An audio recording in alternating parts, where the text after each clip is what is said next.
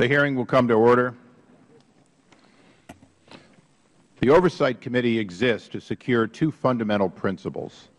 First, Americans have a right to know that the money Washington takes from them is well spent.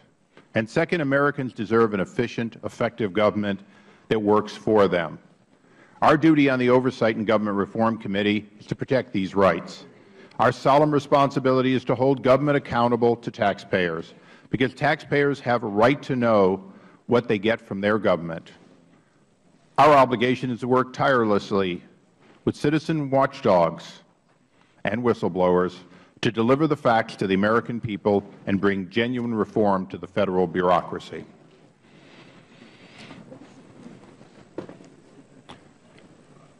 On September 11, 2012, four Americans were murdered by terrorists. It was the 11th anniversary of the 9-11 terrorist attacks on New York and Washington.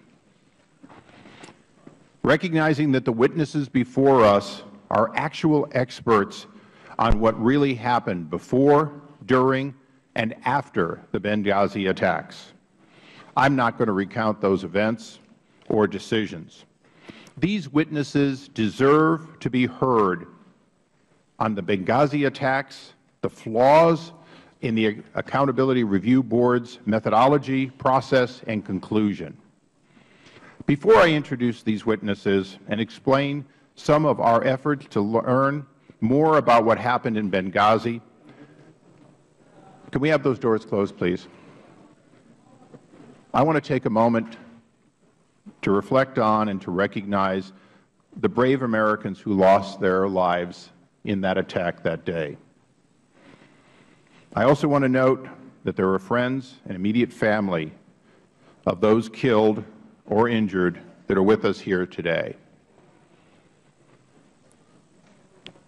J. Christopher Stevens, U.S. Ambassador to Libya.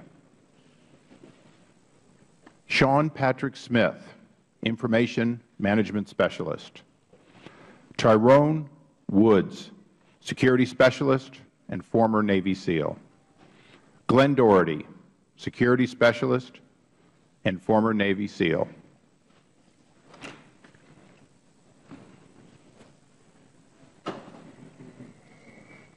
Our goal in this investigation is to get answers because their families deserve answers. They were promised answers at the highest level when their bodies came home. President was there, the Vice President was there, the Secretary of Defense was there, the Secretary of State was there.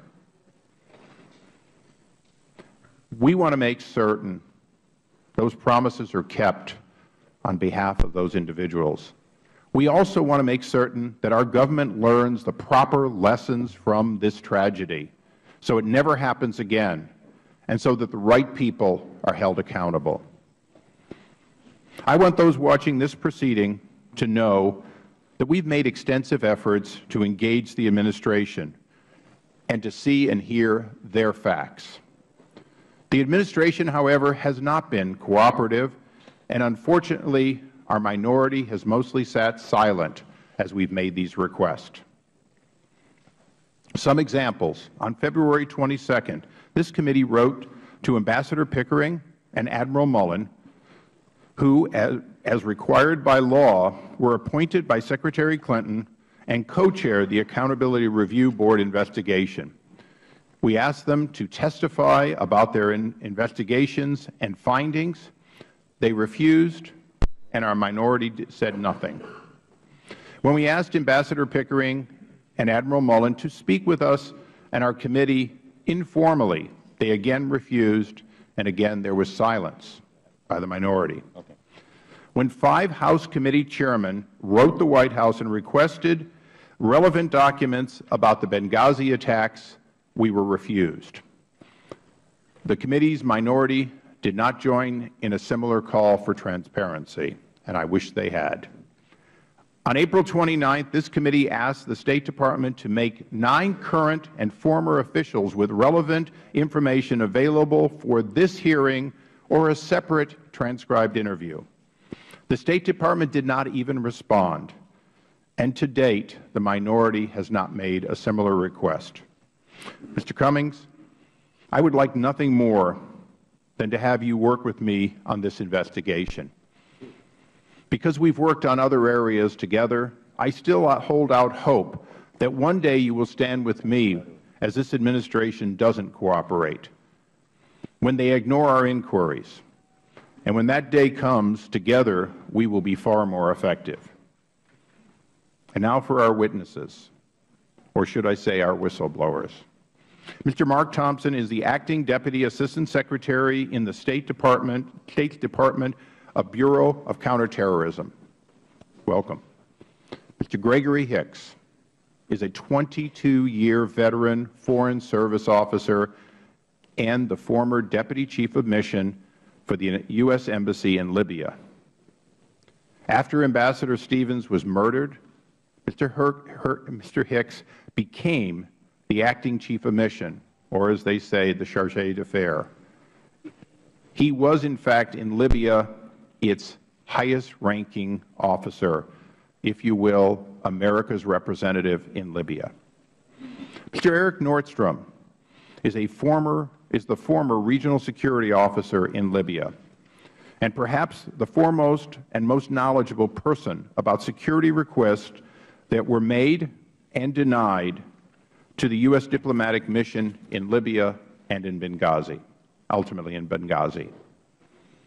Mr. Cummings, we will have from time to time our disagreements.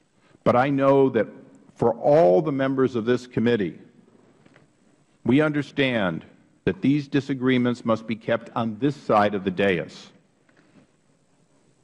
These brave witnesses deserve this committee's call to testify. These brave whistleblowers are, in fact, what makes this committee's work work. We are the committee that oversees and that led for new whistleblower protection signed by this President. The public has a right to hear their accounts, and we, more than any other committee in the Congress, must respect whistleblowers and work on a bipartisan basis always to protect them. With that, I recognize the ranking member for his opening statement. Mr. Chairman, I want to thank you for calling this hearing, and um, I want to be clear, and I've said it over and over again. There's no member of this Congress be they Republican or Democrat, who fails to uphold the right of whistleblowers to come forward. And I think it's sad when that accusation is made against any member of this Congress. And so, to the hearing.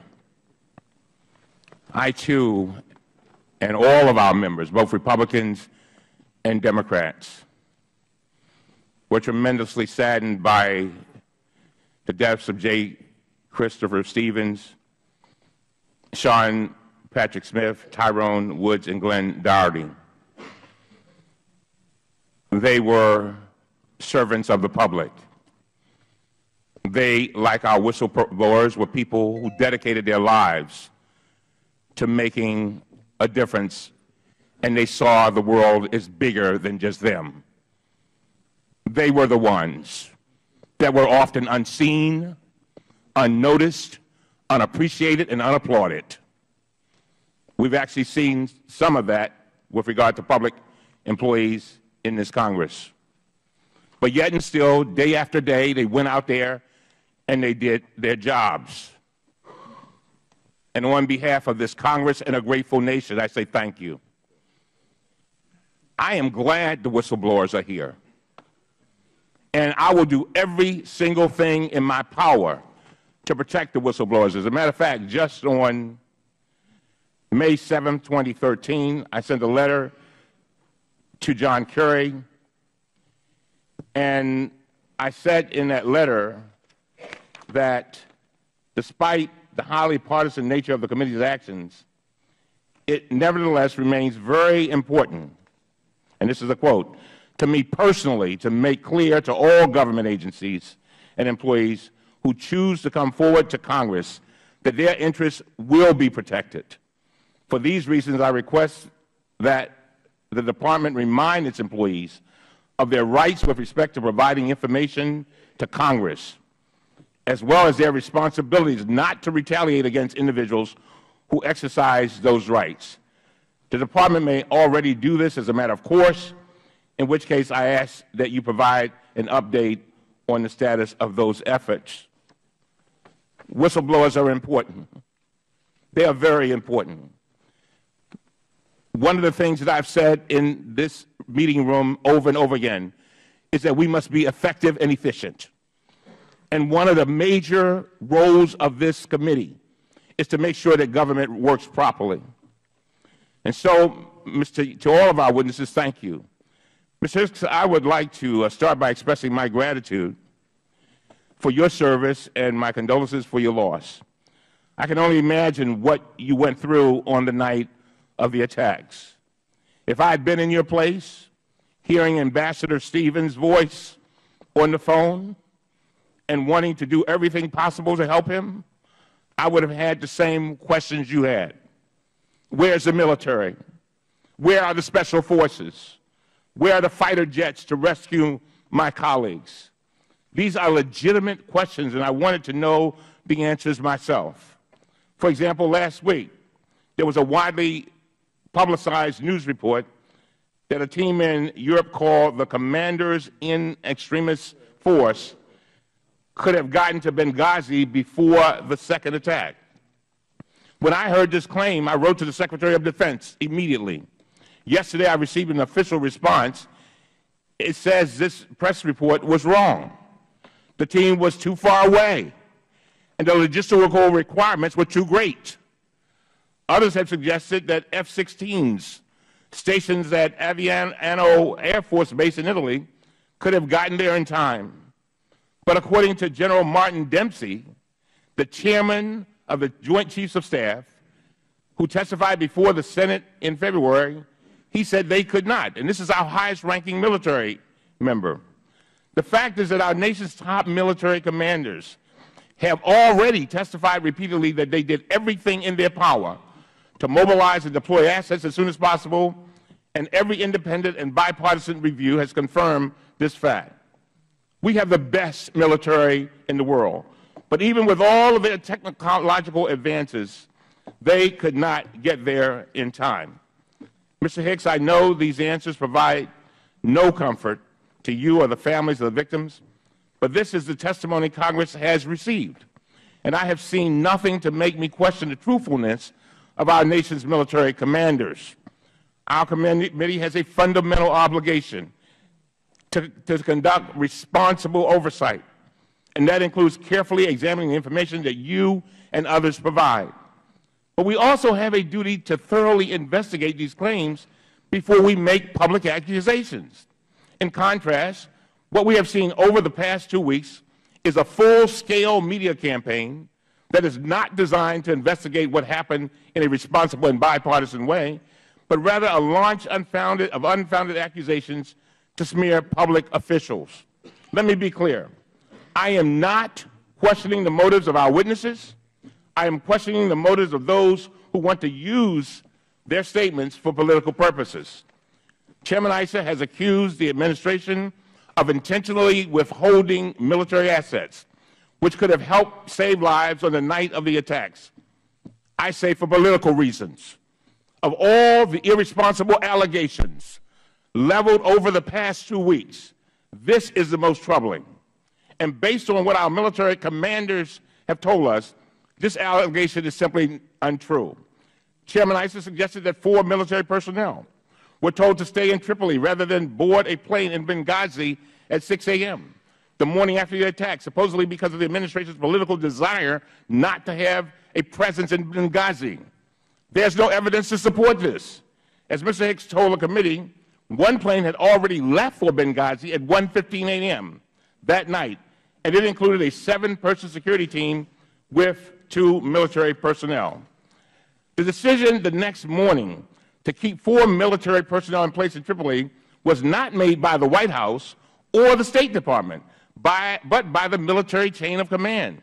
There are other allegations Chairman Issa went on national TV and accused Secretary Clinton of lying to Congress. He said she personally signed the State Department cable authorizing security reductions. We have now seen this cable, and she did not sign it. Her name is printed at the bottom, just like tens of thousands of cables sent every year from the Department. As I close, the Washington Post fact checker called this accusation a whopper, that's their word, and gave it four Pinocchios. Chairman Issa attacked Ambassador Susan Rice for statements she made on Sunday talk shows, claiming the administration, quote, deliberately misled the American people. The claim has been directly contradicted by our nation's top intelligence official, General James Clapper. He testified, he has already testified before the Senate that these attacks against Ms. Rice were, quote, unfair, end of quote, because, quote, she was going on what we had given her, and that was our collective best judgment at the time. There have also been allegations that the Accountability Review Board, led by Ambassador Thomas Pickering and Admiral Mike Mullen, failed to examine the role of Ambassador Patrick Kennedy.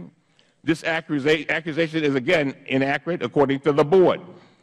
And so, Mr. Chairman, if this committee is going to suggest that General Dempsey, General Clapper, and all are all involved in a conspiracy of withholding military assets and then covering it up, and if this committee is going to accuse Ambassador Pickering and Admiral Mullen of failing to fully investigate these attacks, the least we can do is have, have them invited to, uh, be, to this hearing today or in a future hearing.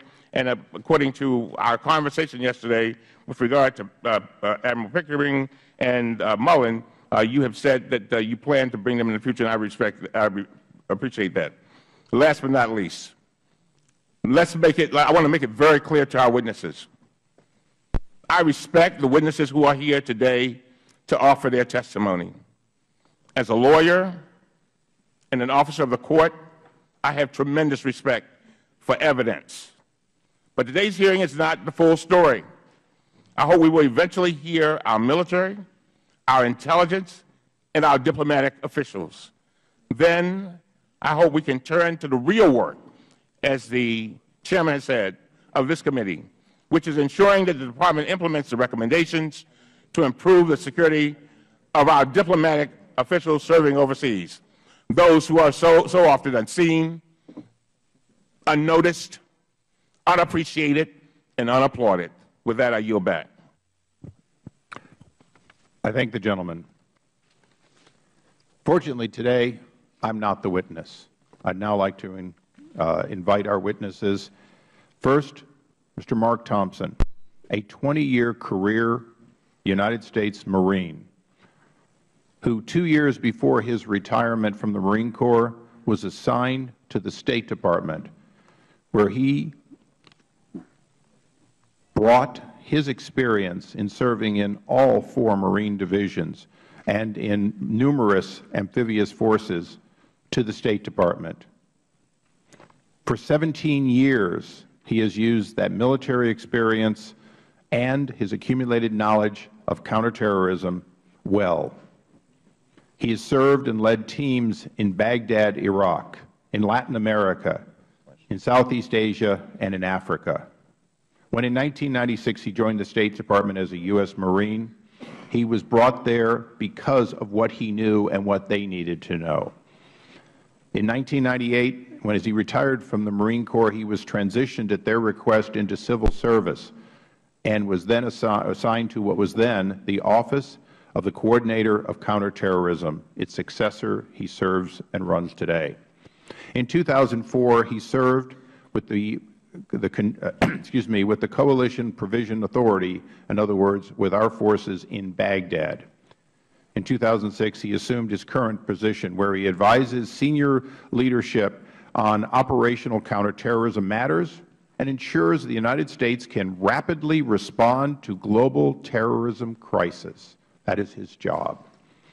Addition, in addition to his responsibilities, he has led the uh, NSC's Direct Foreign Emergency Support Team, or FEST team, in support of U.S. Chiefs of Mission in response to terrorism events, including His expertise was used in that capacity when he, uh, when he was deployed in response to the 1998 East African bombings of our two embassies, the 2000 bombing of the USS Cole, and hostage and recovery efforts in Latin America, Southeast Asia, Africa, and the Middle East. Welcome. Mr. Gregory Hicks, in more than 22 years in the Foreign Service, Mr. Hicks has served notably in Libya, but also in Afghanistan, in Bahrain, where we first met, in Yemen, in Syria, where we met again, and in Gambia. Prior to his assignment in Libya, handpicked to be the Deputy Chief of Mission by the now-deceased Ambassador Chris Stevens, he also served four tours here in Washington.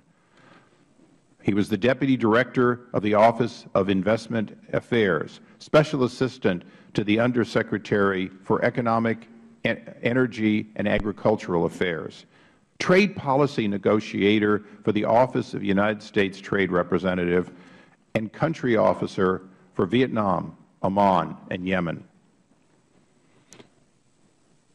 Mr. Hicks played key roles in a number of important historic events with uh, this country and the State Department.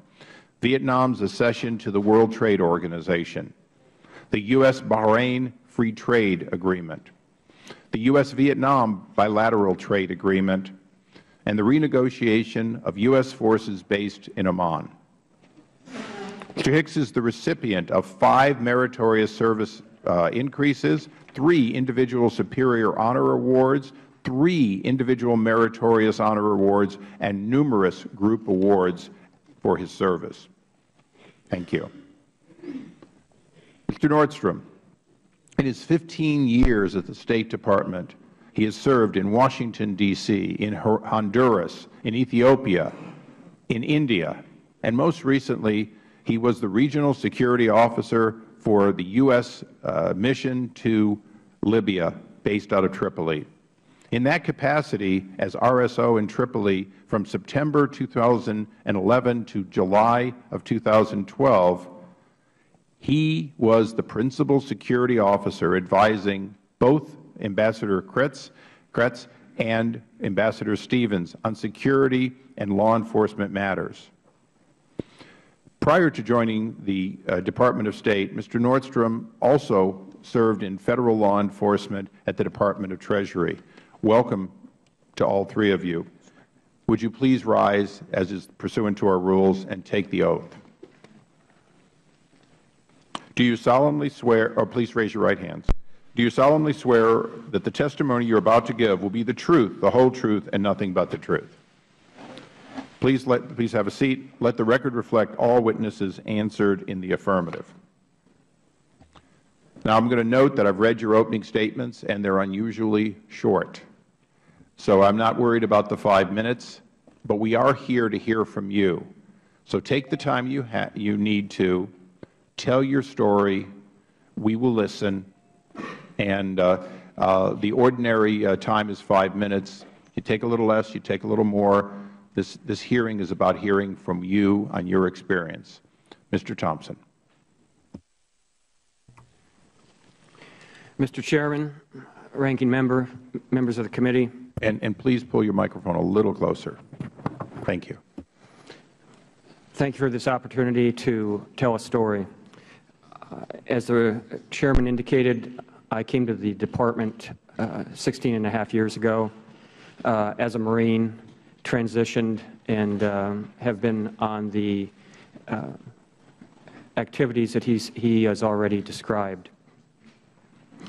The night that I was uh, involved in uh, this incident, I was at my desk uh, at the end of the day when the first reports came in that indicated that uh, we had an attack going on at our diplomatic facility in Benghazi. In that facility, uh, we knew we had our ambassador and we had his security personnel. Later, when I heard that the situation had evolved to them going to a safe haven, and then uh, the fact that we could not find the ambassador, I alerted my leadership indicating that we needed to uh, go forward and consider the deployment of the Foreign Emergency Support Team. That particular team is an interagency team. It's uh, been represented as something that the State Department uh, deploys. It does not. Uh, the Deputies Committee of the National Security Council deploys that organization. But uh, I wanted that uh, considered. I, I notified uh, the White House of my uh, idea. They indicated that meetings had already taken place that evening that had taken FEST out of the menu of options. I called the office within the State Department that uh, had been represented there, uh, asking them why it had been taken off the table, and was told that it was uh, not the right time and it was not the team that needed to go right then. Let me explain the team a little more. It, it is comprised of the leadership from my office. It is comprised of uh, professionals from Special Operations Command, from Diplomatic Security, from the intelligence community, from FBI. It is a holistic, comprehensive organization that is designed to go forward to embassies, just as we did, as indicated in 1998 in East Africa, as we've done in the other places indicated to USS Cole and other hostage situations. It is designed to be the glue and the connective tissue that, that gets all the options on the table for the decision makers. Decision makers in, in my line of work are the chief of mission, and uh, the authorities back here in Washington that make the decisions of what, where we send people into harm's way. It doesn't mean it has a pro, it, it has a irreversibility to it. The other thing that I, I uh, pointed out was that with the tyranny of distance, uh, at least eight or nine hours to get to uh, the middle of the Mediterranean, uh, we needed to act now and not wait. Uh, there's uh, sometimes the uh, hesitancy to not uh, deploy because we don't know what's going on. One definition of a crisis is you don't know what's going to happen in two hours. So you need to help develop that situation early.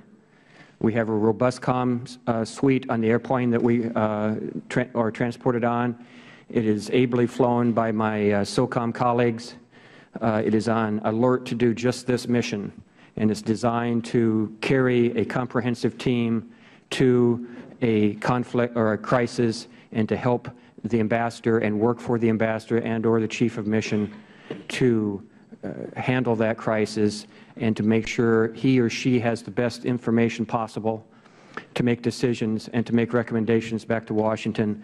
And those same representatives make uh, their views known back to their parent organizations so that when we do have deputies committees and principal committees meetings at the White House, we have a situation in which everyone is, is uh, using the uh, most uh, up-to-date information and so that we can figure out whether what we have to do security-wise, what we have to do intelligence-wise, what we have to do with the military, what we have to do dipl diplomatic-wise, what we have to do on the public affairs front that works for the Chief of Mission, and I can't emphasize that enough. We are not there to subsume any activities.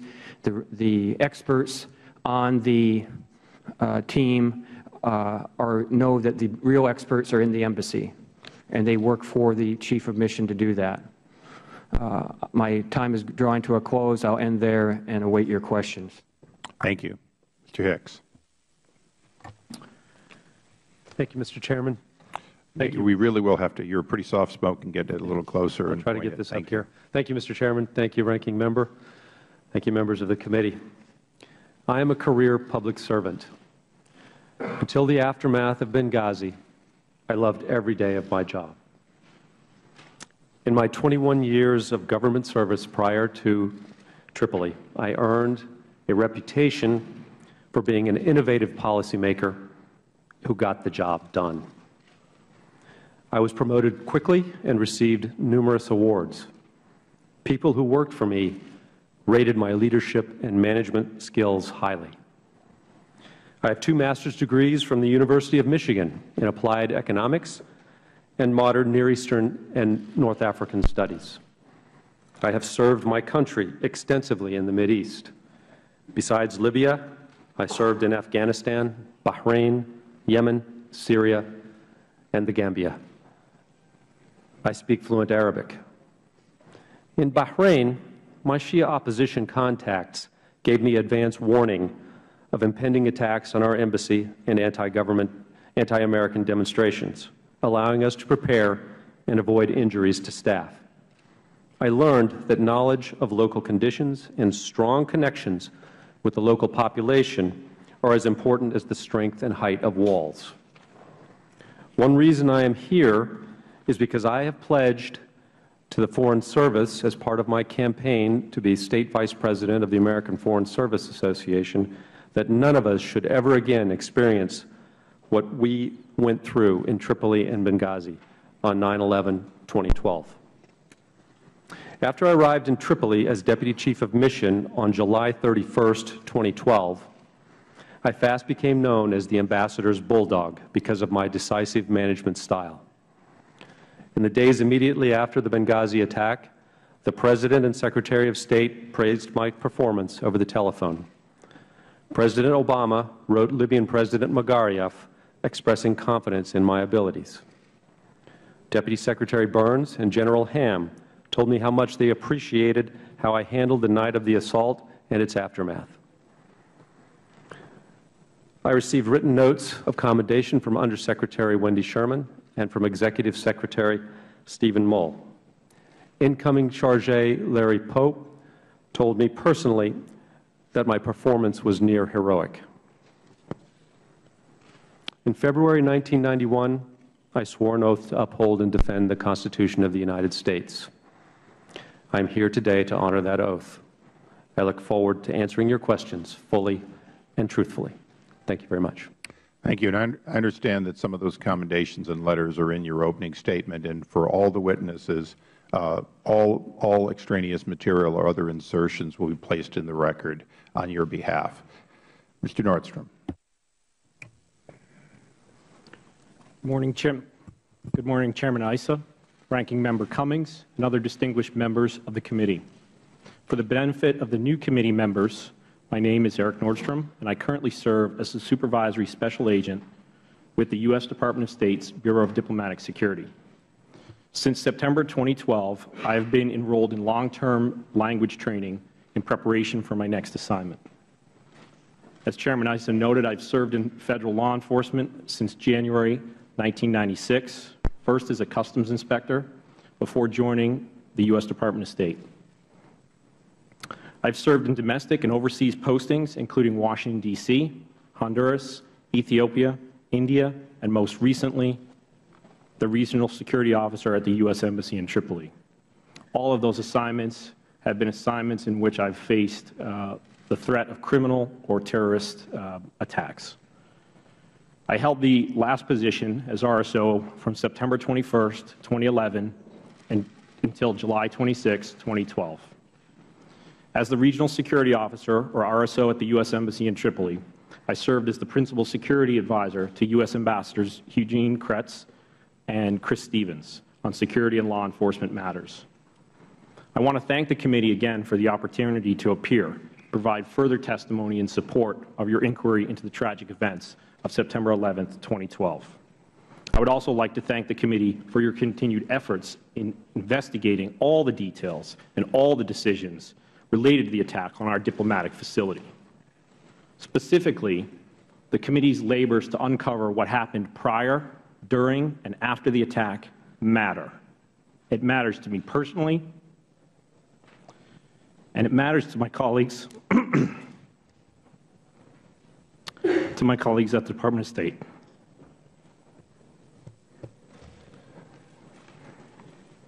It matters to the American public for whom we serve. And most importantly, excuse me, it matters to the friends and family of, of Ambassador Stevens, Sean Smith, Glenn Doherty, and Tyrone Woods, who were murdered on September 11, 2012. In addition to my testimony before this committee in October 2012, I also met with the FBI Senate Homeland Security and Governmental Affairs Committee, the Department's Accountability Review Board, and I've discussed my experiences in Libya with all of them. I'm proud of the work that our team accomplished in Libya under extraordinarily difficult circumstances. The protection of our nation's diplomats, our embassies and consulates, and the work produced there is deserving of the time that this committee, other congressional committees, and the Accountability Review Board, and no doubt future review efforts, will invest in making sure that we get this process right. Thank you, Mr. Chairman and members of the committee for the opportunity to appear before you today. I stand ready to answer any questions that you might have. Thank you. I'll now recognize myself for a quick round of questioning. Mr. Thompson, I'm, no, no, Mr. Thompson, you went through a process of things that you uh, observed and how you tried to activate your team. Did you do so because you had an initial view of whether this was a terrorist attack or something else? And please be brief. I want to use my time. Yes. Okay. Thank you. Mr. Hicks, as the principal officer uh, and the, you know, once the ambassador had been murdered, the highest ranking officer Uh, on September 11th, from the moment that you unexpectedly became the charge. America has heard many accounts of what happened. We've never heard accounts from a single person who was in Libya that night. You will be the first person who observed it. In your own words, take as much time as you want.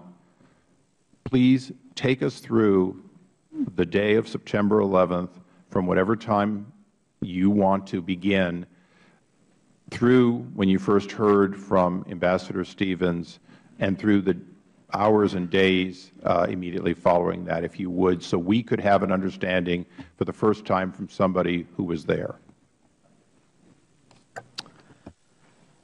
Thank you, Mr. Chairman. Uh, as, as I remember September 11, 2012, it was a routine day at our embassy. And until we saw the news about Cairo, and I remember sending a text message to Ambassador Stevens saying, Chris, are you aware of what's going on in Cairo? And he said, no. Uh, so I told him that the embassy, in another text, that the embassy had been stormed and they were trying to tear down our flag. And he said, thanks very much. And, you know, then I went on with, uh, with, with business.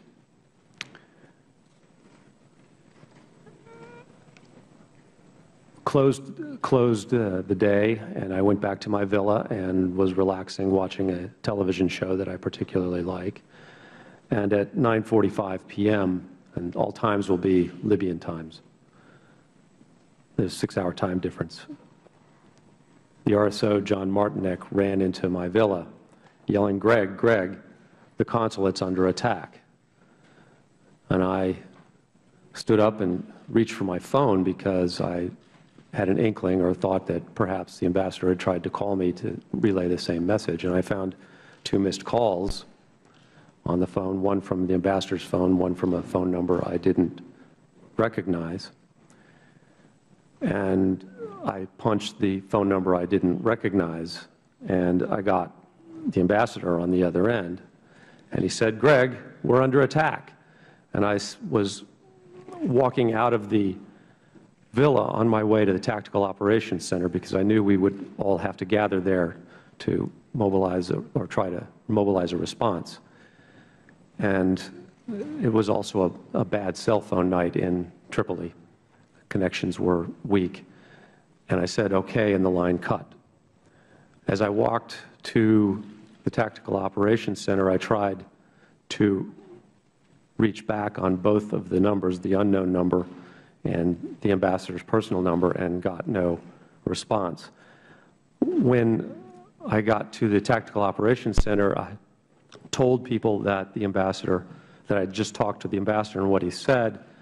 Uh, at the time, John Martinec was on the phone with Alec Henderson in Benghazi, the RSO there. And uh, I asked one of our DS agents, who, what number did I reach Ambassador Stevens on? And he said, oh, that's Scott Wickland's telephone. Scott Wickland was Ambassador Stevens' agent in charge, his personal escort for that night, and was with him in the villa during the attack. So I asked, uh, when John Martinec got off the telephone, I asked him what was going on, and he said that the consulate had been breached and there were at least 20 uh, hostile individuals armed in the, in the compound at the time. So I next called the annex chief to ask him if he was in touch with the Benghazi annex to activate our emergency response plan. Please explain the annex chief so that people that don't know as much would understand that. No, go ahead, please. Okay, thank you. And he said that he had been in touch with the annex in Benghazi, and they said they were mobilizing a response team there to go to the to our facility and provide reinforcements and to repel the attack. With that knowledge, I called the Operations Center at the State Department at approximately 10 p.m. to uh, report the attack and what we were doing to respond to it. The next thing I did was to begin calling the senior officials in the government of Libya that I knew at the time. And so I dialed first President Magariaf's chief of staff and reported the attack and asked for immediate assistance from the government of Libya to assist our folks in Benghazi. I followed that up with a call to the Prime Minister's chief of staff to make the same request, and then to the MFA, America's director. MFA is Ministry of Foreign Affairs. The defense attache was at the same time calling the leadership of Libya's military with the same purpose, to ask them for assistance. Once that was done, I called again to Washington to report that these ac actions had been commenced. Over the night, we, over that night, that is basically how our team operated. I was talking to the government of, Lib of Libya, reporting to the State, State Department through the Operations Center, and also staying in touch with the Annex Chief about what was going on. Uh, let me step back one minute, if I could, and say that I also discussed with the Annex Chief about mobilizing a Tripoli response team, and we agreed that we would move forward with a chartering a plane from Tripoli to fly a response team to Benghazi to provide additional reinforcements. The defense attache was also reporting through his chain of command back to AFRICOM and to the Joint Staff here in Washington about what was going on in the country. David McFarland, our political section chief, had just returned from Benghazi, where he had been our principal officer for the previous 10 days. And so he jumped into this picture by reaching out to his contacts in Benghazi and trying to get them at the local level there to respond to the attack. And he also was in touch with our local employee there as well. Excuse me if I yeah, check my notes here. It's a long. The attack unfolded in four phases, or the night unfolded in four phases. The first phase was the attack on our consulate. This story is well known, I think. The Benghazi response, the, the uh, consulate was invaded. The Villa C, where the ambassador and Sean Smith and Scott Wick- Wickland were uh, hiding in the safe area, was set on fire. Uh, the attackers also went into another went into another of buildings. They were unable to enter the Tactical Operations Center in Benghazi because of improvements to that facility that had been made. They, Scott attempted to lead the ambassador and Sean Smith out of the burning building. He managed to make it out. Uh, He tried repeatedly to go back in to try to rescue Sean and the ambassador, but had to stop due to exposure to smoke. The response team from the annex in Benghazi, six individuals, drove the attackers out of our compound and secured it temporarily. There have been estimates as high as 60 attackers were in the compound at one particular time. There were repeated attempts by all of the RSOs and by the response team from the annex to go into the burning building and recover or try to save Sean and the ambassador. They found Sean's body and pulled it out, but he was no longer responsive. They did not find the ambassador. And I spoke with a medical officer, one of our medical officers after, after the attack, and the heroism of these individuals in repeatedly going into a petroleum-based fire cannot be understated. Petroleum, according to this, to our regional medical officer, petroleum-based fires emit enormous amounts of cyanide gas. And he told me that one full breath of that would incapacitate and kill a person if exposed to it.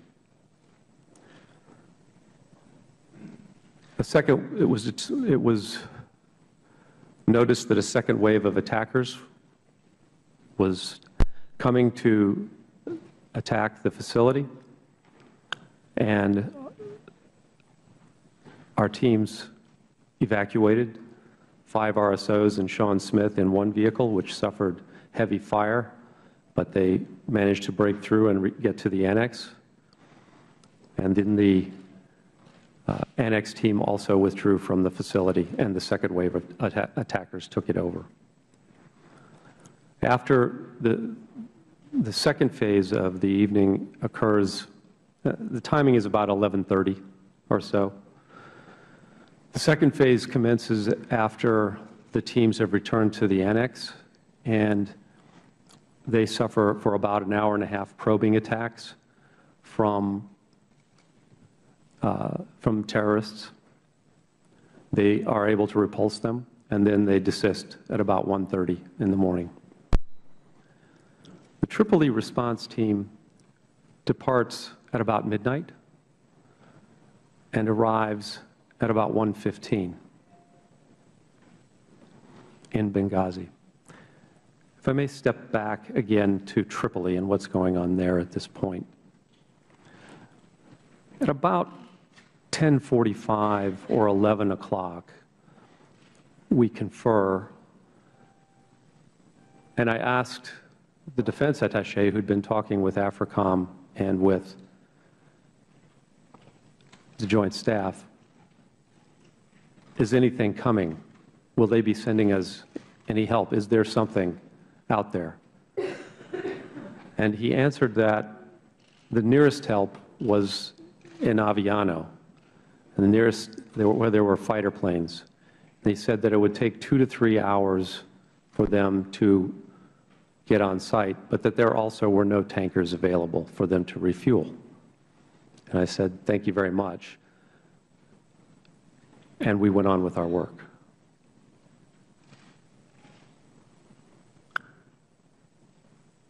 Phase three begins with news that the ambassador ambassador's body has been recovered. And David McFarland, if I recall correctly, is the individual who began to receive that news from his contacts in Benghazi. And we began to hear also that the ambassador has been taken to a hospital. We don't know initially which hospital it is, but we, through David's reports, we learn that it is in a hospital which is controlled by Ansar Sharia, the group that Twitter feeds had identified as leading the attack on the consulate. We're getting this information as the Tripoli response team arrives in Benghazi at the airport. Both our annex chief and the annex chief in Benghazi and our defense attache are on the phone during this period trying to get the Libyan government to send vehicles and military Uh, or, and or security assets to the airport to assist our, our response team. At this point, this response team looks like it may be a hostage rescue team, that they are going to, we, we are going to need to send them to try to save the ambassador who is in a hospital that is, as far as we know, under enemy control. Our contacts with the government in Tripoli are telling us that the ambassador is in a safe place, but they imply that he is with us in, in the annex in Benghazi. And we keep telling them, no, the, he is not with us. We do not have his, we do not have him.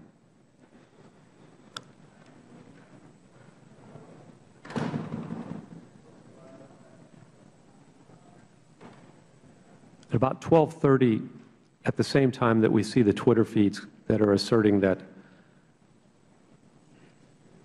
Ansar Sharia is responsible for the attack, we also see a call for an attack on the embassy in Tripoli.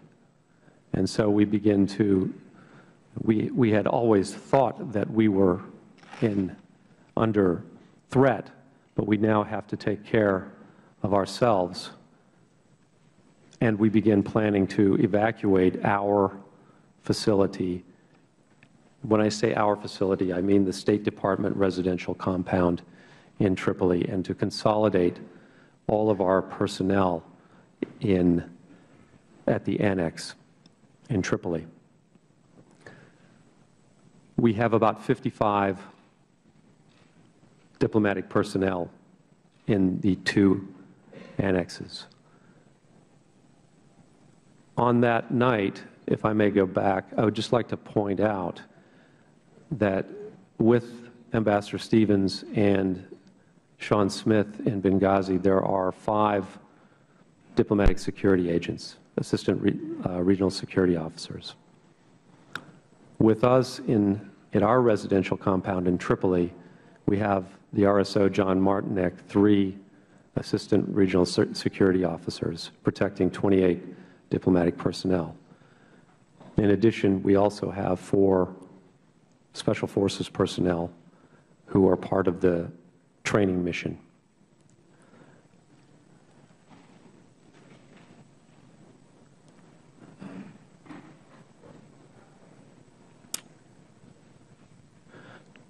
During the night, I'm in touch with Washington, keeping them posted of what's happening in Tripoli and, to, to the best of my knowledge, what I'm being told in Benghazi. I think at about 2 p.m., the secret 2 a.m. Sorry, the secretary called. Secretary of State Clinton called me, along and along with her senior staff. We're all on the phone, and she asked me what was going on, and I briefed her on the developments most of the conversation was about the search for Ambassador Stevens. It was also about what we were going to do with our personnel in Benghazi. and I told her that we would need to evacuate. And that was the right, she said that was the right thing to do.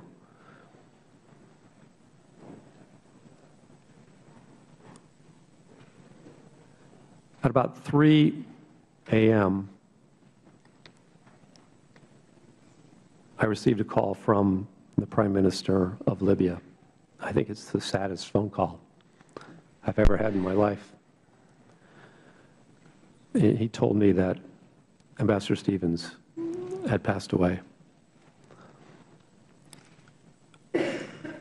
I immediately telephoned Washington that news afterwards. And began accelerating our effort to withdraw from the Villas compound and move to the annex. The, excuse me, I'll take a glass of water.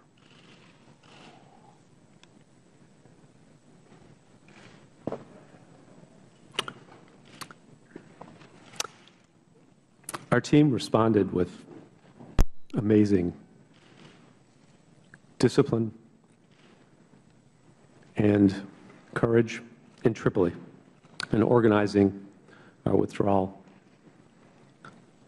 I have vivid memories of that. I think the most telling, though, was of our communications staff dismantling our, our, our communications equipment to take with us to the annex and destroying the classified communications capability. Our office manager, Amber Pickens, was everywhere that night, just throwing herself into some task that had to be done. First, she was taking a log of what we were doing. Then she was loading magazines, carrying ammunition to the, carrying our ammunition supply to the, our vehicles.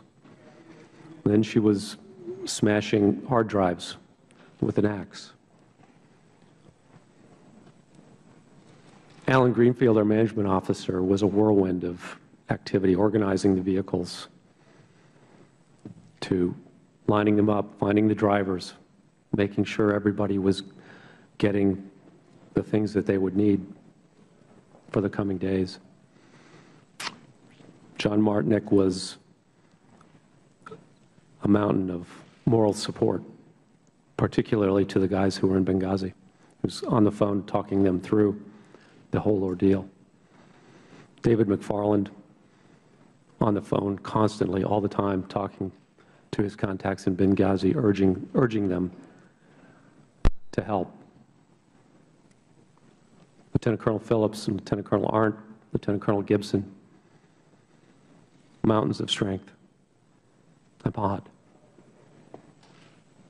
I'm still in awe of them.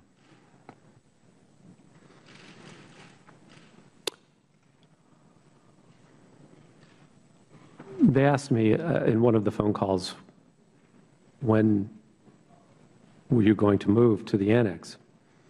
And I said, we'll move at dawn. Because none of our people had great experience driving the armored Suburbans that we were, were going to have to use.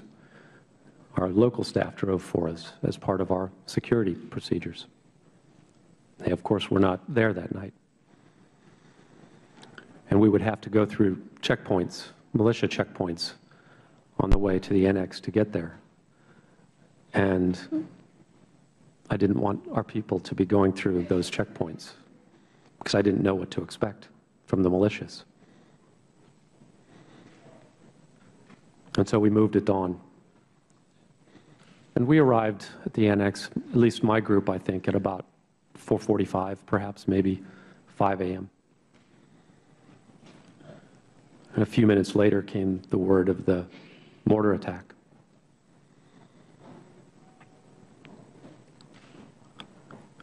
If I could return to Benghazi a little bit, talk through Tripoli. I'm sorry if I bounce back and forth, but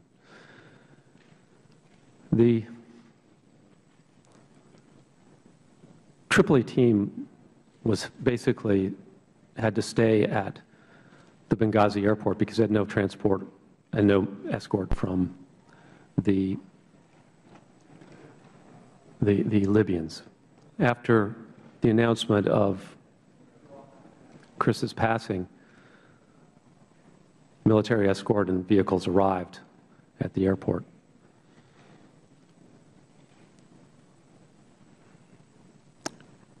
So the decision was made for them to go to the annex. One of the, before I got the call from the Prime Minister, we had received several phone calls on the phone that had been with the ambassador saying that we know where the ambassador is, please, you can come get him. And our local staff engaged on those phone calls admirably, um, asking very, very good, outstanding, even open-ended questions about where was he, trying to discern whether he was alive, would you let, whether they even had the ambassador, whether that person was with the ambassador. Send a picture. Could we talk to the ambassador? Because we knew separately from David that the ambassador was in a hospital that we believed was under Ansar Sharia's call, we, we suspected that we were being baited into a trap. And so we did not want to go send our people into an ambush.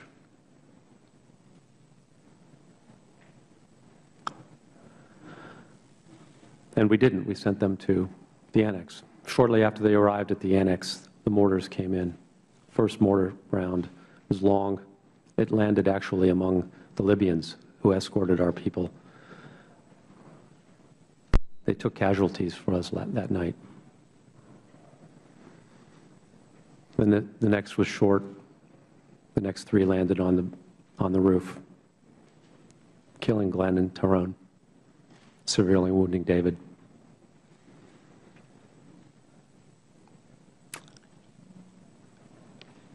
They didn't know whether any more mortars were going to come in. The accuracy was terribly precise. The call was the next one is coming through the roof, maybe if it hit.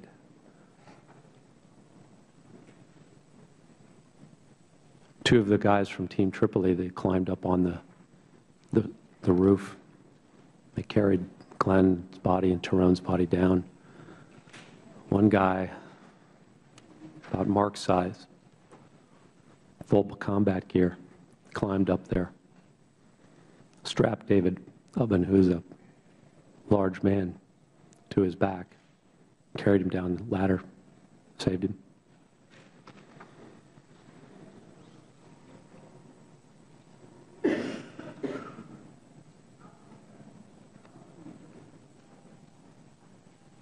In Tripoli,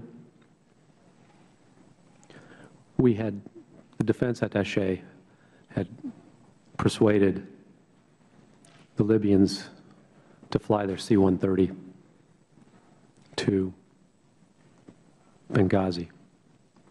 We wanted to airlift. We had, since we had consolidated at the annex, and the Libyan government had now provided us with external security around our facilities, we wanted to send further reinforcements to Benghazi. We determined that Lieutenant Colonel Gibson and his team of Special Forces troops should go. The people in Benghazi had been fighting all night. They were tired, they were exhausted. We wanted to make sure the airport was secure for their withdrawal. As Colonel Gibson and his three personnel were, were getting in the cars, he, he stopped and he called them off and said, told me that he had not been authorized to go. The vehicles had to go because the flight needed to go to Tripoli, I mean to Benghazi. Lieutenant Colonel Gibson was furious. I had told him to go bring our people home. That's what he wanted to do.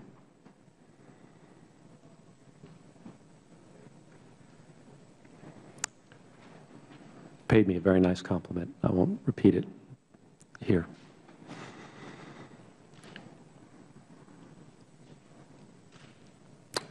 So the plane went. I think it landed in Benghazi around 7:30.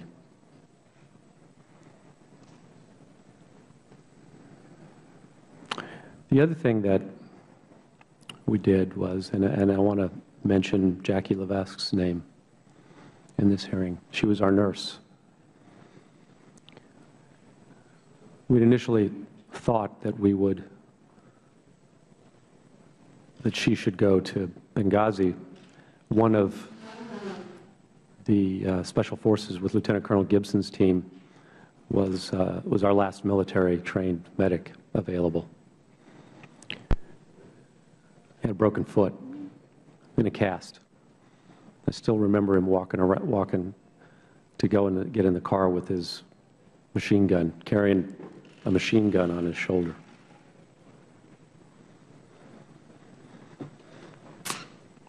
But Jackie, I, I, I refused to allow her to go to Benghazi because I knew we had wounded coming back. I knew David was severely wounded, and I knew others were wounded as well.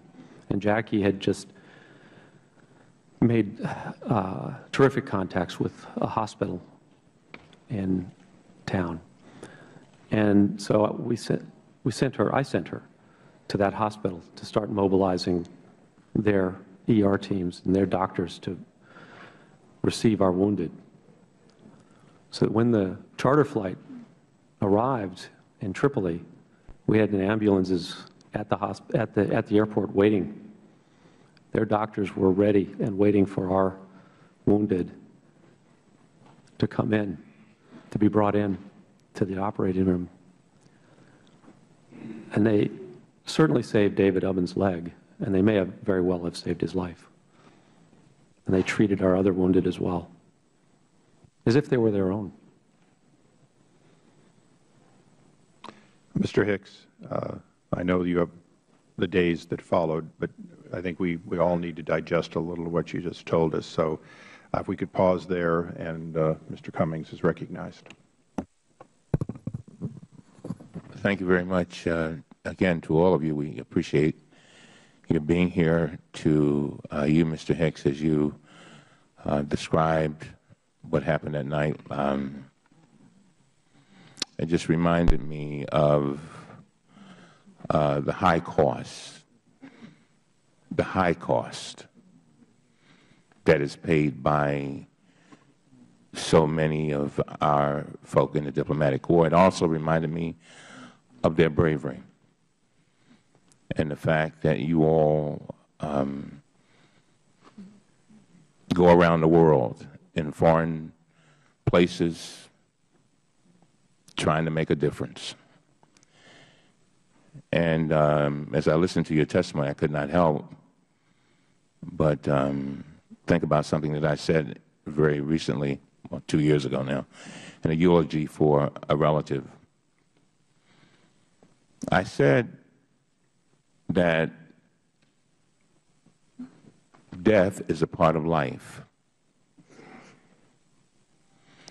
But so often we have to find a way to make life a part of death.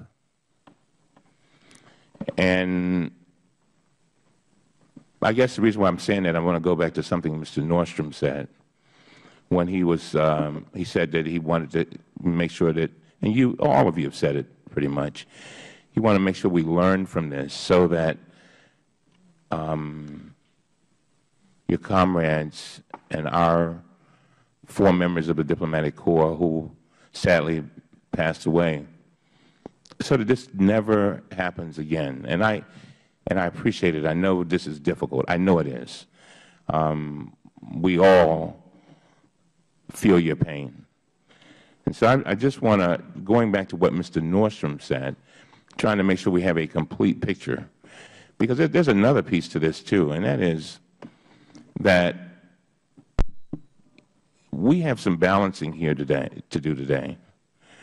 We have to listen to you all, um, and and this this is really really difficult because we've got some statements that have made, been made, not necessarily by you, but interpreted.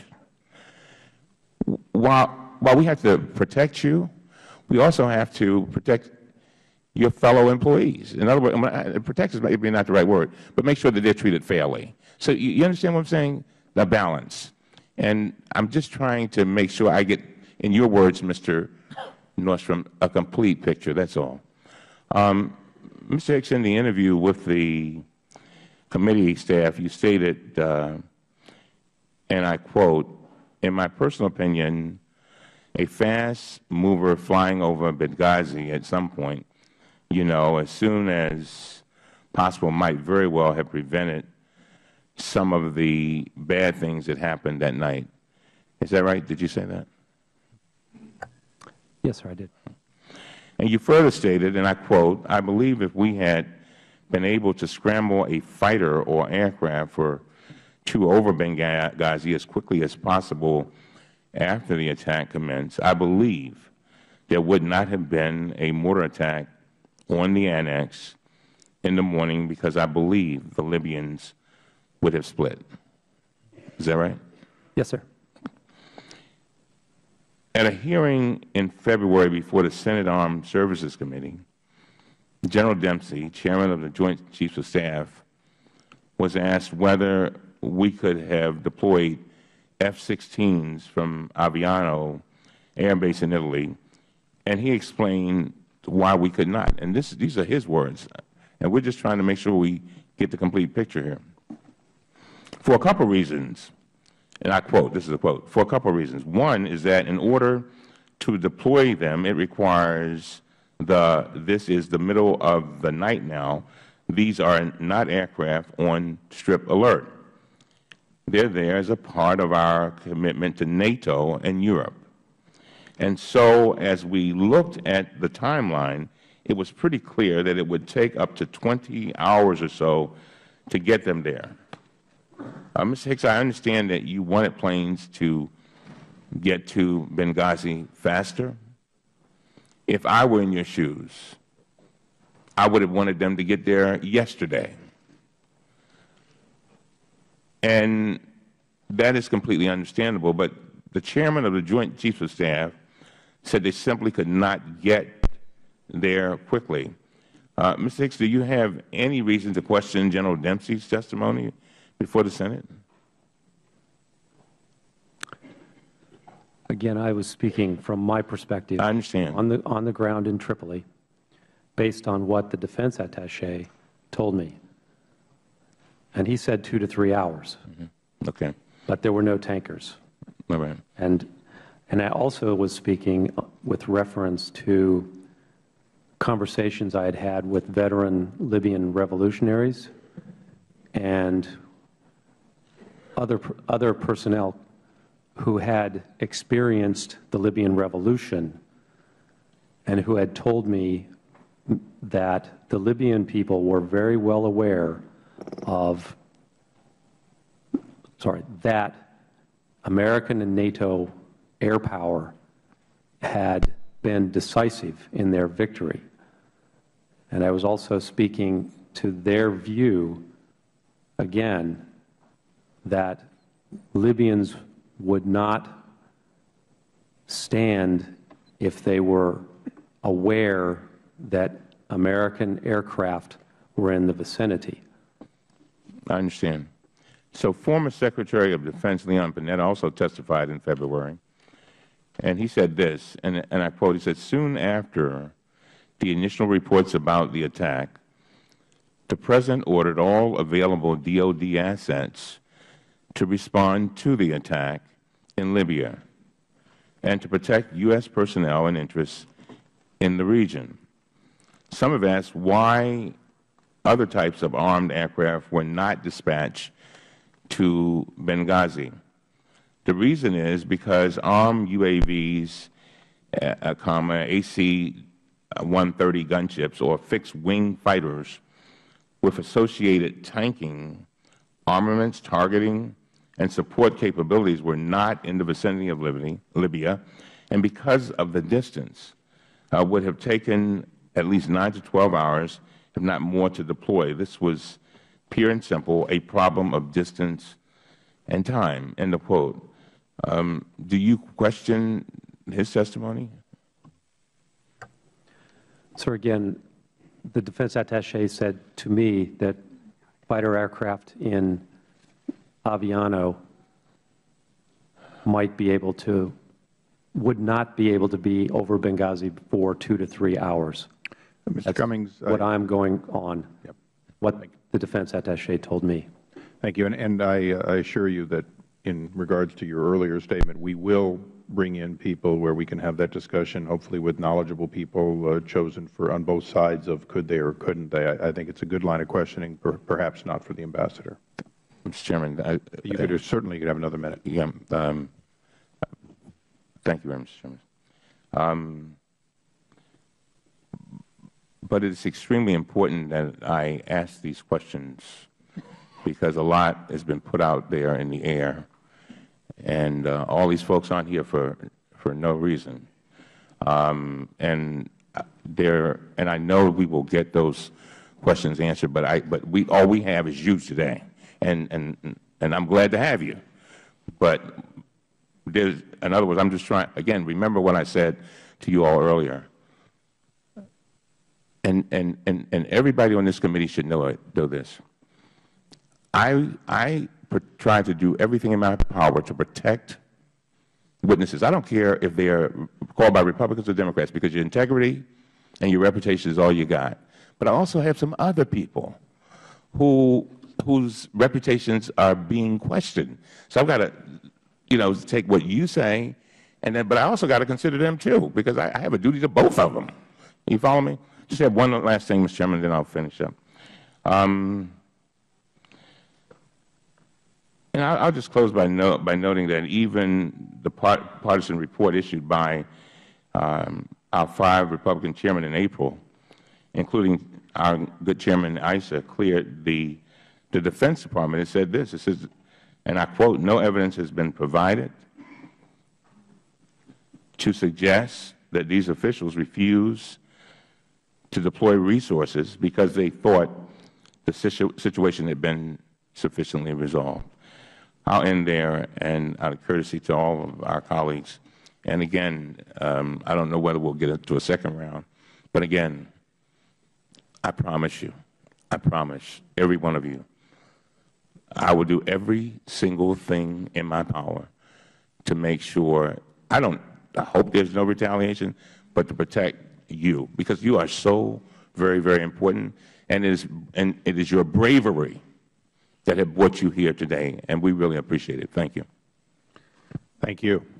We now go to the gentleman from South Carolina, Mr. Gowdy. Thank you, Mr. Chairman. Uh, to the families of the victims, uh, it's been eight months. And I know that there are those who have said that's a long time ago. But the good news is there is no statute of limitations when it comes to finding out the truth, particularly for those who have served and sacrificed and died under our flags. So, Mr. Hicks, let's find out the truth. The President of Libya responded to the attack and labeled it an attack by Islamic extremists, possibly with terror links, correct? Yes, sir. So hours after our ambassador and three others are killed in Benghazi, the president of Libya says it was an attack with possible terror links, correct? Yes, sir. That's what I recall. Did the president of Libya ever mention a spontaneous protest related to a video? No, sir. When Ambassador Stevens talked to you, perhaps minutes before he died, as a dying declaration, what precisely did he say to you? He said, Greg, we're under attack. Would a highly decorated career diplomat have told you or Washington had there been a demonstration outside his facility that day? Yes, sir, he would have. Did he mention one word about a protest or a demonstration? No, sir, he did not. So fast forward, Mr. Hicks, to the Sunday talk shows and Ambassador Susan Rice. She blamed this attack on a video. In fact, she did it five different times. What was your reaction to that? I was stunned. My jaw dropped, and I was embarrassed. Did she talk to you before she went on the five Sunday talk shows? No, sir. You were the highest ranking official in Libya at the time, correct? Yes, sir. And she did not bother to have a conversation with you before she went on national television. No, sir. So Ambassador Rice directly contradicts the evidence on the ground in Libya. She directly contradicts the president of Libya. She directly contradicts the last statement uttered by Ambassador Stevens. Mr. Hicks, who is Beth Jones? Beth Jones is the Acting Assistant Secretary for Near Eastern Affairs at the State Department. I want to read an excerpt from an email she sent, and you were copied on it. And by the way, Mr. Chairman, for our colleagues who like to trumpet bipartisanship, this would be a wonderful opportunity to demonstrate it. Some of these emails, even though they're not classified, have not been released, Mr. Chairman, including the one that I'm going to read from.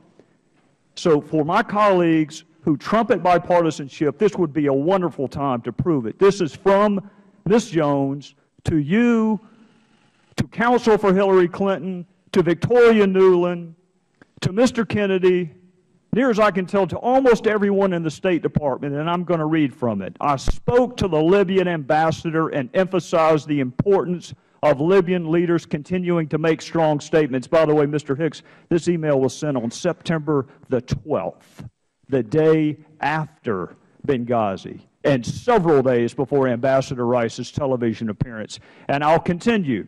When he said his government suspected that former Gaddafi regime elements carried out the attacks, I told him that the group that conducted the attacks, Ansar al-Sharia, is affiliated with Islamic terrorists.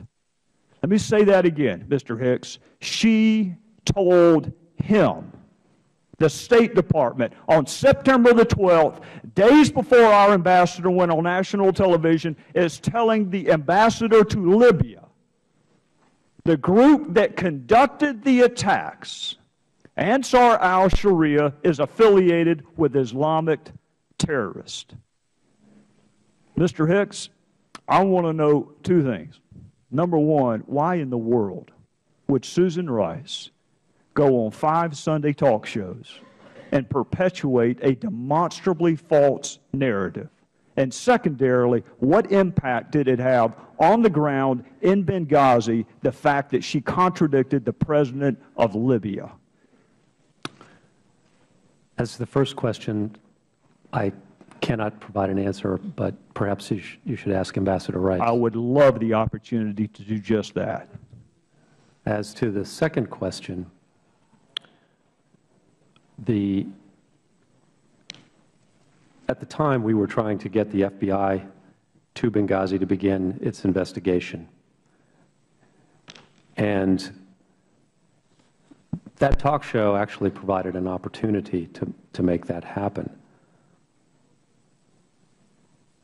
Afterwards, we encountered bureaucratic resistance for a long period from the Libyans. The Libyan government at this time is not very deep. President, Prime Minister, Deputy Prime Ministers, ministers, all capable people, some vice ministers as well. And it took us an additional two, see my math's not very fast these days, maybe 18 days to get the FBI team to, Bengha to Benghazi. So the crime scene was unsecured for 18 days. Yes, sir. Witnesses were not interviewed. I would, would the gentleman would please finish up. We're going to try and be, move along. Yes, I will move on. Uh, we will finish this if there is a second round. Thank you, uh, Mr. Hicks. Thank you. Uh, for all individuals, to the extent that our witnesses can stay on, we, we will try to have a second round, but uh, the ranking member and I both realize that we're a little behind schedule, and I take blame for it, but we're going to try and move uh, within five minutes of questioning whenever possible. The gentlelady from New York, Ms. Maloney. Th- th- Thank you, Mr. Chairman. Thank you, Mr. Chairman. Is this on? I want to thank uh, all the witnesses and thank you for your, for your public service and my condolences uh, to the families for your great loss. And I, I want to thank the American military. Uh, my father served in World War II, my brother in Vietnam, my husband in the Navy, and I can say after close observation, there is no place or no time that the American military wouldn't be there to protect American lives if they possibly could get there. And I find it truly disturbing and, and very unfortunate that when Americans come under attack, the first thing some did in this country was attack Americans, attack the military, attack the president, attack the State Department, attack the former senator from the great state of New York, former Secretary of State Hillary Clinton. And I would like to ask uh, some questions about these attacks to get at the real facts. Last month, Chairman Issa went on national television and accused former Secretary of State Hillary Clinton, accused her of lying under oath when she testified before Congress that she did not personally approve of security reductions in Libya. As proof, he claimed that she personally signed a cable denying requests for additional security and he stated, and I quote, the Secretary of State was just wrong. She said she did not participate in this, and yet, only a few months before the attack, she outright denied security in her signature in a cable in April 2012. The fact is that the Secretary did not sign this cable in 2012. Her name was typed at the bottom of the page, which is just the general procedure for thousands of cables that come out of the State Department every single year. So I would like to ask the panelists and our witnesses just one question, and it concerns the uh, State Department Correspondence Manual, which is posted on the Department's website. And this manual says, and I quote, the Communications Center will place the name of the Secretary on all telegrams to posts, end quote. Now, I would like uh, to ask the panelists in a yes or no question, do you agree that uh, this is the proper procedure or the procedure that's followed uh, by, by the State Department, that thousands and thousands of cables leave the department headquarters every single year with the Secretary's name um, at the bottom of the page or on the page. And I, I'm, i would like to know, um, Mr. Nordstrom, yes or no, do you agree with the manual? Is that the procedure of the State Department? That's my understanding of the prevailing Mr. Hicks, yes or no? Yes, ma'am. Um, Mr. Thompson, yes or no, is that the procedure? Yes. Well, two days after Chairman Issa made these accusations, the Washington Post uh, ran a uh, fact checker article called The Whopper. And I would like to ask uh, unanimous consent to place this in the record. Without objection, so ordered. Thank you.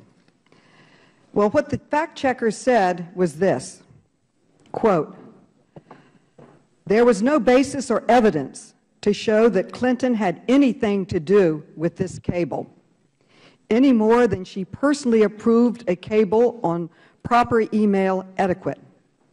The odds are extremely long that Secretary Clinton ever saw or approved this memo, giving us confidence that these inflammatory and reckless language qualifies as a whopper and four Pinocchios, end quote. So anyone who actually knows how the State Department operates knows that she was speaking the truth. She was talking about the procedure that was in the manual. There is no way in the world that she could sign every cable coming out, and when she said she didn't sign it, she did not sign it. So The gentlelady's time has expired, but if anyone wants to respond, they may. Hearing none, we'll go to the gentleman from Utah, Mr. Chaffetz. Thank you, Chairman, and thank you all three for you being here, and thank you for the families, loved ones who's, who passed away. Um, Mr. Hicks, I want to go back to that uh, first plane from Tripoli. It went from Tripoli, as, uh, as the uh, noted in the ARB report, included seven rescue team members, including two, mili two U.S. military personnel. That plane then returns to Tripoli, and the first rescue team that is there is now really engaged in the attack. Uh, you have no idea, as my understanding, as to when the attack is going to end. So the rescue, second rescue team is preparing to go. And I want you, you mentioned it in your opening statement, but if you could please go back to what the second team, now the, the, the second team included four U.S. military. These are highly trained Special Forces personnel, one of which is a medic. And yet these military personnel do not operate under your authority, and your permission is not enough for them to go. Explain to me again exactly what happened.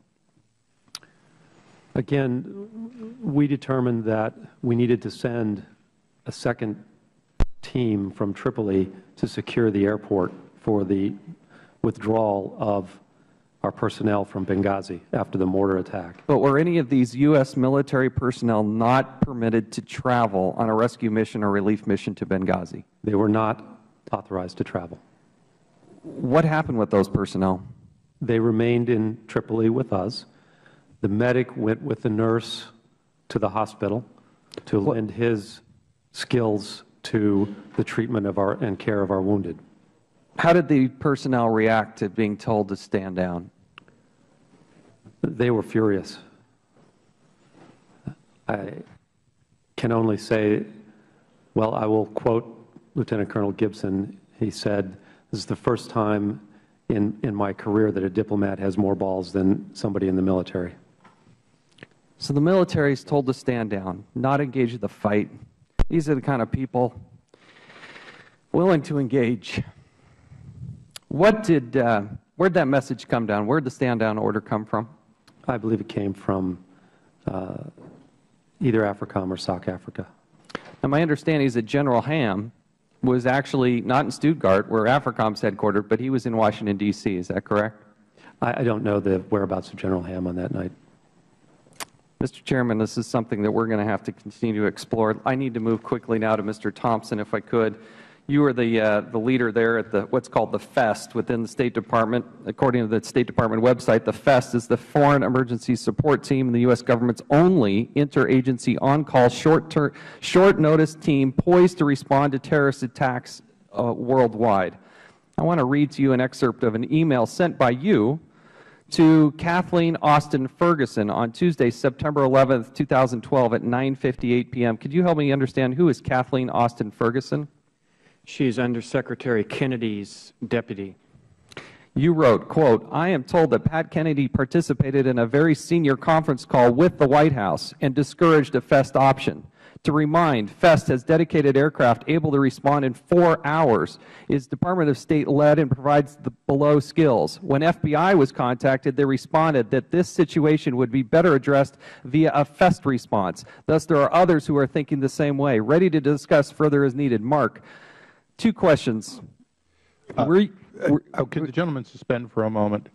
Uh, earlier, uh, there was one document that had not been placed in the record uh, because it hadn't been provided through official channels. And I'd, I'd, ask that we get that. I think it came from Mr. Gowdy. And then, uh, Mr. Chaffetz, if you could make your document available so we could make copies. Uh, and then for any other members on either side of the dais, if you plan to use a document that is not currently committee record, and I realize since we've gotten very little, there's very little committee records, please do us the favor of, of having copies so they can be distributed at or prior to the beginning of the questioning. Uh, I'm sorry to interrupt. Mr. Chairman, no, just yeah, one, one, one, one thing. Mr. Chairman, uh, as you recall yesterday, I said I reminded you that we had never, with regard to Mr. Thompson, this is the first time I, we've gotten a syllable from him. Right, and it's, and Yeah. we have no Right, transcript of yeah, it either. I- but let me go on. One of the things I said in our conversation is that there, if there were any documents that were going to be used, we'd like to have had them yesterday. But, but with regard to this document, and it sounds like a, it's a very crucial document, and in fairness to everybody, to all of us, and to Mr. Nordstrom, who said he wanted a complete hearing, we'd just like to have that document, even if we had to suspend, so before, we'd like to see the document that he's talking about. You know, Okay, I'm, in the case of this particular document, Mr. Chaffetz is, uh, well, my understanding is you do have the document. Uh, So I'll let staff work on that and, and provide additional time if, if needed, if that turns out not to be true. Uh, For our witnesses, if you have any documents you're going to refer to that we don't have, if you'd have your counsels allow copies to be made.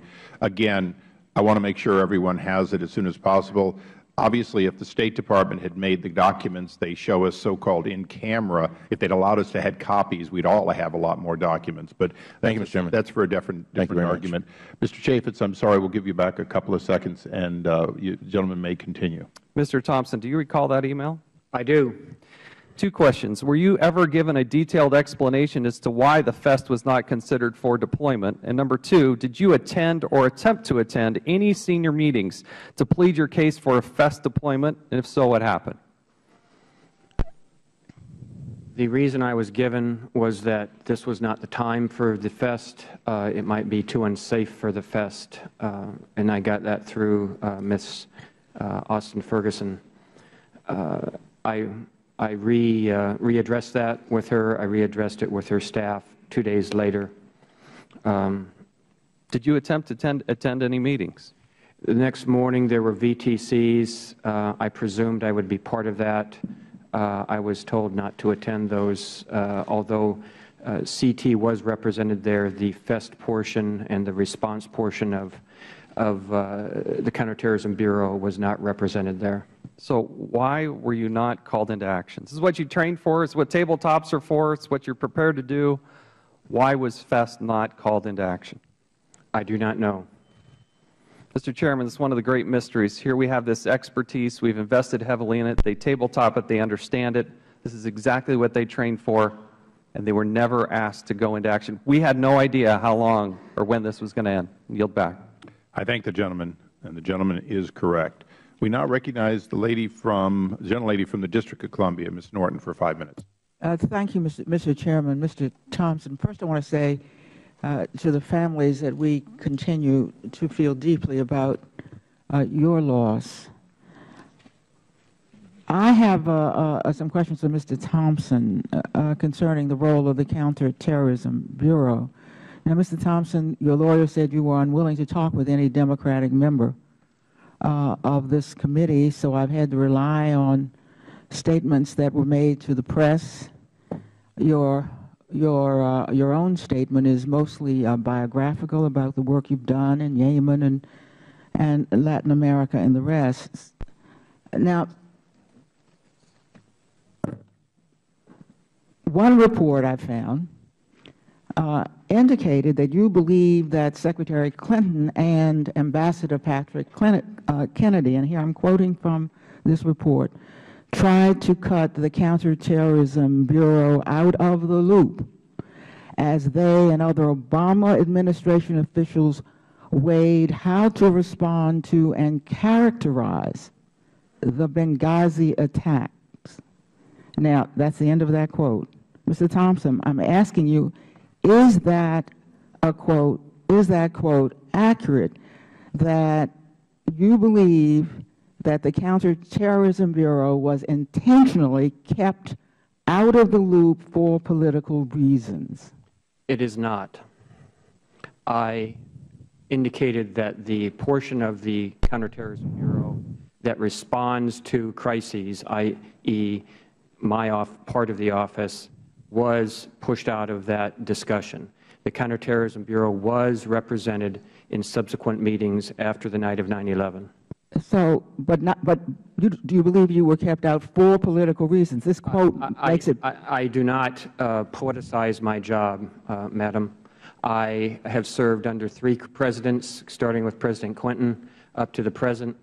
Uh, I've served six secretaries. Uh, I've got to continue. Mr. Thompson, I I was just quoting the quote. So the quote isn't entirely accurate then? Correct. All right. That's very important for the record, that, that Mr. Thompson is not saying that they were kept out of the loop for political reasons. This week, um, this quote apparently caused your former boss in the Counterterrorism Bureau at the State Department, I'm speaking now of Ambassador Daniel Benjamin, to issue a public statement disagreeing with this allegation in particular, which was in quotes. And he, and he said, and I am now quoting him, it has been alleged that the State Department's Counterterrorism Bureau was cut out of the discussion and decision-making in the aftermath of the Benghazi attacks. I ran the Bureau then, and I can say with certainty that former, as the former coordinator for counterterrorism, that this charge is simply untrue. Do you agree with uh, Ambassador Benjamin? I agree that the Counterterrorism Bureau was included, but there's a distinction with a difference with respect to the portion of the Counterterrorism Bureau that would be most effective in the aftermath of an attack Now, all of this was under Ambassador compound. uh, Benjamin, he didn't say one portion or the other. You are yourself saying, although the Bureau was represented, um, somehow some portions of the Bureau were not represented. And why, how is that? That's what happened, ma'am.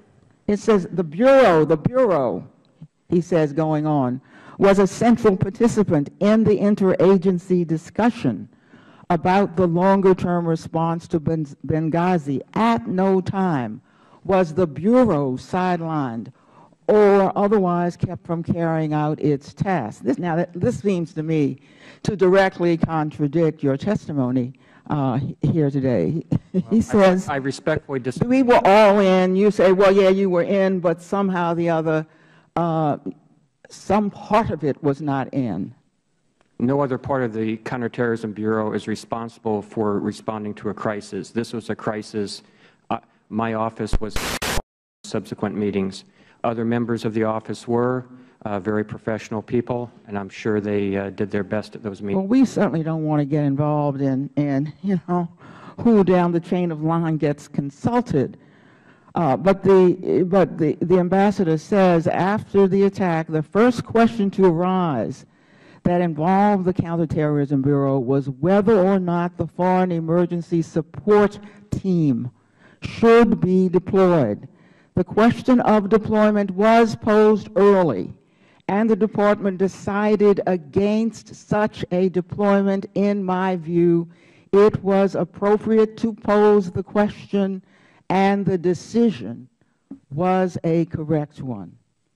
Now, were you aware that your superiors were consulted about the decision not to employ the Foreign Emergency Support Team? Uh, As Uh, You you can go ahead and As answer- earlier You can go ahead and answer that, although the gentlelady's time has expired. Answer. A- As earlier indicated, ma'am, uh, I was told that by the Undersecretary of Management's office. The normal process for deploying the team is that at the Assistant Secretary level, at a counterterrorism security group at the White House, those options are discussed. At that uh, convening of that CSG, that decision is recommended or not recommended to the Deputies Committee. It is not solely a State Department function or authority to launch the Foreign Emergency Support Team, even though we are one part of it. I thank the gentleman. We now go to the gentleman from Oklahoma, Mr. Lankford. Thank you, Mr. Chairman. Um, Mr. Hicks, when you arrived in July, did the facilities in Benghazi meet the minimum OSPB security standards set by the State Department?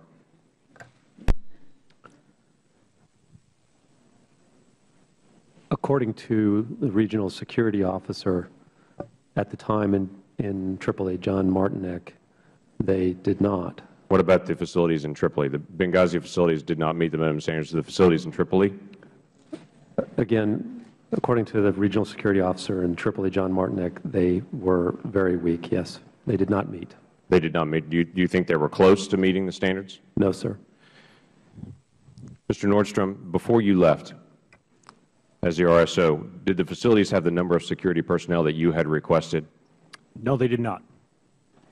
Mr. Nordstrom, there are a very, very small number of facilities worldwide that are considered by GAO critical or high threat level for personnel serving in our different embassies and consulates. Tripoli and Benghazi, were they listed as critical or high threat level? Uh, they were. That was something that I had put in my written testimony as well. Correct. By statute, Mr. Nordstrom, who has the authority to place personnel in a facility that does not meet the minimum OSPB standards? Uh, as I had noted in there, the OSPB standards go in, uh, in tandem with SECA, which is Secure Embassy Construction, both of which derived out of the East Africa bombings uh, or were strengthened after that. It's my understanding that since we were the sole occupants of both of those facilities, Benghazi and Tripoli, the only person who could grant waivers or exceptions to those was the Secretary of State. Mr. Hicks, why was Ambassador Stevens headed to Benghazi? There were a lot of concerns about him. There were a lot of security issues that Mr. Nordstrom has listed in numerous reports leading up to his trip there. Why was the Ambassador headed there? According to Chris, Secretary Clinton wanted Benghazi converted into a permanent constituent post. Timing for this decision was important. Chris needed to report before September 30th, the end of the fiscal year, on the physical and uh, the political and security environment in Benghazi to support a, an action memo to convert Benghazi from a temporary facility to a permanent facility. In addition, Chris wanted to make a symbolic gesture to the people of Benghazi that the United States stood behind their dream of establishing a new democracy. Why was this timing important? Was it significant that he went right now? Was there some hesitation about him going at that moment for that length of time? Could he have waited a couple more months to be able to go?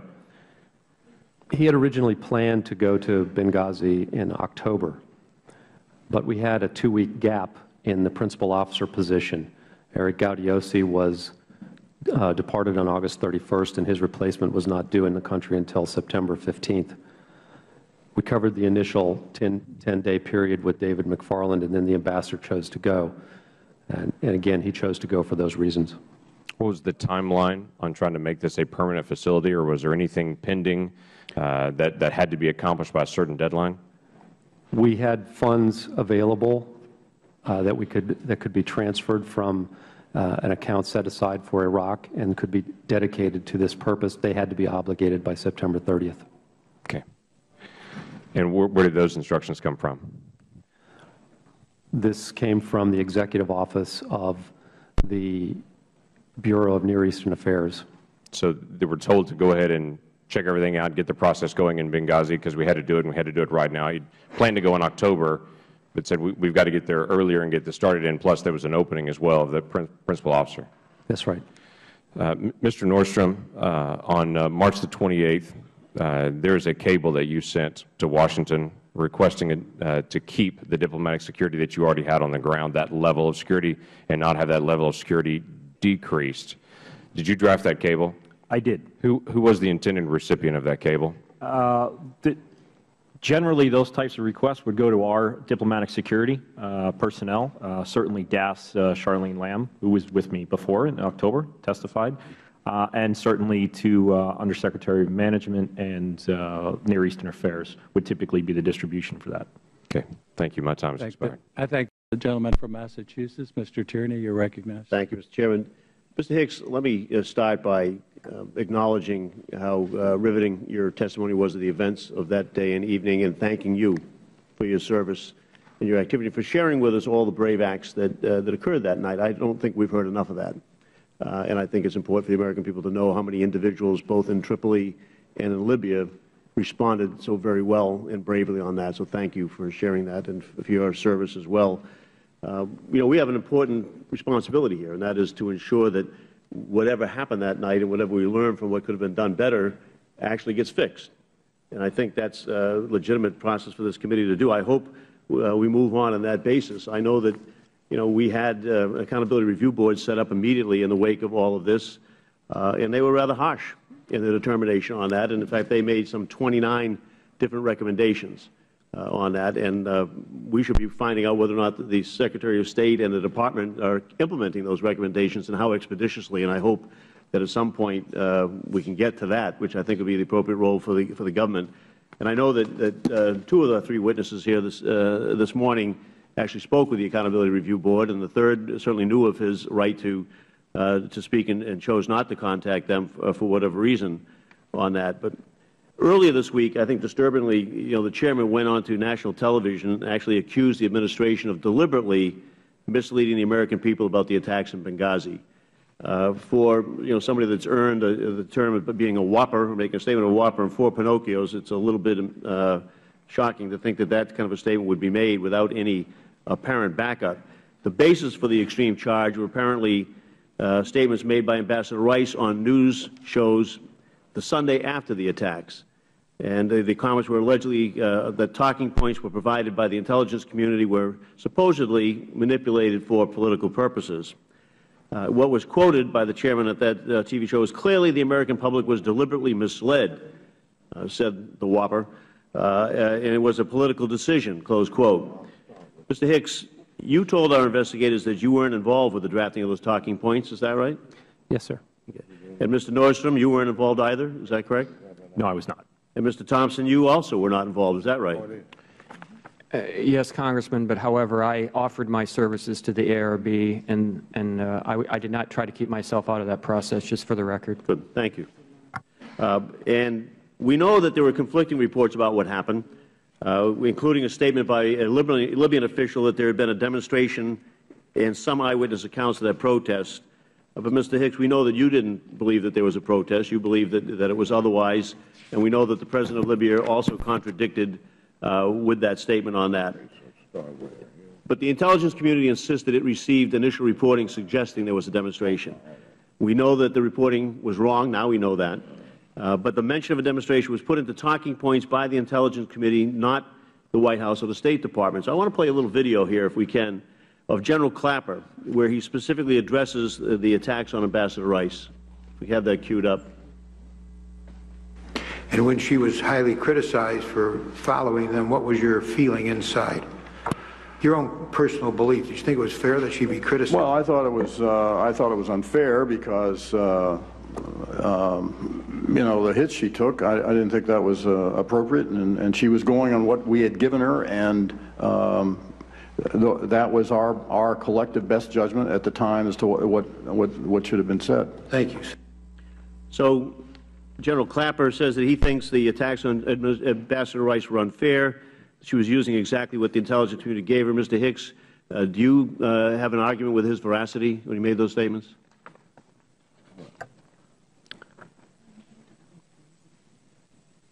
There was no report from the U.S. mission in Libya of a demonstration.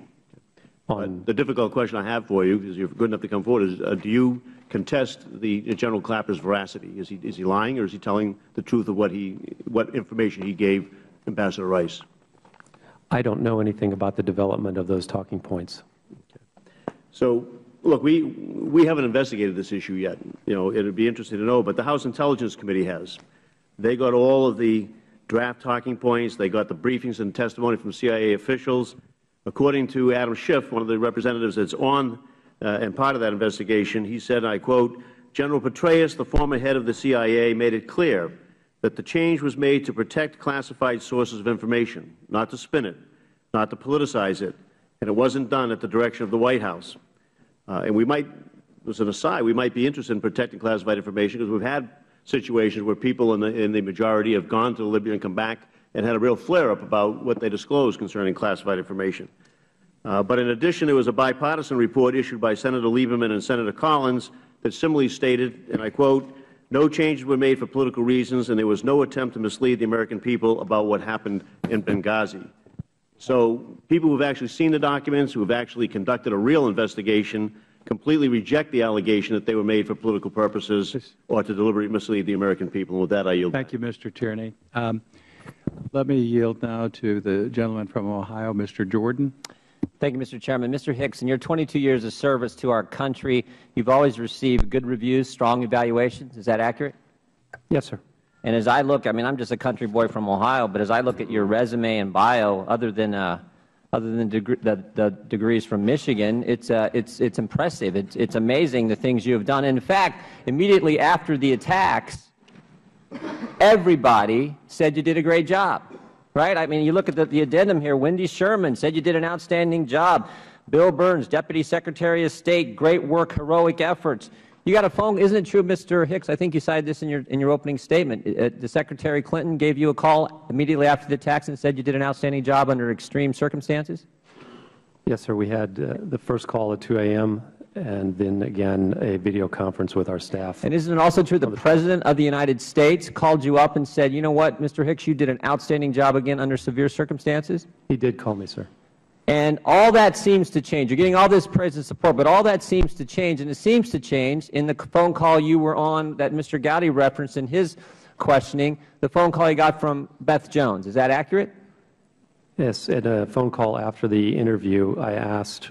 This is after Secretary Rice has went on television and misled the American people. You're on a phone call with Beth Jones, and it all seems to change then because you asked, Mr., uh, you asked Beth Jones what? I asked her why the ambassador had said there was a demonstration when the embassy had reported only an attack. And again, what kind of response did you get from Beth Jones when you asked that question? She said, I don't know. Was, but was, was it like you shouldn't be asking that question, you should be quiet, we don't want to talk about that? What, what, what, what was the sense you got? The sense I got was that I needed to stop the line of questioning. And did things continue to deteriorate between you and your superiors? After they've given you all this praise, you've had this outstanding service record, 22 years serving our country, things began to deteriorate even more. And as I read the transcript, it seems to me that it came to a head in phone calls you were on with lawyers from the Department of State prior to Congressman Chaffetz coming to visit in Libya. Is that accurate? Yes, sir. And tell me about those conversations, what those lawyers instructed you to do on Mr. Chaffetz's visit to Libya. I was instructed not to allow the RSO the acting deputy chief of mission and myself to be personally interviewed by Congressman Chaffetz. So the people at State told you don't talk to the guy who's coming to investigate? Yes, sir. Said don't Not talk with the congressman? Now you've had, you've had several congressional delegations come to various places you've been around the world. Has that ever happened where lawyers get on the phone to you prior to a congressional delegation coming to investigate a time when we've had four Americans lose their lives? Have you ever had anyone tell you, don't talk with the people from Congress coming to find out what took place? Never. Never. And you've had dozens and dozens of congressional delegations that you've been a part of. Yes, sir. First time it's ever happened. Yes, sir. Tell me about, and, and also, is, isn't it true that one of those lawyers on the phone call accompanied the folks on the delegation and, and tried to be in every single meeting you had with Mr. Chaffetz and the delegation from this committee? Yes, sir. That's true. Tell me what happened when you got a classified briefing with Mr. Chaffetz. What happened and the phone call that happened after that? The lawyer was excluded from the meeting because his clearance was not, was not high enough, and the delegation had insisted that the briefing not be limited by any. Did the lawyer try to get in that briefing? He tried, yes, but the uh, annex chief and, and uh, would not allow it because the briefing needed to be at the appropriate level of clearance. And you, you had a subsequent conversation after this classified briefing that the lawyer was not allowed to be in with you and Mr. Chaffetz and others on that delegation. And you had a, another conversation on the phone with Cheryl Mills. Tell me who's Cheryl Mills? She was counselor for the Department of State and chief of staff to Secretary Clinton. That's a pretty important position? Yes, sir. When she calls, you take the phone call? That's immediately. Yeah, she's, she's, she's the fixer for the Secretary of State. She is as close as you can get to Secretary Clinton. Is that accurate? Yes, sir. And tell me about that phone call you had with Cheryl Mills. Uh, a phone call from that senior person is, generally speaking, not considered to be good news. And what did she have to say to you? Uh, she demanded a report on the visit. Was she upset by the fact that this lawyer was not, this, this was upset. babysitter, this spy, whatever you want to call him, was not allowed to be in that? First time it's ever happened, all the, all the congressional delegations you've ever entertained was not allowed to be in that classified briefing. Was she upset about that fact? She was very upset. So this goes right to the person next to Secretary Clinton. Is that accurate? yes, sir. Mr. Chairman, here's a guy with 22 years of outstanding service to our country 22 years. Outstanding service, praised by everybody who counts, the President, the Secretary, everyone above him. And yet now they're obstructing it because he won't, he won't help them cover this up. He's an honorable man here telling the truth. Now is getting this kind of treatment from the very people who praised him before. This is why this hearing is so important. I yield back. I thank the gentleman. Uh, pleased to yield now to gentleman from Missouri, Mr. Clay. Thank you, Mr. Chairman, for yielding, and uh, I want to thank the witnesses for being here today. You know, the uh, Accountability Review Board made a number of recommendations to better strengthen overseas embassies and missions like the one in Benghazi. Uh, Mr. Nordstrom, you told our staff that you read the ARB's unclassified report and recommendations. Do you think that implementing these recommendations is important to ensure the safety and security of our Foreign Service? Absolutely. I had an opportunity to uh, review that along with the other two uh, committee reports. I think taken all together, they're fairly comprehensive and reasonable. And, and, and, and I guess um, a, a uh, diplomat like you probably feels very disheartened uh, when you read in the paper, say you're overseas, and Congress has cut this budget for embassy security, and Congress has been cheap, on the cheap, uh, providing protection uh, to our, our personnel. You know, in order to, to, to make security possible, uh, at our missions and our embassies throughout the world.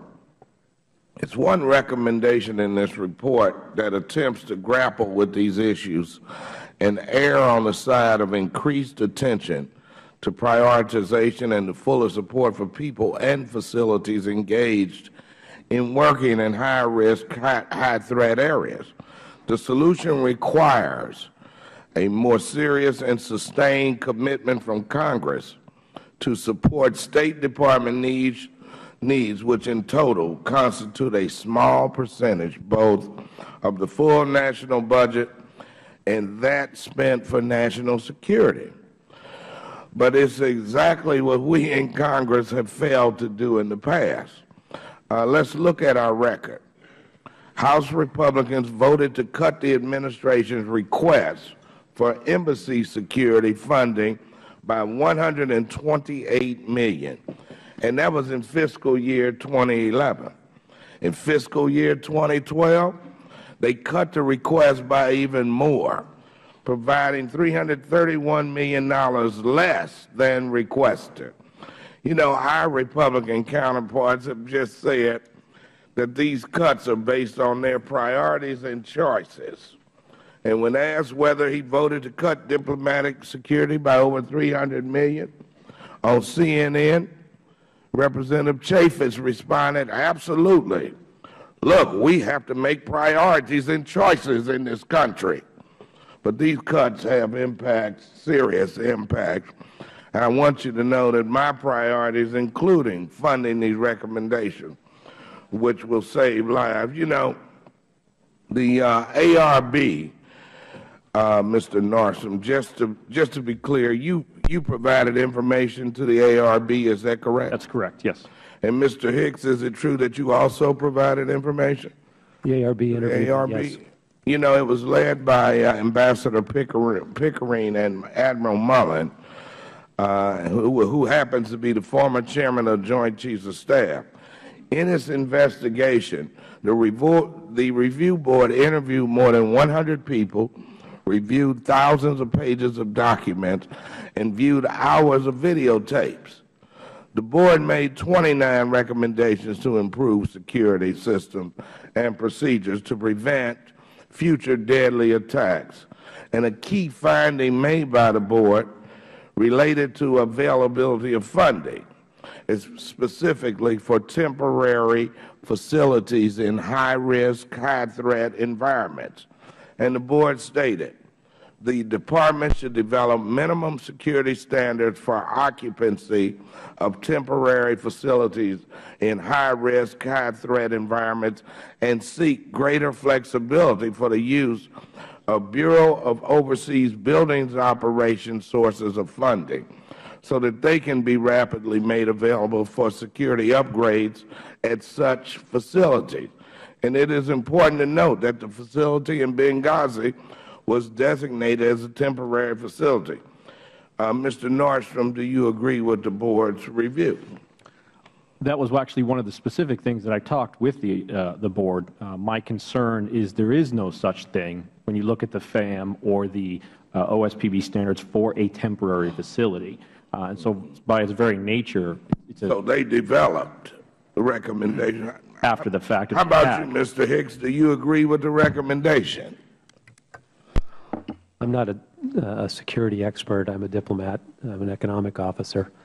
Uh, but I'm support every improvement that can possibly made, be made to improve our security overseas, including increasing the training of our personnel. Thank you. I thank the gentleman. I would, I would also thank the gentleman from Missouri, but, but ask, were you here on October 10th when the person who had those requests for additional security said money was not a factor, Charlene Lamb? Do you remember her? I was, I can't remember if I was at this. Well, Mr. Nordstrom, you were on that panel. Do you remember what uh, she said? Uh, yes, she said that resources was not an issue, and I think I would also point to the ARB report, if I'm not mistaken, that they talked to our Chief Financial Officer with DS, uh, who also said that resources were not an issue. So, Mr. Chairman, the ARB says resources were an issue. well, well, I guess the, the question that I have about the ARB, and again, it's not what the ARB has, is what it doesn't have, and that it stops short of the very people that need to be asked those questions, and that's the Undersecretary of Management and above. Those are perfect questions that he needs. to And, and I'm sure that if we implement some of the recommendations, it will help us prevent a future attack. And, and I appreciate that. And, and what I would say is that in the earlier hearing uh, in October 10th, the one thing we did discover is, yes, this facility was not able to take the blows even of a small bomb that had gone off earlier. Mr. Nordstrom testified to the fact that this, this consulate, temporary consulate, had been attacked twice, and they had breached the wall. Uh, so there, there was an awful lot of recognition that it was an insufficient facility, and I think that's ARB, no ARB, that's something that's well in the committee's record, but I thank you for bringing it out. Thank you. We now go to the gentleman from Florida, Mr. Mica. Well, thank you, Mr. Chairman. And uh, first of all, I have to again uh, tell the families that we will continue to pursue this, and uh, all the facts need to be known about what took place and hold people accountable. And then next to the witnesses, uh, thank you for uh, your service. Uh, thank you for your bravery in actually coming forward. Uh, and again, some of the commendable acts of the State Department employees you described. Um, as everybody may know, and we, I follow up really um, on my colleague Mr. Clay's question about the, the report there, uh, Accountability Review Board report, and I've got, this is the unclassified version. There's a classified version also. This is available online. And we have a responsibility under law to review these situations and uh, to go to people who actually had firsthand knowledge. Now, uh, Mr. Thompson, you have a very important position. The title is Bureau of Counterterrorism and Leader, Foreign Emergency Support Team, U.S. Department of State, right? Correct. Okay. And um, did, did you participate? Were you interviewed by the ARB? I was not. You, you were not interviewed, okay. And uh, you, you were on the job during this period? I was at my desk that night till 2 o'clock in the morning. And you were not allowed to convey information to the Uh, board? On the 17th, I uh, conveyed my uh, request to be interviewed before the board. And so they, they did interview you after that? No, You have, have you ever been interviewed? I have not. You have not. So you're one of the primary players, but yet the board failed to interview. That's, would you say that's correct? Uh, That is a correct Mr. statement. Thompson, is he an important player? I'm sorry, Mr. Hicks, is Mr. Thompson an important player in this, Mr. Nordstrom? Uh, I would, uh, I would say yes, uh, certainly in the aftermath of the attack. Okay. Let me go to uh, uh, Charge, Charge uh, Hicks. Were you interviewed by the board? I was interviewed by the board. Were you able to convey all the information that you felt was necessary to, uh, regarding this uh, incident to the board? The interview took about two hours, and it uh, was, uh, in my mind, incomplete. Uh, A few days later, I had a separate meeting briefly with the executive secretary. So you did have a follow-up meeting and you expressed that With the board's executive secretary to amplify on some issues that had been discussed at the meeting, at Okay. the initial interview. And Mr. Nordstrom, um, did you participate? I did. On, on two occasions, I also shared with them uh, Could you share how that of process worked that we heard from Mr. Hicks? Sure. Is this is same similar? Uh, Was it thorough? I, I felt it was thorough and professional. Um, as I said, uh, the report, and, and as I've held, the report is fairly thorough and comprehensive. My issue is that they stopped short of interviewing people that I personally know were involved in key decisions that led to how those events unfolded. Well, Specifically, how those buildings were staffed and constructed and in variance with existing standards. Those you are all felt- critical to the They fell short. Well, in the uh, unclassified version, they said uh, security in Benghazi was not recognized and implemented as a shared responsibility by the bureaus, Washington, uh, bureaus in Washington charged with supporting the post, resulting in stovepipe decisions on policy and security. Now, the next part is interesting. That being said, Embassy Tripoli, Tripoli did not demonstrate strong and sustained advocacy with Washington for increased security for Special Mission Benghazi.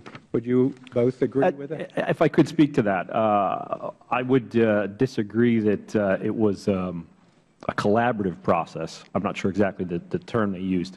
Uh, on a number of occasions, I testified in October as well, I raised issues, others raised issues, the ambassador raised issues, the DCM raised issues, uh, to the point where reports and decisions on both the Tripoli compound and the Benghazi compound were decided in Washington, and those decisions were not either cleared with us or shared with us.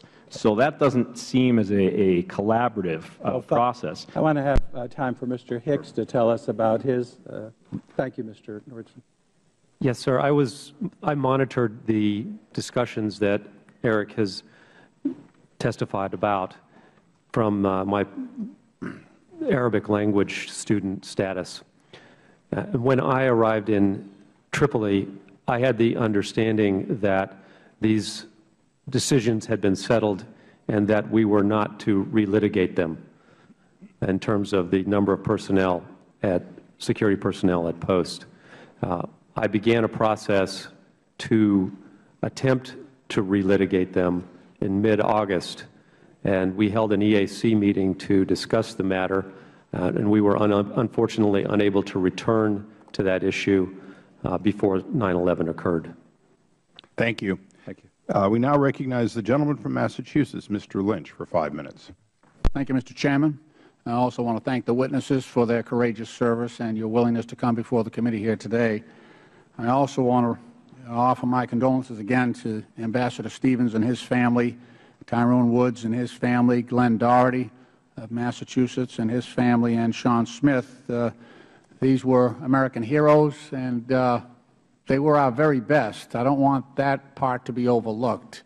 Uh, these individuals were regarded as our very best, including Ambassador Stevens. Uh, without question, I think his uh, his opinion and and, and uh, the the respect that his experience and and uh, authority in in matters all matters in Lebanon, eh, excuse me, Libya, and not only in in Tripoli but also in Benghazi was was unquestioned. I think, and uh, it showed in the deference that others gave him to those decisions. I thought the ARB report. Uh, especially did, single out some areas where I, I thought they were were uh, trying to identify where the where the decisions that were made uh, may have been deficient. And they, they do in, identify at page 30, uh, they talk about uh, the, the Bureau of Diplomatic Security and NEA, the Near Eastern Affairs, and at Post, there appeared to be a very real confusion over who ultimately was responsible and empowered to make decisions based on policy and security considerations. Uh, it, they go on further to say the DS Bureau showed a lack of proactive senior leadership with respect to Benghazi, failing to ensure that the priority security needs of a high-risk, high-threat post were met. And at the same time, with attention in late 2011 shifting to a grow growing crisis in Egypt and Syria, the NEA Bureau's front office showed a lack of ownership of Benghazi's security issues and, and a tendency re to rely totally on diplomatic security for the latter. The Board also found that Embassy Tripoli leadership, saddled with their own staffing and security challenges, did not single out a special need for increased security for Benghazi. Now, what they point to uh, in the next couple of paragraphs is uh, they thought that the result, uh, excuse me, that the special mission Benghazi extension, that this was a, a temporary residential facility not officially notified to the host government, even though it was also a full-time office facility, resulted in the special mission compound being accepted from office facility standards and accountability under Secure Embassy Construction and Counterterrorism Act of 1999. Mr. Nordstrom, your, your point exactly. And uh, the Overseas Security Policy Board, OSPB. So what they are saying is because there was an extension made that there was a a lowering in, in expectation there that the resources for, for physical security and also the personnel assignments needed at, at that was, was not given an, an adequate priority and that it was left to diplomatic security in some cases to make those repairs. Is that something that you see as being a, a, a weak point in this whole process that allowed Benghazi to be uh, ill-prepared for the attacks on September 11th? Uh, I do. As I said, I think that uh, uh, what still remains unseen is who made that decision to go ahead and assume that this is going to be a temporary facility. At one point, in fact, I was told by the by colleagues in OBO and DS that the recommendations that we wanted to make, the upgrades, both in Tripoli and Benghazi, would not be made. They forwarded us the, the way forward documents that we discussed in October. Um, and they said, uh, and I quote, it's my understanding that M, Undersecretary for Management, agreed to the current compounds being set up in occupied condition as is. The ARB in particular found it interesting at my reply, which was in February of 2013. I requested, is anything in writing? If so, I'd like a copy for post so we have it handy for the ARB. That's eight months before the attack. Right. I got no confirmation as to who made those decisions, nor did I get a copy of that. Uh, and so the status was still in limbo at that point. I know there was some discussions with Mr. Lankford earlier, the gentleman from Oklahoma, that uh, my, my, understanding was the facility, again, the, the, the, types of facilities are whether or not you're sole occupancy of the building, or are you a partial occupancy of, say, a commercial building, or if you are in a building which is owned by the host nation. Well, clearly we were the sole occupant, and that's the standards. It's very clear, and it's based on our threat and those standards. We did not meet any of those standards with the exception of perhaps the height of the wall. Okay. And thank you. My time has expired. I thank you. Uh, just one thing. You, you used the term M for the uh, Undersecretary for Management. Who was that? Uh, at the time and throughout all of this was um, was Patrick Kennedy, who okay. was up here in October as well. So that's that's who would have been the person who said no or this is good enough, presumably. Uh, presumably, I, again, I don't know what the decisions, uh, the factors were in his decision. I'm sure he had reasons for those decisions. I, am not going to criticize those. My only concern is that nobody has looked at those, whether it be the ARB or, or anybody else. Thank you. Mr. Turner. Mr. Chairman, thank you very much. Gentlemen, I want to thank you for being here today. Without your statements, there is a tremendous amount of information that we just wouldn't know. And certainly it's important that you're giving us this information as we all have deep condolences uh, for the families. As we look at the information that we've gotten today, we basically have two stand-down decisions that we've been able to, uh, to discuss. One, the Foreign Emergency Support Team that Mr. Thompson has told us about, and um, uh, Mr. Hicks, you told us of Colonel Gibson. Uh, Mr. Hicks, I'm a member of the House Armed Services Committee, and I'm very fascinated with the stand-down order to Colonel Gibson. As we pursue that, we want to know who gave Colonel Gibson the order and, and why. And so we want, I would like to review that stand-down order with you and, and what you experienced that night since you were with him as he was receiving that stand-down order. You told us that there was a C-130 Libyan transport that had been provided and that uh, you had indicated to Colonel Gibson that he should go.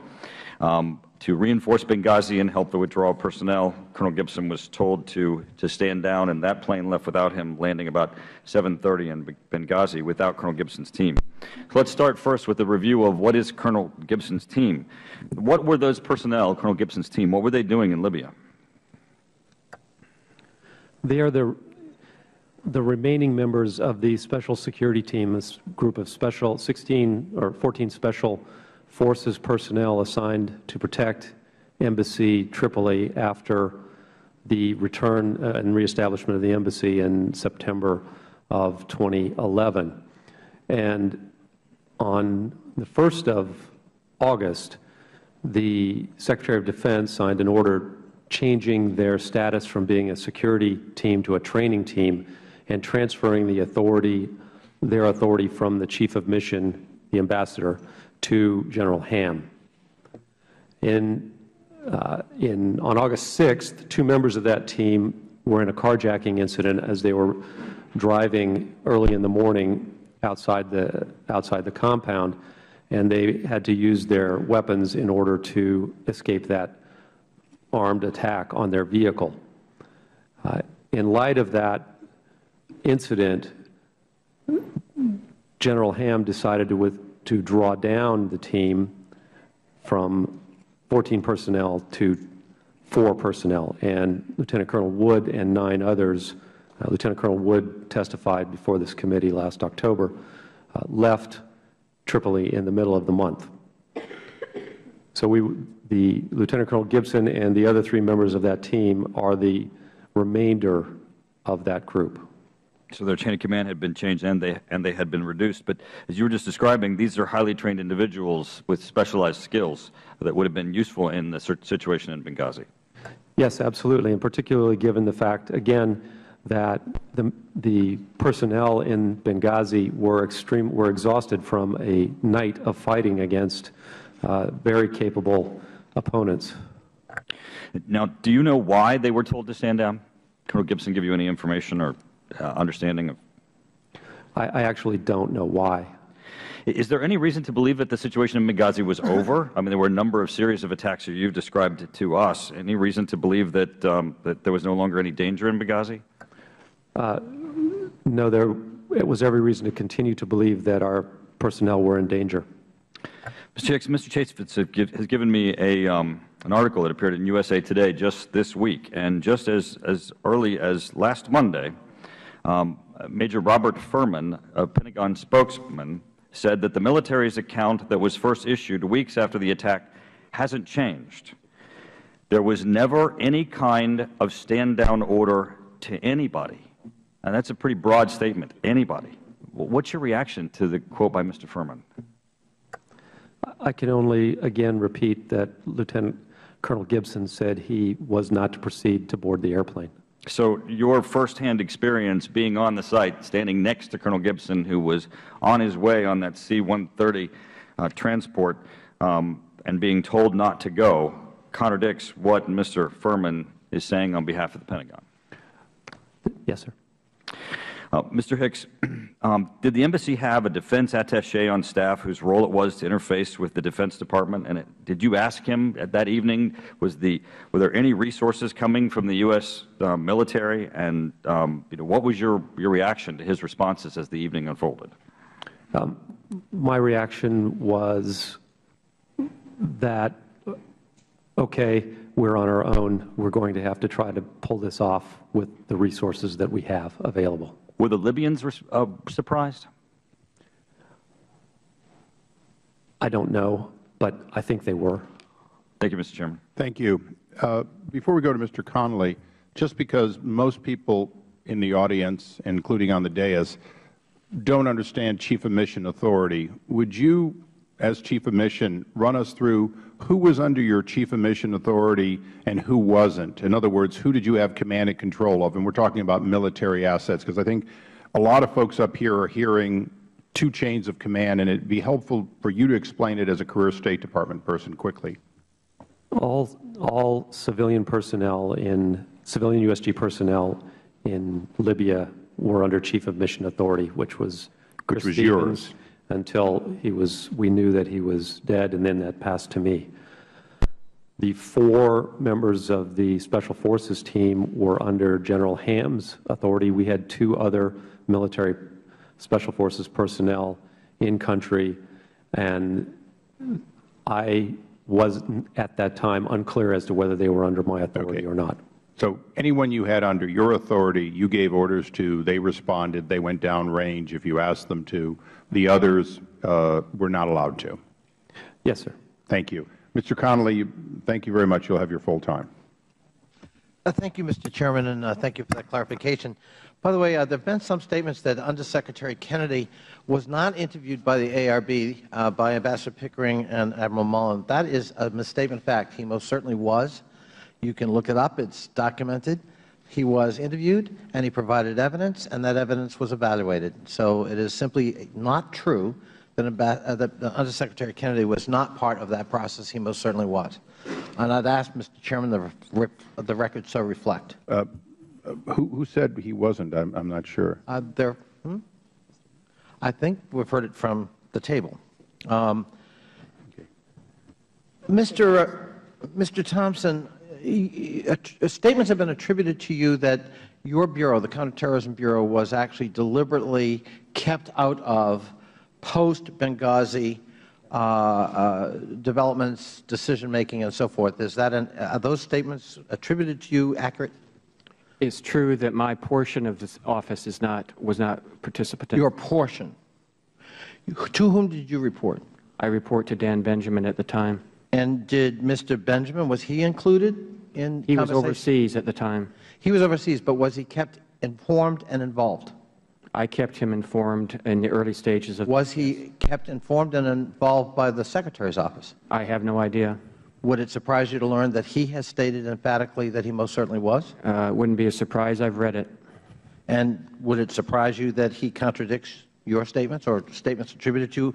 And I read to you, this charge that uh, we were kept out of the, the loop in the aftermath is simply untrue.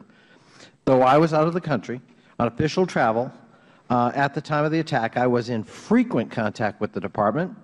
At no time did I feel the Bureau was in any way being left out of deliberations that it should have been part of, unquote.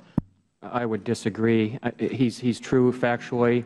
He is, um, his, his view of how much of Okay, the CT so- Bureau was. so for the involved- record- If I may, sir, if, if he, if he thinks the, he was adequately informed and, and, con- and uh, given counsel on that, then uh, that is his, his professional. Well, he's the head of the Bureau, and he's, in fact, your, or was your supervisor, and that's his testimony, so it contradicts yours. I I don't think it's his testimony, sir. Well, I'm, I'm entering it into the record, so it's now in the te- evidentiary record, and... Would the gentleman We could, suspend- we could, no, not, not, I will, Mr. I- Chairman. I'll hold the time. Okay, certainly.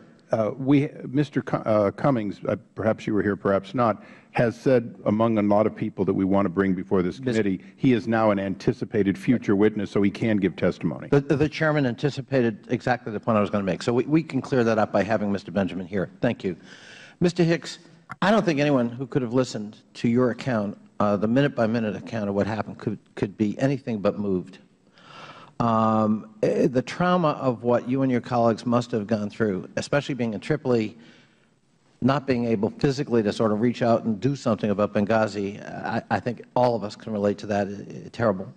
I was in Libya in Tripoli in May of last year before the tragedy, and I don't remember whether we had a chance to meet or not, but um, uh, David Dreier led, uh, led our CODEL. We were not allowed to stay in Libya overnight. What struck me when I arrived in Tripoli was that uh, airport security was provided by a militia. And, you know, I've traveled a lot over my years in foreign policy, and, I, you know, what goes through the mind is what could go wrong with this? Um, it's a volatile, violent, unstable, or was, situation. Um, eh, do you want to talk just a little bit about the domestic situation in Libya as we found it? Because I think sometimes that gets forgotten in the retelling that we're facing instability in Libya still in a post-Gaddafi revolutionary situation, and likewise in Benghazi. Uh, could you just share with us some insights into what you found in terms of that inherent instability? Thank you, Mr. Connolly, and uh, thank you for being uh, my representative. Uh, first of all, I just want to say that I don't recall saying that anyone other than myself testified to the ARB or was, was a, a witness before the ARB. Um, so I, I wanted to say, be clear about that. Um, the second thing is the political and, and, security climate in Libya at the time. It was, it was uh, highly unstable, although after the elections, we thought that the political trajectory, the elections in July, we thought the political trajectory was, was heading in the right direction.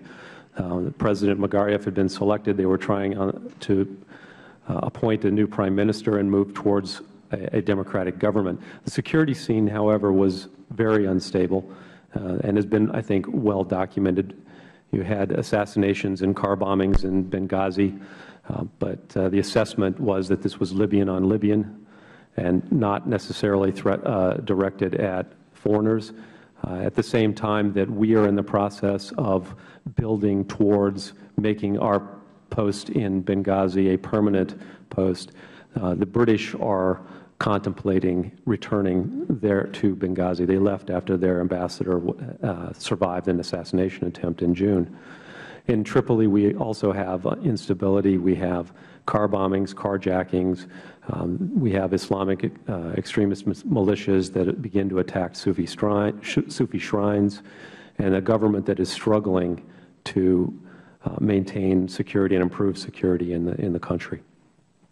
Thank you. And, uh, Mr. Chairman, uh, if I could just say to my constituent, uh, we're, we're proud of you.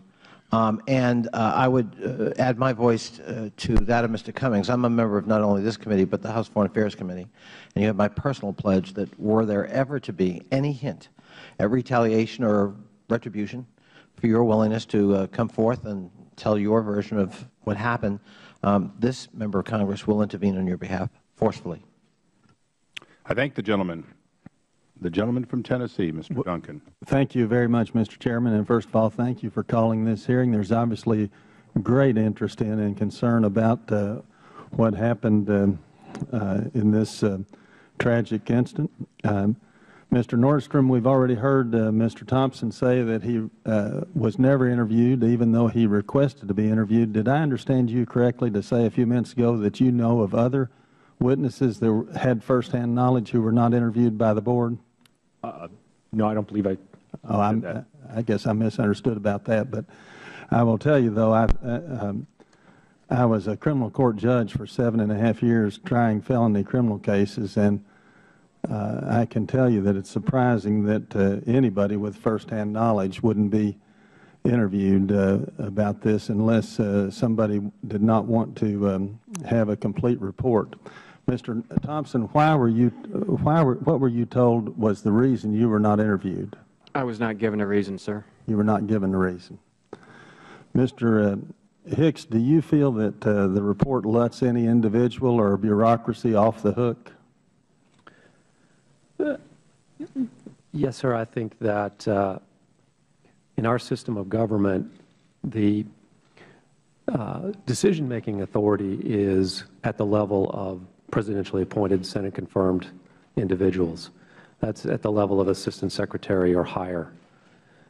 Now, the reporting coming out of Embassy Tripoli on conditions there, particularly the, the fact that we had to provide a daily report of who was in country to Undersecretary Kennedy and the fact that he made the decision as to who came to Tripoli and Benghazi or who didn't, that budgets were came to his table and that security threat environment reports also came to his table would suggest that there is some responsibility there.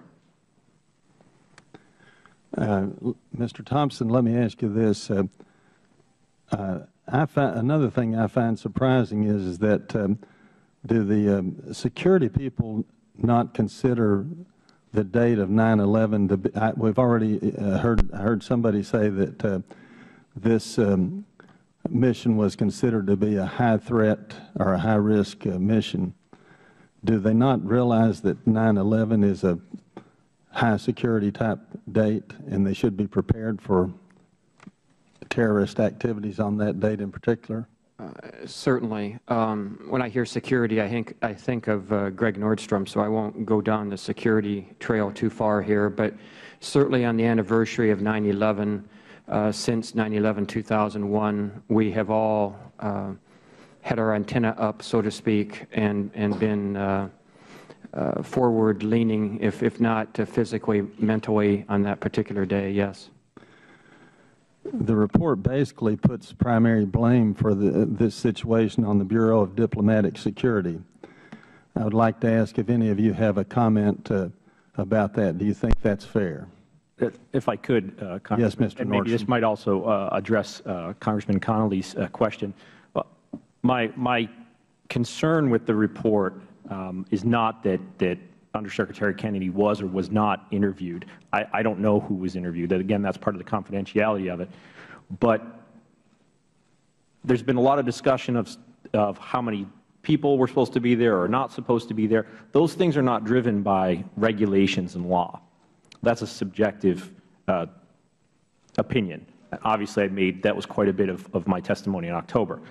I I go back to who authorized embassy employees, U.S. government employees, to go into facilities that did not meet legal requirements. I don't know who made that decision. And the reason why is because, as Ambassador Pickering said, he has decided to fix responsibility on the Assistant Secretary level and below. How I see that is, that's fine. It's an accountability of mid-level officer review board. And the message to my colleagues is that if you're above a certain level, no matter what your decision is, no one's going to question it. And that's my con uh, concern with the ARB. Mr. Hicks, do you, uh, uh, f- did you find other short, shortcomings in the report? Well, I, I found, find shortcomings in the process. In the process? Although I was interviewed for two hours, I was never allowed to review the recording of my testimony to the board. I was never given an opportunity to read the unclassified report before it was published to see if my testimony had been incorporated or properly, at all or properly, and I have never been given an opportunity to read the classified report. All right. Thank you very much. I thank you. Uh, I must admit, one of the rules of this committee is that interviews and depositions, the witness actually gets a copy of and is allowed uh, to make corrections uh, uh, in most cases to make sure that they didn't misstate something. So that, that is a little surprising to me. The gentlelady from California, Ms. Speier. Mr. Chairman, um, you know, it's, it's ironic that you said that, Mr. Chairman, since Mr. Thompson would not even engage with the Democratic side of the aisle in terms of um, answering any series of questions. But let me, um, first of all, say to the family members, we lost extraordinary servants to this country. You lost loved ones. And there's nothing that we can say that will ever heal your huge loss. But know that we will do everything in our power to make sure that other families do not go through what you're going through. To you, um, Mr. Hicks, thank you for your extraordinary service. You know, as you were retelling the events, and they were harrowing, um, it reminded me of an experience that I had, similar, uh, in a foreign country, ambushed, and a sense that uh, we were woefully underprotected. And I think as part of what we're going to glean from this today is that we have got to do a much better job of providing protection in high risk, high threat embassies and council offices around the world. It was inadequate, and I'm, I'm troubled by the fact that, that General Ham withdrew additional support because they had been engaged in a carjacking. If anything, that would heighten our concern and we would create more support. Let me, um, though, ask you a question. You said earlier today that the lawyers at State told you not to talk to Mr. Chaffetz when he came. That, that's what I wrote down. And, and would you just verify that that's what you said? We were not to be personally interviewed by Congressman Chaffetz. Now, in your interview with the committee, you were asked the question, excuse me, did you receive any direction about information that Congressman Chaffetz shouldn't be given from Washington? And your answer was, no, I did not. Is that still your testimony today?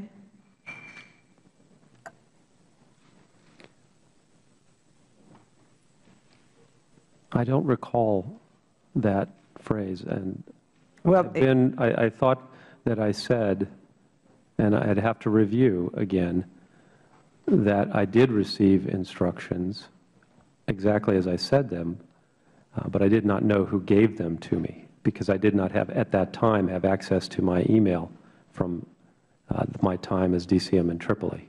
If the gentlelady could just tell us what page of the transcript that's on. Uh, maybe the staff can get it for me. I'm reading from a separate uh, oh, thank you. document.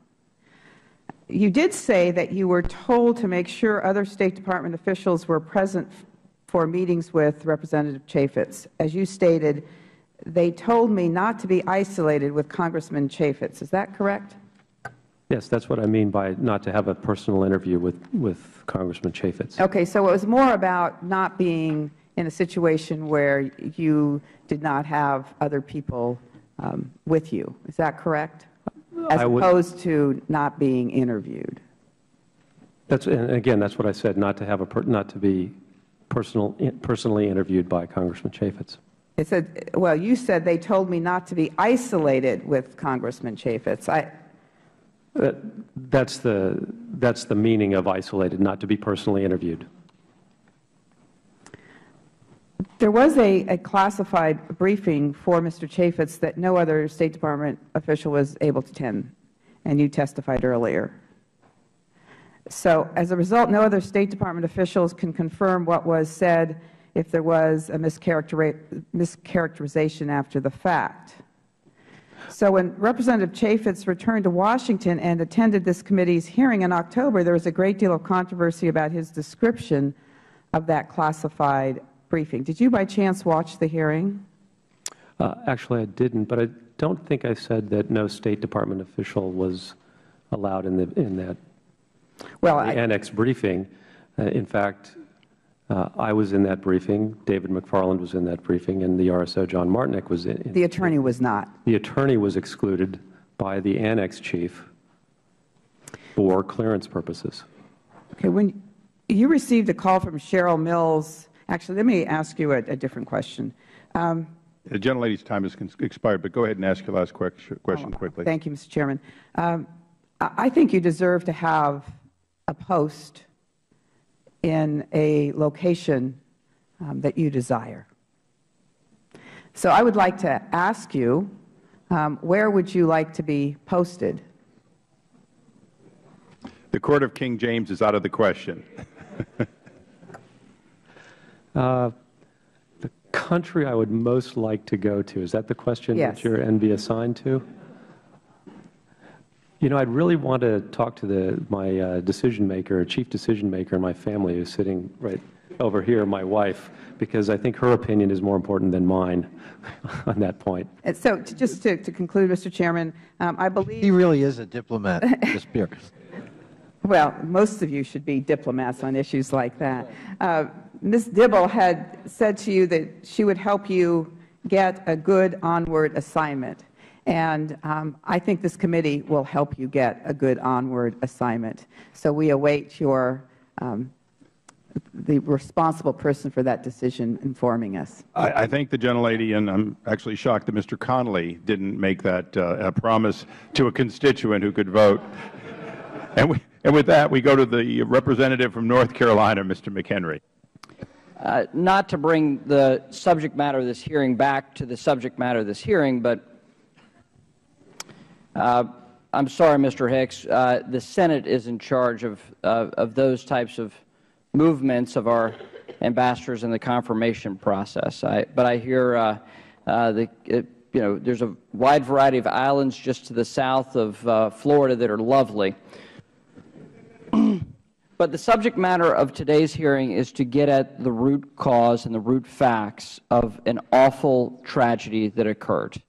The mismanagement, then the political cover-up that resulted from that mismanagement and a rush to judgment by some very ambitious political operatives within Washington. At least that's near as what I can tell, having gotten into the facts as we have today and knowing what we know today. So I want to thank all three of you gentlemen for your service to the American people and to our government. And uh, I want to uh, say to you that uh, the tough treatment you've gotten as a result, uh, not only on that day in September, but since then is uh, a horrible tragedy.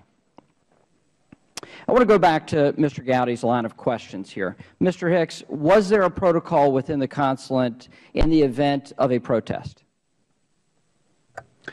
Yes, there was. Uh, was there any evidence in when you were there in Libya on that day that this was uh, a protest? No, there was none. And uh, I'm confident that Ambassador Stevens would have reported a protest immediately if one appeared on his door.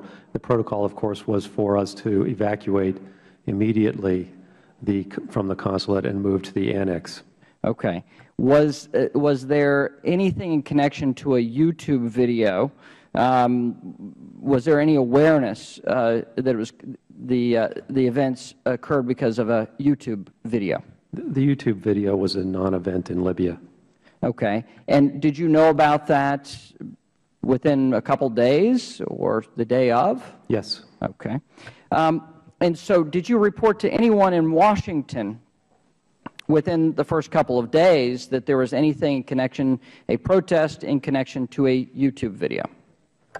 No, the only report that our mission made through every channel was that there had been a, an attack on a consulate. Not a protest? No protest. You can leave your microphone off. I'm going to come back to you a few times. Uh, Mr. Gowdy mentioned this earlier, but on September 16th, Ambassador Susan Rice went on the Sunday shows, recited a whole group of talking points. Were you a part of uh, uh, those talking points? No, I had no role in their preparation. Okay. So one month later, we had an Undersecretary Kennedy. Uh, let's play his statement. Always made clear from the very beginning that we are giving out the best information we have at the time we are giving it out. That information has evolved over time. For example, if any administration official, including any career official, had been on television on Sunday, September 16th, they would have said the same thing that Ambassador Rice was said. She had information at that point from the intelligence community, and that is the same information I had, and this I would have made exactly the same points. Clearly, we know more today, but we knew what we knew when we knew it. By September 16th, did you know what you know what you know, which is apparently what Susan Rice said? L let, me, let me rephrase that, actually. Let me actually make that a question, if you will. Ambassador Rice uh, recited a, a set of facts a month later, they they, the State Department defends that. You are a career State Department official. Would you have said the things that Ambassador Rice said? Not after hearing what President Magariaf said, especially considering the fact that he had gone to Libya, to Benghazi himself at great personal and uh, political risk, and for him to appear on world television and say this was a planned attack is by, uh, by terrorists is phenomenal. I, I was jumping up and down when he said that. It was a gift for us from a policy perspective, from my perspective, sitting in Tripoli. And did that occur before September 16th? Uh, He said that on the talk, same talk shows with, with uh, Ambassador Rice. And, and did you report that? Uh, was there knowledge that he was going to say that? No, there was not. Okay. Uh, uh, Mr. Chairman, I know we have a lot more questions about this, including what that did in country. Ambassador Rice's rhetoric, what that did and the impact it had in country for the work that you were doing and the delay that, that resulted because of that of the FBI investigation on the ground. If you could speak to that, and Mr. Chairman, if, if you'll indulge me, and let him answer, please. Thank you. Go ahead. Yes, sorry. Uh, Again, it took 17, 18 days for us to- from the- that interview to get the FBI to Benghazi. And we dealt with people at a low level, and we got them to Benghazi by stringing together a series of basically low-level commitments to help us get them to Benghazi. Thank you. The gentleman from Wisconsin. Uh, Thank you, Mr. Chairman. And uh, to the families, again, of those who uh, lost their lives in Benghazi, uh, you have uh, our condolences. And I think the best tribute we can give uh, to those who've lost their lives is to make sure that we make sure this doesn't happen again. And I think that's really the goal of the committee. Um, Gentlemen, thank you for being here today. Uh, Mr. Hicks, especially thank you for your extensive um, conversation about what happened during the confusion of those first hours, uh, whether the ambassador was at the hospital or the annex, and all that happened. I, I can tell you, um, about 16 years ago, I was backpacking through the Darien Gap in Colombia and woke up to machine gun fire and hand grenades. And uh, at the time, we didn't know what happened. We had paramilitaries on the river, we had guerrillas behind us, and we were caught in between. So I can fully understand the full confusion that happened at that time and your recanting of that, and I think we saw that in the report. Um, what I can tell you, though, Mr. Chairman, is you know I don't think there's a smoking gun today. I don't even think there's a lukewarm slingshot. Uh, what we have is uh, some strong uh, opinions from people who all, at least I know Mr. Nordstrom and Mr. Hicks both participated in the, the study, uh, and Mr. Thompson, while he didn't, uh, no one stopped him. Uh, no one said he shouldn't go in the study, but we've had a chance to take a look at this, and I think what's really imperative is that we make sure that these recommendations are done, uh, that something uh, concrete comes out of this so that no one else uh, is in this situation. And I think one of the real things that we can do as a committee, as individuals on this committee, uh, is to make sure that uh, we provide adequate funding for security and training uh, to all of our embassies. And I think, you know, that I look at, I'm one of the new folks around here. So uh, when I look at some of the past budgets where we've been asked for literally hundreds of millions of dollars that haven't been approved in a post 9-11 world, uh, I look at that as rather risky. And both uh, Mr. Nordstrom and Mr. Hicks, you both have extensive experience around uh, the world and various places you've been. So looking at this proactively, I think this is probably the ninth or so hearing that the House has had on this issue. So maybe it's time we start looking at how we make sure we protect our embassies the very best way we can, rather than kind of going through and rehashing some of the same old stories. My, my question specifically for both Mr. Hicks and Mr. Nordstrom are, um, when it comes to extra training or extra security, uh, do you feel that we need uh, more in some of the embassies across the, uh, the, the world? so that make sure that those who are working in there indeed have the very best protections because we have that responsibility to them uh, as they ser serve the country. Uh, Mr. Hicks? Thank you. I think there are two things, and I appreciate the, appreciate the question. Uh, we need, we in the State Department need more training for our people who are going to these critical threat posts, not only for our diplomatic security agents, but also for our everyday diplomats. We need to be able, I, in my opening statement, I talked about my experience in Bahrain of de developing contacts who helped us get through some very difficult times in 2002 when our embassy was attacked twice and we were expe experiencing very severe anti-American demonstrations. We have to be able to engage. Our diplomats have to be out on the street. One of the reasons why we were perhaps caught off guard in Benghazi is because for security purposes, because we had so few personnel there, the consulate was basically on lockdown. And so it was very difficult for our principal officer to get out and mingle with the people, and learn what was going on. This was magnified when I talked with a correspondent after the event who had been in Benghazi um, after 9-11, and the correspondent told me that the people of Benghazi were terrified by these Islamic extremist militias. We didn't have that sense prior to 9-11. And the only way we could have that sense is if we're out on the street. I think um, Undersecretary of State for, for Public Diplomacy, uh, Sonenshine, said it beautifully at the tribute and, for uh, Anne Smedinghoff last week when she quoted uh, Correspondent Edward R. Murrow about going the last three feet. That's what we as diplomats do. So if we're going to be going outside the embassies to meet with people and learn what's going on, we have to have the training to be able to respond rapidly and effectively to a desperate situation. So that's one thing. The other thing I, I, I believe that we need to do, and I, and I put this forth as part of my platform for in running for office in my speech to the Foreign Service, we need to develop a robust uh, paradigm for analyzing and, and mitigating risk, and one that is comprehensible to every member of the Emergency Action Committee.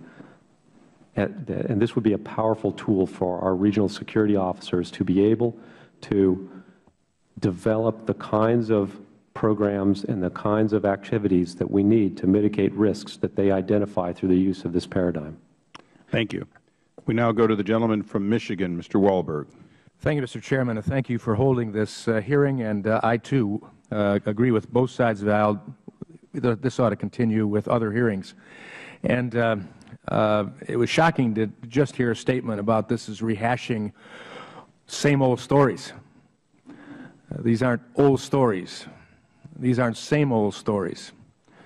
This is a situation that is atrocious in that it happened. And it's about time we heard the stories for the first time that we're hearing today, and I thank the, the witnesses for being here to do that for us. And appreciate your valor and appreciate the families and their sacrifice. Um, uh, Mr. Thompson, on several, several occasions already, it's been insinuated that not only did you uh, not ask to be interviewed by ARB, but that you refused. You've indicated on a couple occasions, no, you asked to be involved. Uh, let me give you further opportunity um, and ask you why were you concerned about the ARB, ARB's failure to interview you, and did you raise any concerns with the Department about the uh, review board's unwillingness to interview you? The reason I was concerned about it was that it was a terrorist event, and we did not respond to a terrorist event with the team, or, or we weren't considered to, and there wasn't a uh, normal process by which that goes through. That process that I've already uh, stated is not one that is bureaucratic. It's one that can go from a cold start to um, wheels up, so to speak, within hours.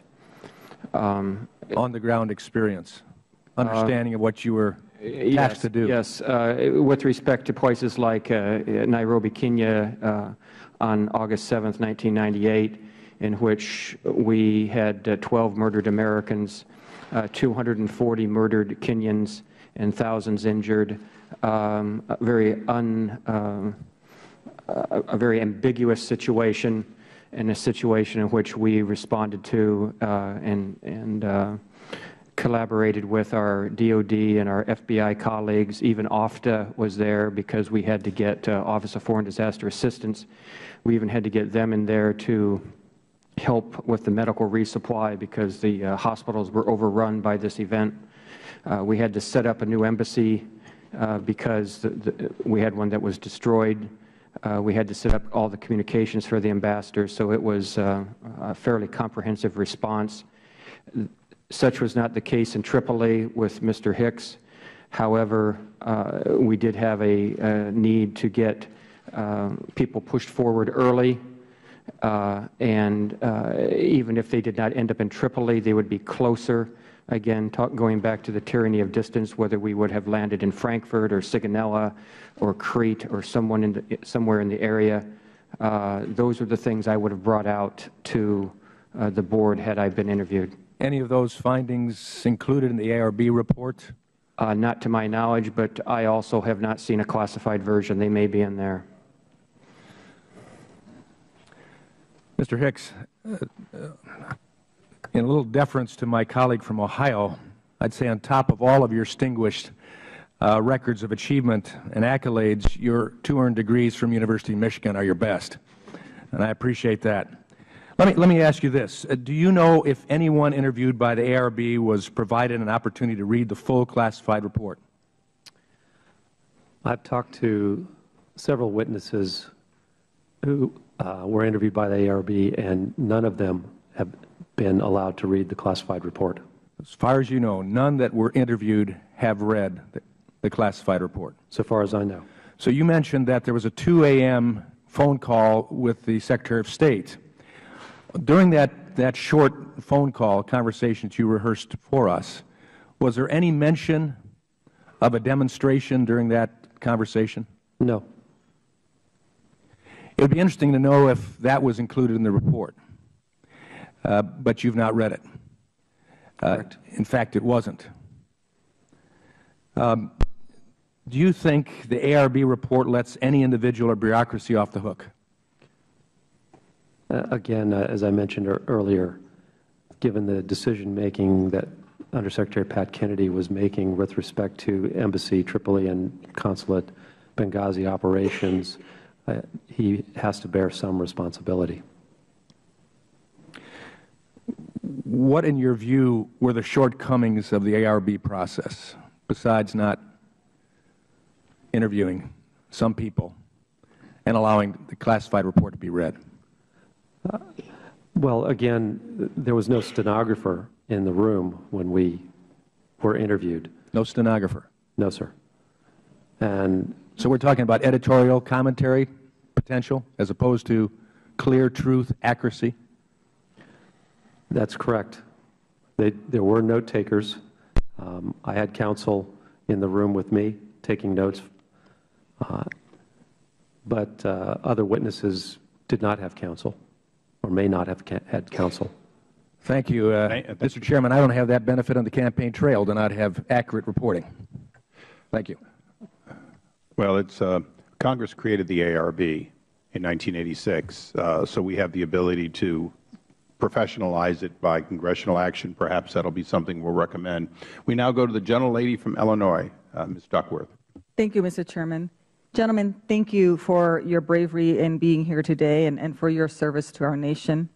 Um, I, I really believe that the best way to honor the sacrifice of Ambassador Stevens and the three other Americans who gave their lives in the line of duty in a final act of devotion to this nation, um, the best thing that we can do is to put aside politics and take a hard look at the facts of what went wrong and what we need to do as we move forward to make sure this never, ever happens again.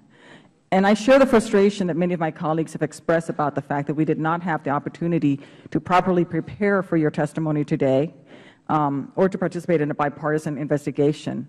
Um, you know, I want to take a look particularly at um, what we can do to strengthen our missions, particularly in parts of the world where we cannot rely on host governments to provide adequate security, what we need to do to strengthen our ability to protect our outposts. Um, as you've mentioned already, this includes better security measures and more U.S. security personnel. Um, Mr. Hicks, you had said that um, uh, regarding the ARB's recommendations that you thought it was incomplete, that the recommendations were unbalanced in favor of, I think you said, building higher walls, pouring more concrete, and that it was insufficiently strong in recommending that the State Department personnel needed to have more and better training, which is what you started to um, respond to my colleague from Wisconsin, Mr. Pocan. Could, could, you elaborate further on what you believe needs to be done with um, improvements in training?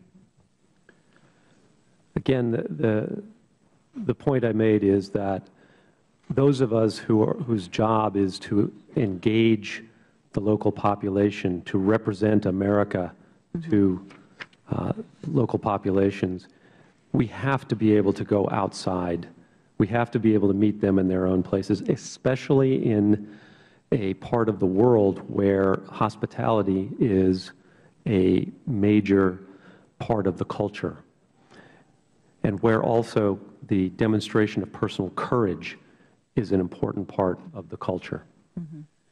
So that means that we have to, as individuals, those of us who go outside, have to be able to be cognizant of the situations that we're going into. We have to be situationally aware, I think, is, as Eric would say, in order to recognize in advance that we may be getting into a difficult situation and we need to be able to respond appropriately. And if we are put in a situation of extremis, then we have to also have the ability to uh, be able to protect ourselves in that situation. Thank you. Mr. Nordstrom, um, I wanted, I know that you didn't have, not have a chance to answer, um, elaborate on um, my colleague's question. Um, how do you, what is your opinion? Because I really want to make sure that we get the lessons learned from this. Um, you know, is there a, a balance that could be struck between focusing on improvements to physical security and also focusing on improvements to training, as Mr. Hicks suggested, or maybe dynamic communications? Do you have any specific recommendations? uh, is, is a perfect one. Uh, you know, my, my concern is that in the, in the wake of an attack, we're going to go through the same cycle that we've gone through right. all the time. More money is not always the solution. More is not always the solution. Mm -hmm. Better is the solution. Yep. Um, uh, during the process, I, I, had somebody ask me uh, as part of the, the ARB whether or not, why had I not requested machine guns, 50 caliber machine guns for the consulate in Benghazi. I was awestruck. I said, if we are to the point where we have to have machine gun nests at a diplomatic institution, isn't there a larger question, what are we doing? Why, are we have, why do we have staff there? Um, I, you know, one of the recommendations that, that, that I looked at is, uh, again, it, it's, it's decision-making processes. That doesn't cost money. One of the things that we saw, again, is what is the role of, of DS? Is DS, diplomatic security, elevated high enough within the Department of State's uh, organizational structure whereby recommendations that are within that organization are heard by the Secretary of State. I mean, I think she has a very re reasonable assertion that some of these issues weren't brought to her attention. Well, how do we fix that so that they aren't brought to the attention of the Secretary of State? it, it's not lost on me that as the unheeded messenger this time around, I look at where those messages seem to stop, the Undersecretary for Management. I look back and I see the last time we had a, a major attack was East Africa. Uh, Mr. Thompson's talked about it. Who was in that same position when the unheeded messengers of the ambassador in Nairobi and the RSO in Nairobi were, were raising those concerns? It just so happens it's the same person. The, assistant uh, the Undersecretary for Management was in that same role before. So if anybody should understand this, I would hope that he would. So that's why I'm going to the, the point of there's something apparently wrong with the process of how those security recommendations are raised to the Secretary. I agree. I, I think that you've given us a, uh, a great way forward. Thank you, Mr. Chairman. Thank you. I thank the gentlelady. We now go to the gentleman from Michigan, Mr. Amash. Thank you, Mr. Chairman, and uh, thank you for the witnesses for testifying today. Thank you for your service. Uh, Mr. Hicks from a Michigan alum, go blue. Uh, Mr. Hicks, you testified that you haven't read the final classified ARB report. Is that correct?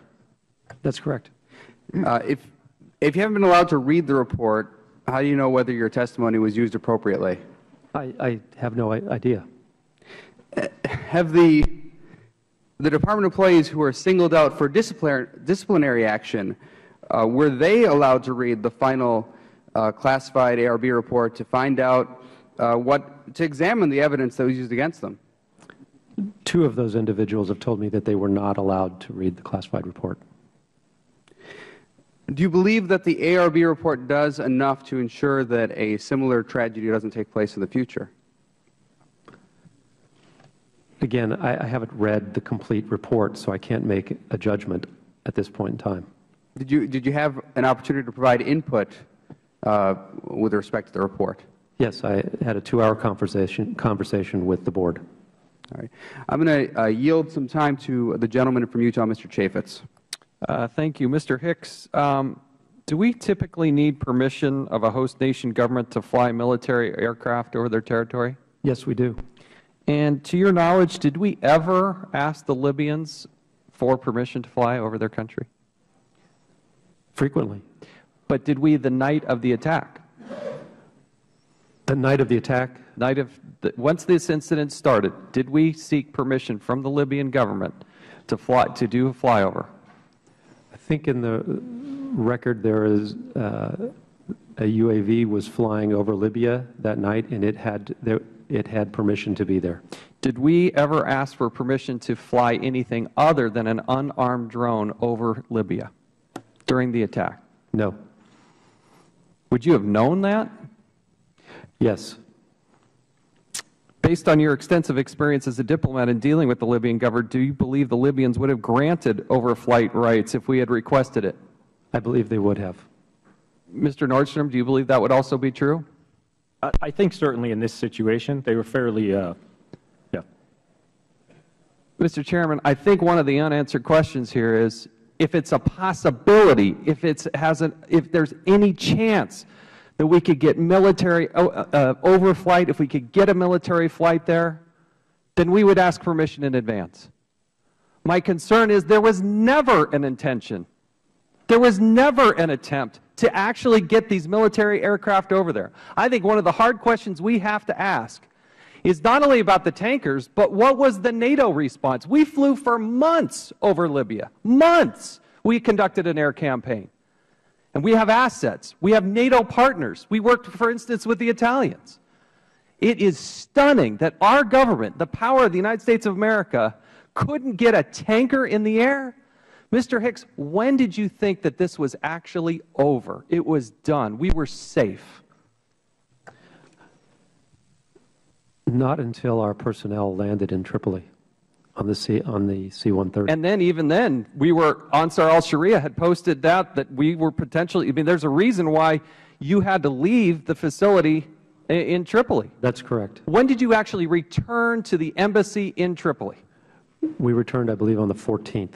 When did the FAST team arrive to help secure the embassy? They arrived on the night of September 12th at about 8. And there so. still, there still was a potential fight. And the government never asked for permission. This is one of the deep concerns. In the, the last minute, the last minute here, I, I, I want to ask uh, Mr. Thompson here. I want to read to you another excerpt of an email sent by you to Timothy Walsh and James Webster on Wednesday, September 12th. This is at 11:10 in the morning. Quote: Spoke to DB. Who's DB? Daniel Benjamin. Daniel Benjamin on the phone this morning. He understands my FEST points, concurs, but expressed his pessimism regarding our deployment and by extension does not intend to lobby for our inclusion. End quote. To remind everybody here, didn't Daniel Benjamin recently state that any claim that key elements of the Counterterrorism Bureau, such as FEST, were cut out of the response planning was simply, quote, untrue? Is that, what, is that your understanding? Correct. How do you react to that? He goes out and publicly says that's not true, but based on the email, sounds like you had a discussion with him. What happened in that discussion? He was on the phone from Germany. Uh, another member of our front office had been talking to him. She uh, asked if he wanted to talk to me. I gave him a quick rundown of what uh, had happened the night before. I'd kept him in, informed uh, via BlackBerry on an unclass level about the concerns and, and obviously the, the uh, uh, when, we, when we finally uh, understood how many people had been murdered that night. Um, he was shocked and appalled, wanted to know anything he could do, and I, um, I told him about the, the dismissal and, and how it was dismissed in terms of, of getting our people out uh, get, getting our people out of town. And I would just add that it's more than process and it's more than um, some of the other things that have been stated. Um, my biography is in the record. Um, we lived by a code. That code says you go after people when they're in peril, when they're in the service of their country. Uh, we did not have the benefit of hindsight uh, in the early hours.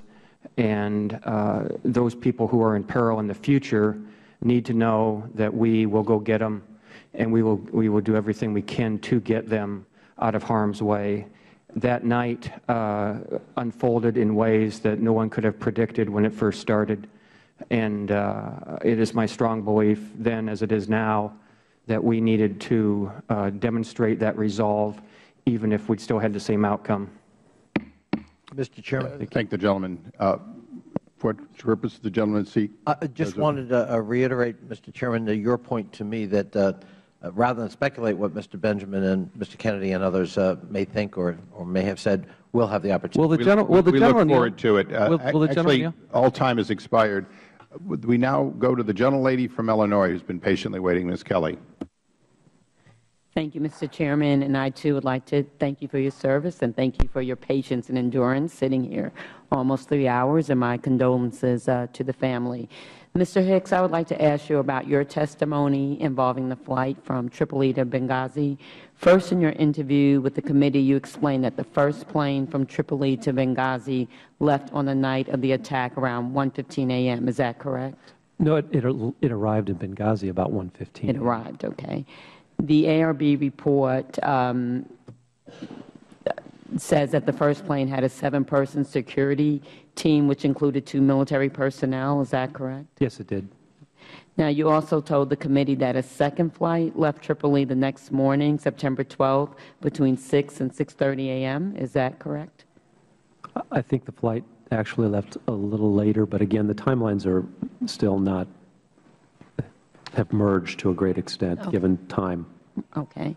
You said that four military personnel were told not to board that plane and that this call came from Special Operations Command Africa. Is that right? That's what I understand. Okay. During the interview, you were asked if you knew what was the rationale that you were given that they couldn't go ultimately.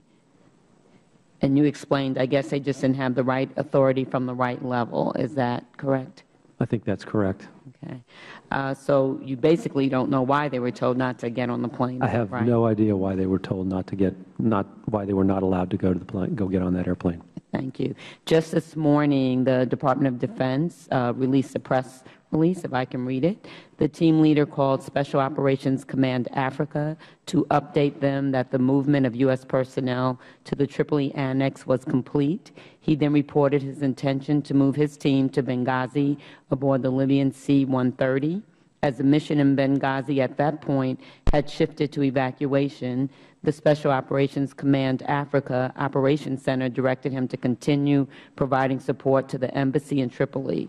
We continue to believe that there was nothing this group could have done had they arrived in Benghazi, and they performed superbly in Tripoli. In fact, when the first aircraft arrived back in Tripoli, these four played a key role in receiving, treating, and moving the wounded. I'd like to yield the rest of my time to Mr. Connolly. I thank my colleague. Does the gentlelady want that in the record? Yes, please. Uh, Without objection, it will be placed in the record. Uh, Mr. Hicks, you quoted, uh, you, you said rather emphatically that the, the video had no material impact in Libya. That's correct. And you quote, you, you talked several times about conversations, phone conversations with the Prime Minister, who referred to it as a terrorist act, not as a protest. Is that correct? That's President. Oh, the President. But we don't want to leave a misimpression here. I mean, the Libyan government is somewhat incoherent at this time. I mean, it's, it's That's hardly correct. a unified government. That's correct. And for example, you were busy on the day, but on September 12th, the New York Times published a, a story quoting Libya's Deputy Interior Minister, uh, Wanis al-Sharif, who, uh, who said that uh, his initial instinct was to avoid flaming the situation by risking a confrontation with people angry about the video in Libya. He, said he also criticized the Americans at the mission for failing to heed what he said was the Libyan government's advice to pull its personnel or beef up its security, especially in light of recent violence in the city and the likelihood that the video would provoke protests. That same article interviewed people engaged in the assault in Benghazi who cited, according to the New York Times, the 14-minute video, that this was due to their anger. Now, my only point is the Libyan government didn't speak with just one voice. There were disparate voices. Some, in fact, did see the video, apparently, at the time as an influence. And it's a little, I don't want to mislead the public that there was one unified perspective and that, was, that narrative is entirely false and was at the time. Would you care to comment? Sure. Our assessment in the embassy was that sorry, the, the uh, video was not an instigator of anything that was going on in, in Libya. Now, I understand that these people were quoted.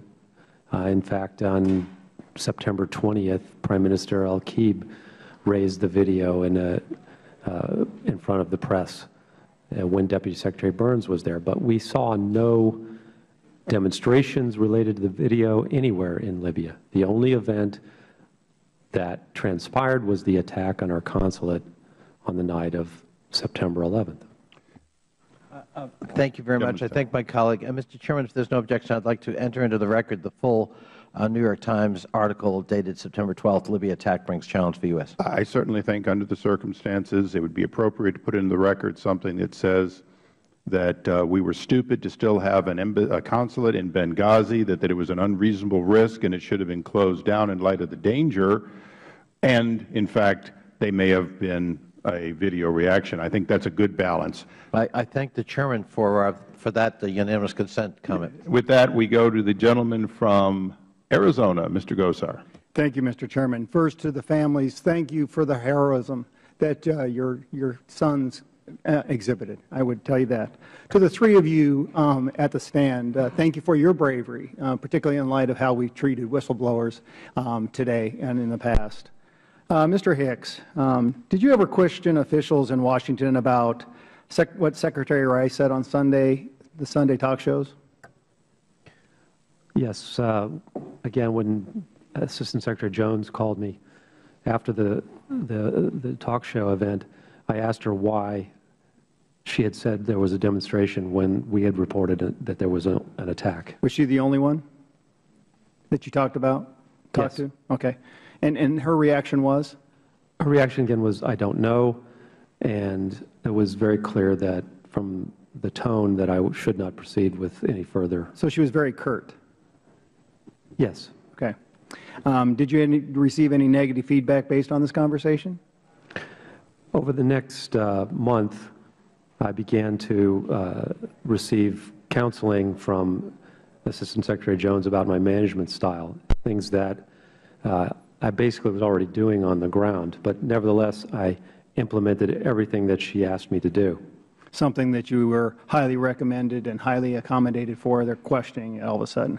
Can I have the, uh, the, the video to be played on the screen, please?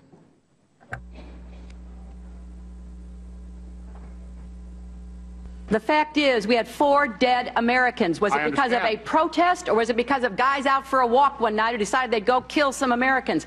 What difference at this point does it make? It is our job to figure out what happened and do everything we can to prevent it from ever happening again. Well, I'm really mad, but Mr. Hicks, um, would you, could I give you the opportunity to respond to that question? Uh, what, what difference does it make? I think the question is what difference did it make? Yep.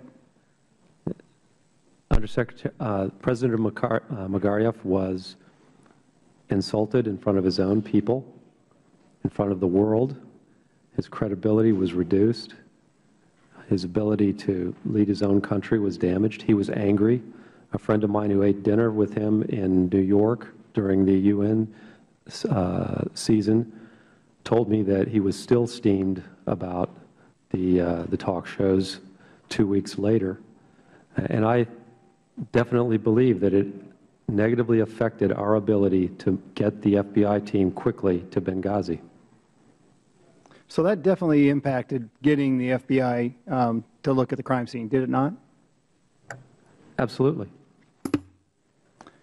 So when you talked to the Libyan government, were they responsive um, when you asked about uh, access for the FBI? It was a long slog of 17 days to get the FBI team to Benghazi, working with various ministries to get ultimately agreement to support that visit to get them to Benghazi. But we accomplished that mission. Uh, but again, at the highest levels of the government, there was never really a, uh, a positive approval. So this, this, This false labeling was, a, was a, to a spontaneous reaction to a video, was a direct contravention of the explanation offered by this President, President of Libya. And the facts on the ground impact our ability to investigate the crime scene afterward. How long was it, as you said, um, before the FBI was allowed um, access into Benghazi to examine that, that crime scene? 17 days. 17 days. Was the crime scene secured during that time? No, it was not. We repeatedly asked the government of Libya to secure the crime scene and prevent interlopers, but they were unable to do so. So let me get the time, timeline finalized here. So the FBI is sitting in Tripoli for weeks, waiting for the approval of the Libyan government to travel to Benghazi. Is that appropriate? Well, they were attempting to do their job from, from Tripoli as best they could. But they were, uh, they were denied access into Benghazi, right? Correct. So what were they doing with their time? They were interviewing witnesses that uh, they could find in Tripoli and could meet with in Tripoli, and they were also engaging with the government in order to develop a cooperative investigation with the Libyans who had sent an investigative team, an investigator to Benghazi. Were you in, interviewed by the FBI? No, I was never interviewed by the FBI. Never. Hmm. Nice story. I yield back my time. I thank the gentleman. We now go to the gentleman from Nevada, Mr. Horsford. Thank you, Mr. Chairman. Uh, thank you to our witnesses for being here. And, you know, it's my understanding that we've had uh, nine oversight hearings on Benghazi since the horrific attacks on our consulate on September 11, 2012. And like many of my colleagues have expressed to the family, I believe that we uh, need to continue uh, to do everything within our power as Congress uh, to get to the solutions and the recommendations that will prevent them uh, prevent this from happening again. And I think that in addition to our condolences, uh, the things that we need to do most is our job uh, to come up with the recommendations uh, to to prevent this.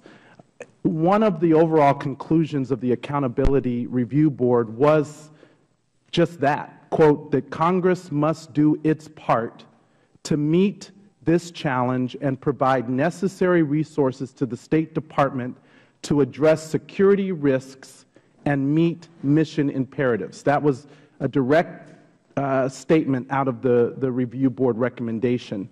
And I think each of you agree uh, that Congress must do its part. Uh, am I correct? Yes or no, real quick. Yes.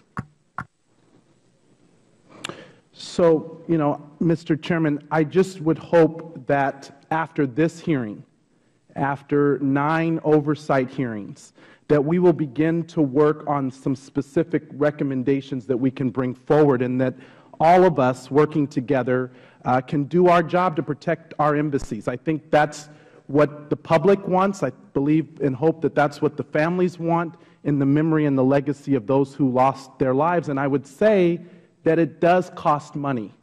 Uh, Mr. Nordstrom, I know you say it, it's not just about money, but it also is about properly prioritizing budget considerations. And, you know, in the past, you know, my colleagues on the other side have not been willing uh, to make the kinds of serious and sustained commitments to funding that are necessary for large-scale and long-term security projects like building facility improvements, for example. Would, the gentleman yield uh, briefly? May, may I? Of course. Thank you. And so in both the 2011 and 2012 uh, budget cycles, uh, the, the, the budgets gave the State Department hundreds of millions of dollars less than what was requested.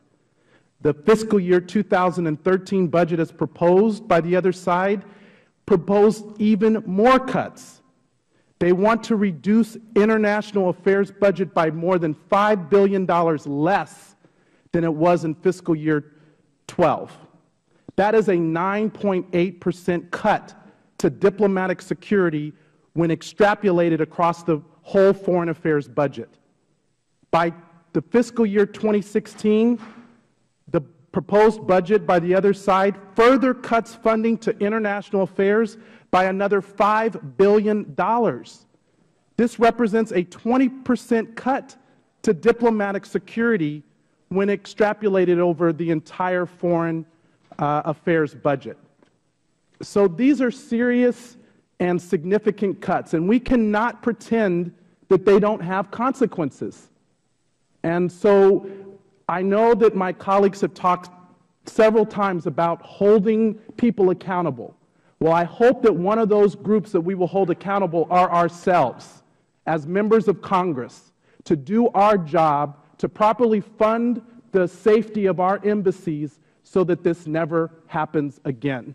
I urge my Republican counterparts to work with us in a bipartisan effort to actually, to actually fund these improvements to our embassy security and to follow through on the 29 ARB recommendations that have already been made and those that we believe should also be supported from this hearing. Thank you, Mr. Chairman. We now go to the gentleman from Pennsylvania, Mr. Meehan. Uh, thank you, Mr. Chairman. I note for the record that Charlene Lamb, who testified before this committee the previous time, was asked specifically the question as to whether or not funding issues uh, impacted uh, the actions that took place, and she said no. So, but, uh, and I'm really intrigued at this point in time by some of the commentary because one of the things I'd like to follow up on the questioning, Mr. Nordstrom, of uh, that came to you from Mr. Lankford uh, with regards to some of the decisions that were made because uh, being in Benghazi, having the Secretary, because I'm going to tell you, I am struggling to find out how we had the United States ambassador in a marginally safe American compound in an increasingly hostile area on an iconic day like September 11th with limited security. And I think that there are some issues that you were talking about first decisions that were made about allowing occupancy in the first place. Could you tell me quickly about how that was enabled to be approved? Uh, that's, that's the same question I still have to this day. You do not know, but you do know, according to the law, it appears that it must be signed off by the Secretary of State, and there is no delegation. Certainly for parts of it, yes, for the, for the SECCA portion of it. Following up, on July 31st, it's a fact that there, where I go back on the record, there were 16 SSTs, Special Forces in Libya, 14 Department of State security personnel. On August 31st, just shortly before, that had been reduced to six regulation individuals in Tripoli, three in Benghazi. Why the cutback on security? Uh, again, that's one of the, the questions that I had. I've never seen it addressed in the ARB or anything else, is why were these decisions that we made uh, turned down? Why were, in fact, there was a proposal that went back all the way to uh, a month after we had arrived, asking for $2.1 million uh, for staffing to have 19 DS agents maintained throughout that time period. I still don't have any understanding as what happened to that proposal. That went to the Undersecretary of Management as Did you have confidence in the ability of the, uh, the locals in the country who were purportedly designed to, to provide security for you? Did you have confidence in their ability to provide that? I think to put it succinctly, it was uh, the best bad plan. Um, it was the only thing we had. It was the only thing, but I didn't ask if it said, did you have confidence in that? No. Did you report that at any point in time to officials in Washington, D.C.? We did. We did uh, note the training deficiencies in particular. That was something that was always there. Uh, certainly, we had also raised the issue of doing some sort of counterintelligence vetting um, of the people that worked for us. Uh, ultimately, uh, that was turned down, even though we wanted it because the Department of State wanted Post to pay the, the funds for it, which we didn't have. It had always been under our understanding that that was going to be paid for by Washington. So, Mr. Thompson, I, I, I know that you have background in counterterrorism. I'm going back on this is this is testimony that was provided by Lieutenant Colonel Wood, who was an SST person doing service in Tripoli and ultimately wanted to be in Benghazi. He talked about Facebook threats that were made about Western influences in Benghazi. I also note then a series of issues, an RPG attack on the Red Cross in early May, a Red Cross second attack in June, an IED attack against the uh, UN mission in April 6, an IED attack against a UN convoy on April 10th, an assassination attempt on the British ambassador in June 11th with RPGs, an attempted carjacking on August 6th of two SST officers of the United States. In your mind, does this, in your professional opinion, would this suggest to you that the facility in Benghazi, by a reasonable person with your experience or a reasonable person in the State Department, would be likely to be considered a possible or even likely target of a terrorist incident? It, it certainly uh, had all the uh, indicators of that based on that, that history. Yes, Congressman. And in light of that, and in light of your experience at Mr. Nordstrom's testimony, would you have been happy with the idea that it was allowed to be maintained under less than the staffing that had existed only a month before or two months before, and under standards which were only two in the entire country, according to the testimony of Mr. Nordstrom, that were not meeting the requirements, the minimal requirements of safety?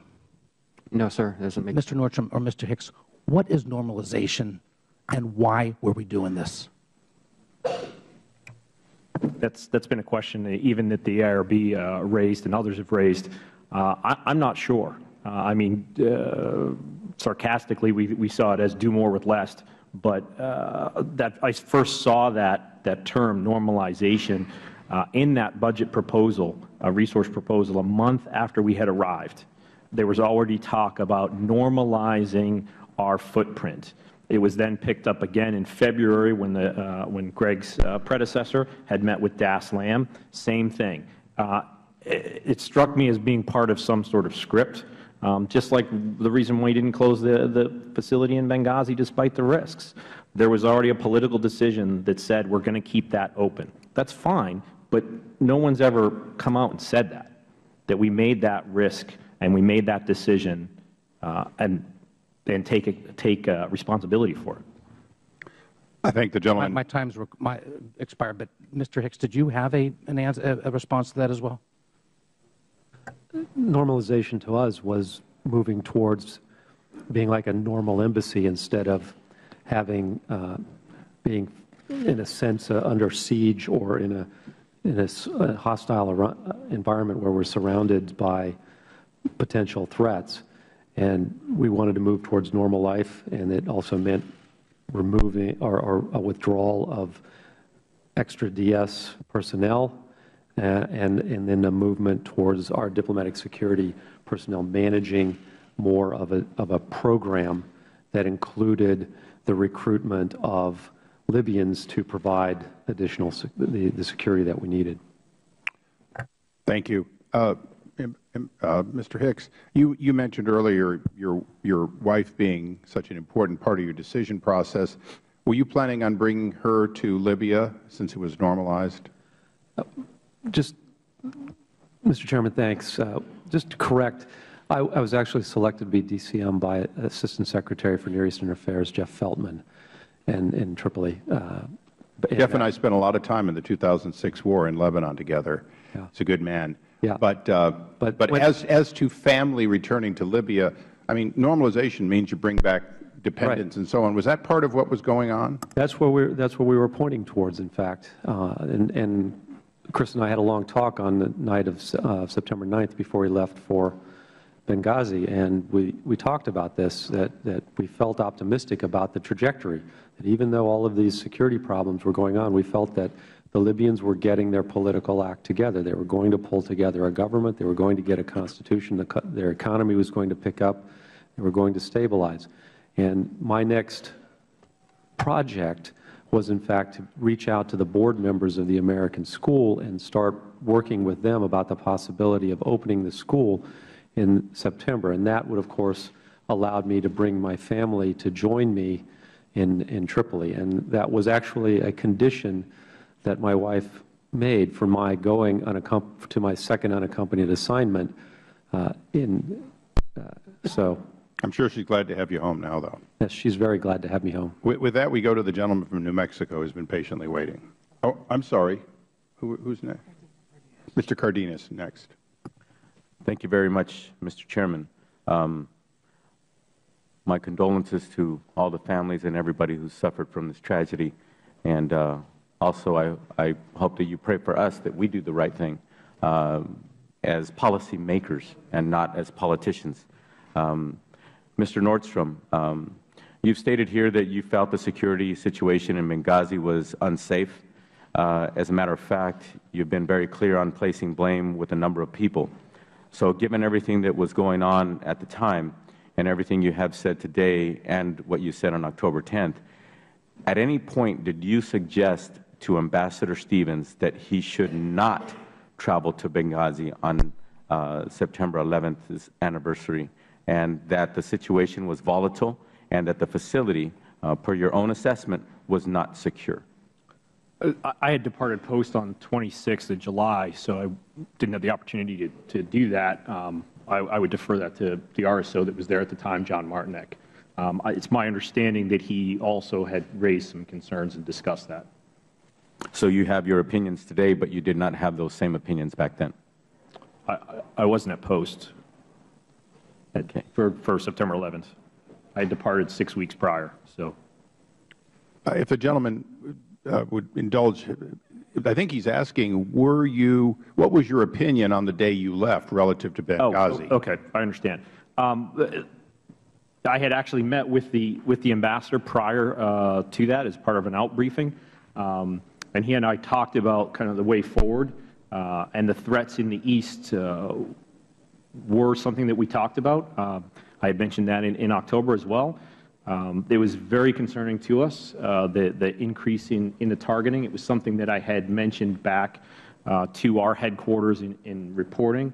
Uh, it was something that the Ministry of Interior brought up uh, when the ambassador went and met with the minister in July uh, to talk about requesting static security. They highlighted, number one, growing extremism in the east, particularly in Benghazi, and Derna, and Sirte. Um, so absolutely, that was something that, that we discussed, um, and we were concerned in particular that, that we were not getting the resources. So uh, you stressed that, that you did stress concerns, but not to the point where you said, I wouldn't go if I were you, or we, we never had that discussion, uh, in part because the ambassador had not uh, indicated any sort of uh, desire to travel to Benghazi. Um, my hope would, would have been that they would have had resources there to, to augment any such travel. Okay. And, and resources require other kinds of resources. I mean, if you have resources on the ground, they require actual funding, et cetera. There's a balance to creating the kind of atmosphere and security that would be uh, required to meet any concerns, correct? Sure. In, in what we were looking at is that you were going to have a, a downsizing of personnel um, in, in Tripoli. So anytime the ambassador would have traveled, uh, that would have impacted security in both locations because you would have been splitting up resources, um, which is what I think ultimately happened. Mr. Hicks, uh, can you shed some light on this discussion that we're having? In the two planning meetings that we had for Ambassador Stevens' trip to Benghazi, uh, Regional Security Officer John Martinec raised con serious concerns about his travel. Uh, because of those concerns, the ambassador adjusted his plans for that trip. First, he, he agreed that he would go in a low-profile way. His trip would not be announced in advance. We would not do any planning of meetings until right before he went. Uh, and uh, second, he eventually decided also to shorten his trip. He initially had planned to go on the 8th. He went on the 10th instead to narrow the time frame that he would be in Tripoli. The third step that he took was the one public event that he planned would take place at the very end of his trip just before he left. Okay. So, so basically, um, you're describing what I feel to be consistent. What I've um, known of the ambassador is that he was very, very committed. Um, he did listen to advice, et cetera, but he was very determined, and he continued to do his job. Exactly. He went there to do his job. He felt that he had a political imperative to go to Benghazi and represent the United States there in order to move the project forward to make ben, uh, the Benghazi consulate a permanent constituent post. Okay.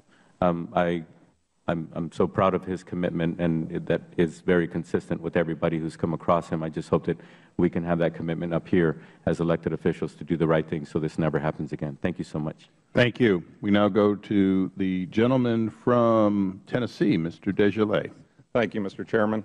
Uh, today's hearing is about one thing, one simple thing. It's finding the truth. And uh, I know these families here want the truth, and I know the American people want the truth. But yet, I listened to this questioning today, and there seems to be a real partisan feel to, to finding the truth, and I don't understand that. I mean, we are, if you, if you listen to the other side, you'd think it's time just to move on from this. They would agree with Secretary Clinton, right, that they would just say, what difference does it make?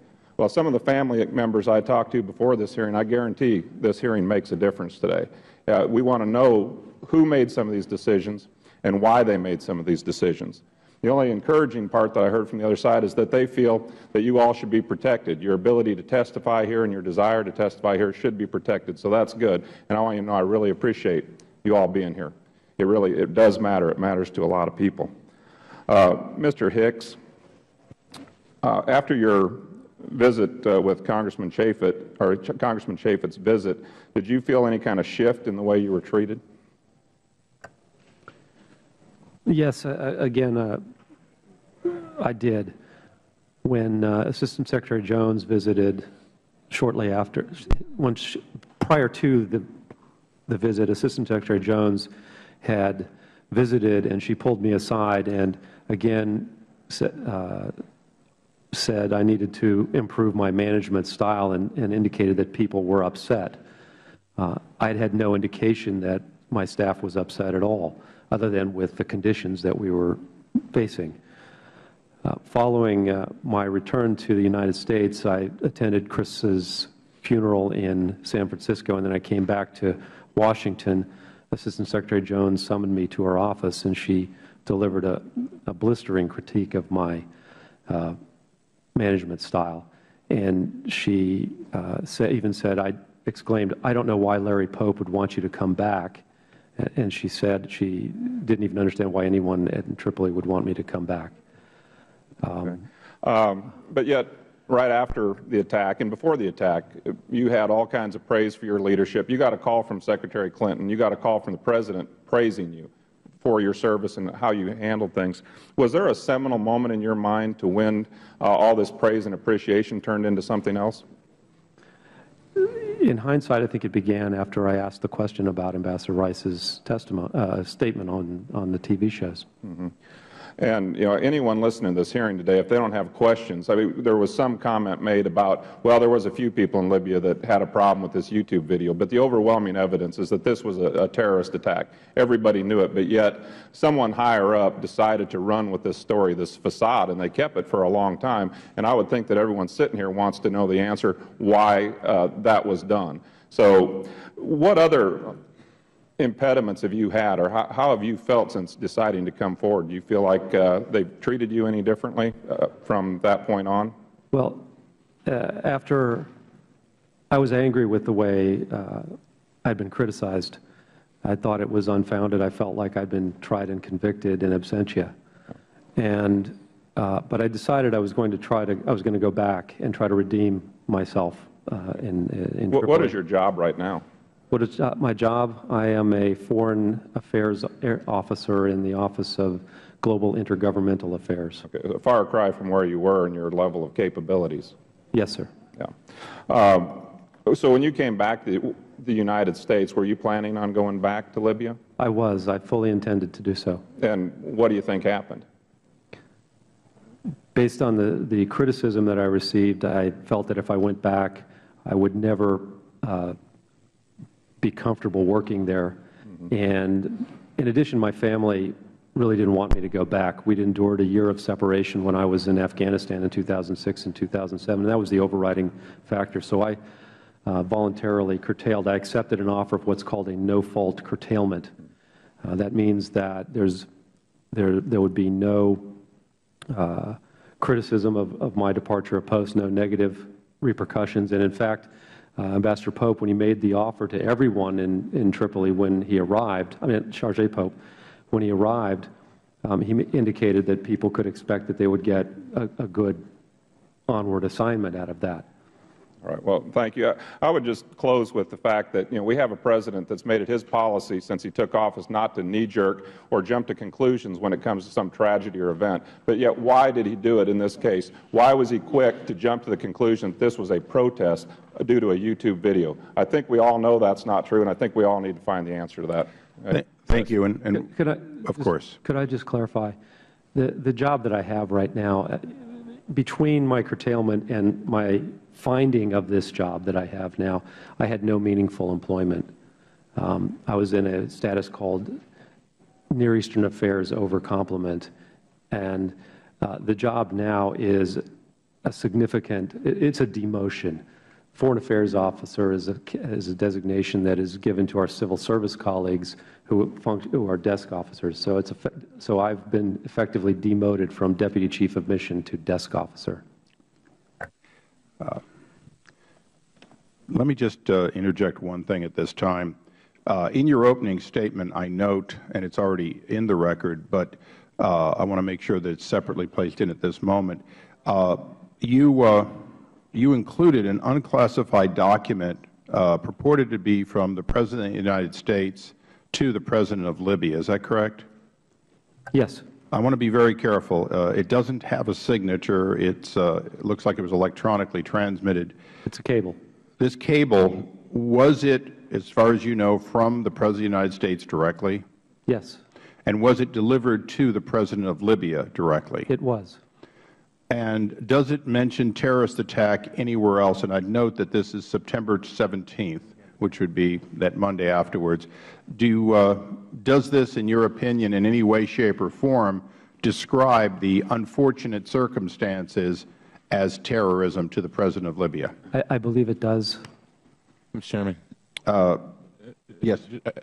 I, I, we, I don't even It's in, it's, in, it's- it's in his opening statement. It was delivered to everybody. Okay. Uh, these are inclusions. Uh, but uh, it says, thank you for responding quickly to the tragic attack in Benghazi. And I'm reading through this thing, uh, uh, you know, uh, and, uh, well, it's in the record, but I, as far as I can tell, uh, it speaks of it as a tragic attack. It doesn't speak to it even after Secretary or Ambassador Rice spoke. It doesn't speak to it as a terrorist attack or our war on terror or fighting terrorism. Is that correct? Yeah, I don't have it before me at this, at this moment. Okay, we'll deliver it back to you just to make sure someone may want to follow up it. Oh, your counsel has it for you. Oh, sorry. Yeah, it says outrageous attack. Okay, so it's an outrageous attack, but it doesn't talk about us working together uh, to fight terrorism, does it? No. Okay, thank you for including that in the record. We now go to the gentleman from Texas, Mr. Farenthold.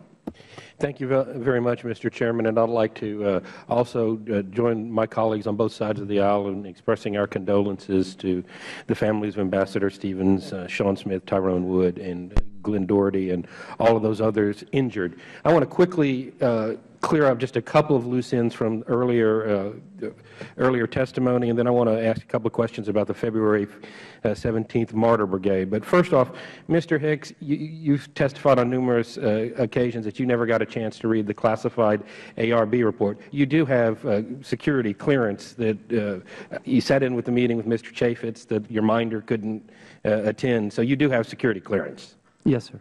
Uh, all right. And then, Mr. Thompson, uh, you testified and answered the uh, question as to why um, the FEST team, uh, the, your response team, was not uh, deployed.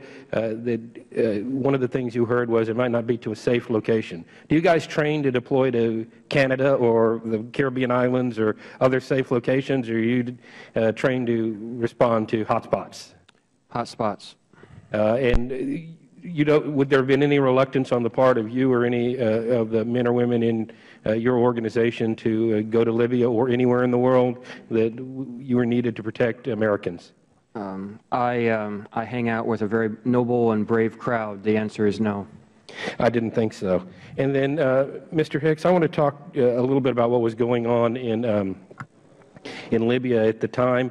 There had just been a revolution. We had a newly elected uh, president, democratically elected. Uh, we were involved uh, through, our, through our NATO partners uh, in, in that. This was a, probably a win for the United States. We had a friendly government, a relatively friendly government uh, going in, and then uh, we all but make the uh, new president out to, we, we throw him under the bus on the Sunday shows. Uh, and you testified that that may have been one of the reasons the FBI was slow getting into it, you think it uh, overall damaged our relationship beyond that with Libya?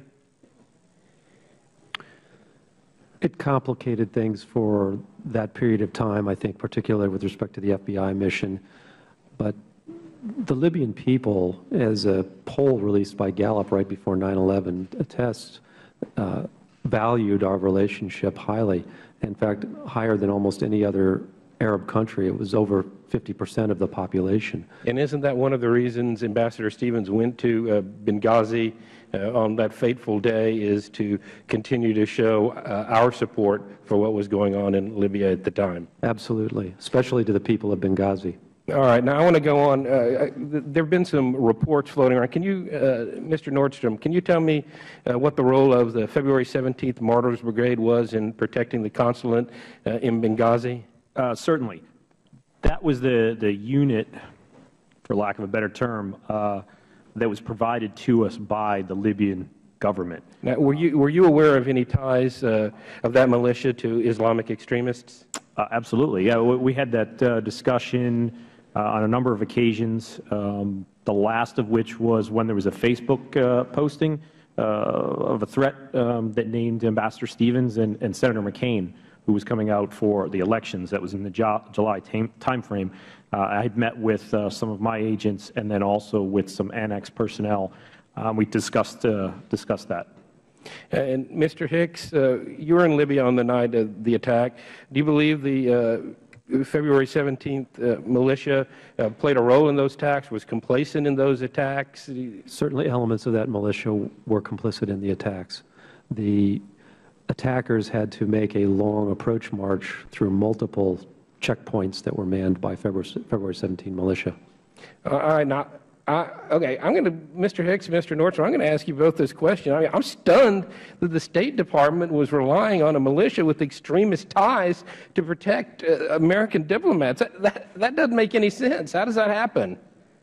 You mean like in Afghanistan where Afghanis that are uh, working with our military that are embedded and turn on them uh, and shoot them? Or uh, Yemen, our, our embassy was attacked in 2008 by attackers wearing police uniforms, or in uh, Saudi Arabia, in Jeddah, we had an attack in 2004. The Saudi National Guard that was protecting our facility uh, reportedly ran from the scene, and then it took 90 minutes before we could get help.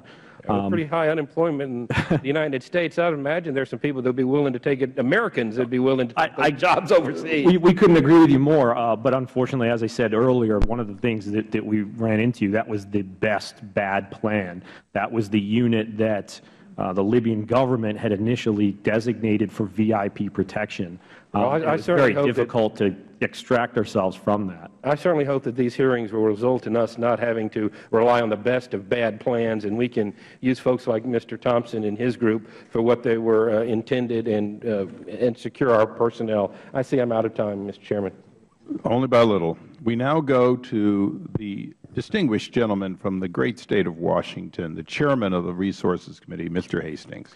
Thank you very much, uh, Mr. Chairman. And let me add my uh, voice to all of my colleagues that uh, thank you for your service. I think while we all say it, it should, probably should go without saying it, but nevertheless, uh, we, we really do appreciate that.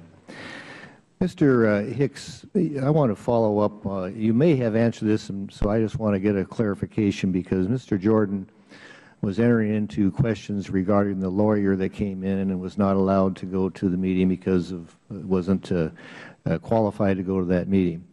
My, my question specifically is to back up. The State Department sent this lawyer. Were you told why the lawyer was sent?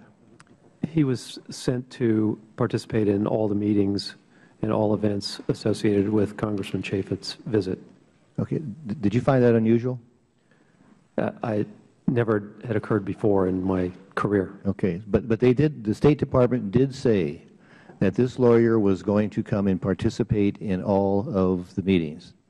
Yes. You were told that. And then, of course, they couldn't because of the protocols. Uh, you mentioned that the um, tone of the State Department has related to you changed after, probably after the Rice interview. It began to change. Yeah. Uh, uh, explain, just give us some examples of how things changed. Uh, again, I began to uh, have my management style counseled by Assistant Secretary Jones. Uh, when she visited, she again uh, counseled me on my management style and said staff was upset. I had had no indication of staff being upset. Uh, and then again, when I returned to Washington, she delivered a very uh, blistering critique of my style and again said, exclaimed, I don't know why Larry Pope would want you back. Uh, well, let me, that, that leads to a very obvious question then. Prior to September 10th, 2012, had you received any negative feedback from your superiors? Uh, no. Uh, Chris and I had, devel had, developed a very positive relationship. We, uh, he trusted me, I trusted him, and we were working together very, very well, and the people, morale was high.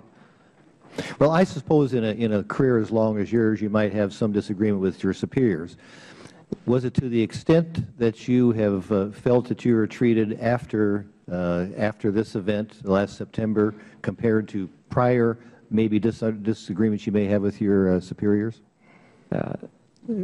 I, I, guess on, on, a scale of 1 to 10, 10 being the worst, 10. and uh, you, you, were 10 after. Okay. All right. I, that, that's, uh, I guess that's what I would, would like to, uh, uh wanted to follow up on. Um, you mentioned that you feel in the job you have, you, uh, it's really a demotion from the qualifications that you have had in your career in the, in the service. Have you um, talked to any of your colleagues or any senior leaders within the State Department regarding this, and if so, what, uh, what was that, those conversations all about? I, uh, I spoke with, uh, well, after a couple of friends who have outside the Department intervened with senior officials about my situation, um, the, uh, the Deputy Secretary Burns and the Director General said that my, I would be taken care of. Uh, same thing that Larry Pope had indicated. And so I met with uh, the Principal Deputy Assistant Secretary um, uh, for Human Resources, Hans Klemm, and I talked to him about what options might be available to me. Um, and basically the answer was I ha would have to go through the formal, normal bidding process for assignments and persuade someone that I should be hired. Uh, and then uh, the conversation with Deputy Secretary Burns was centered around discussions I'd had with the leadership of our embassy in Mexico City about the head of the political section job there, which would be a very uh, good job. Uh, but, and he said that he would support that, but I had to go through the process. And it's a very long process since the position, that position is at a higher grade. Well, let, let, me, let me ask you this. I, uh, going through the process, and I understand there's protocols, but would that strike you as unusual as somebody with your background and the position that you had uh, uh, in Libya and, and other areas? I was surprised that that I was having to go through the process, the normal process. Okay. and especially when the ambassador in Mexico City had talked to Deputy Secretary Burns about bringing me on as his political counselor. Well, I heard my colleagues uh, on the other side of the aisle say that if there's any retribution, that's my words, not your words, any retribution on this, that you will have full support of your colleagues. Uh, let me lend uh, my support and I think support of everybody here. Uh, I think a bipartisan support on somebody that comes forth that has a difference of agreement on a very on a policy issue or a decision that killed four Americans deserve to uh, have uh, whatever uh, we can give to you. So thank you very much, and I see my time has expired. Well, and the time that we can ask witnesses has also expired. So for those of us who were able to get up and come back and forth, uh, we're going to take uh, about 10 minutes. I would ask the witnesses, you can either go through that door or this door to use uh, facilities that are available there without going out into the public, and then we'll reconvene in about 10 minutes. Thank you.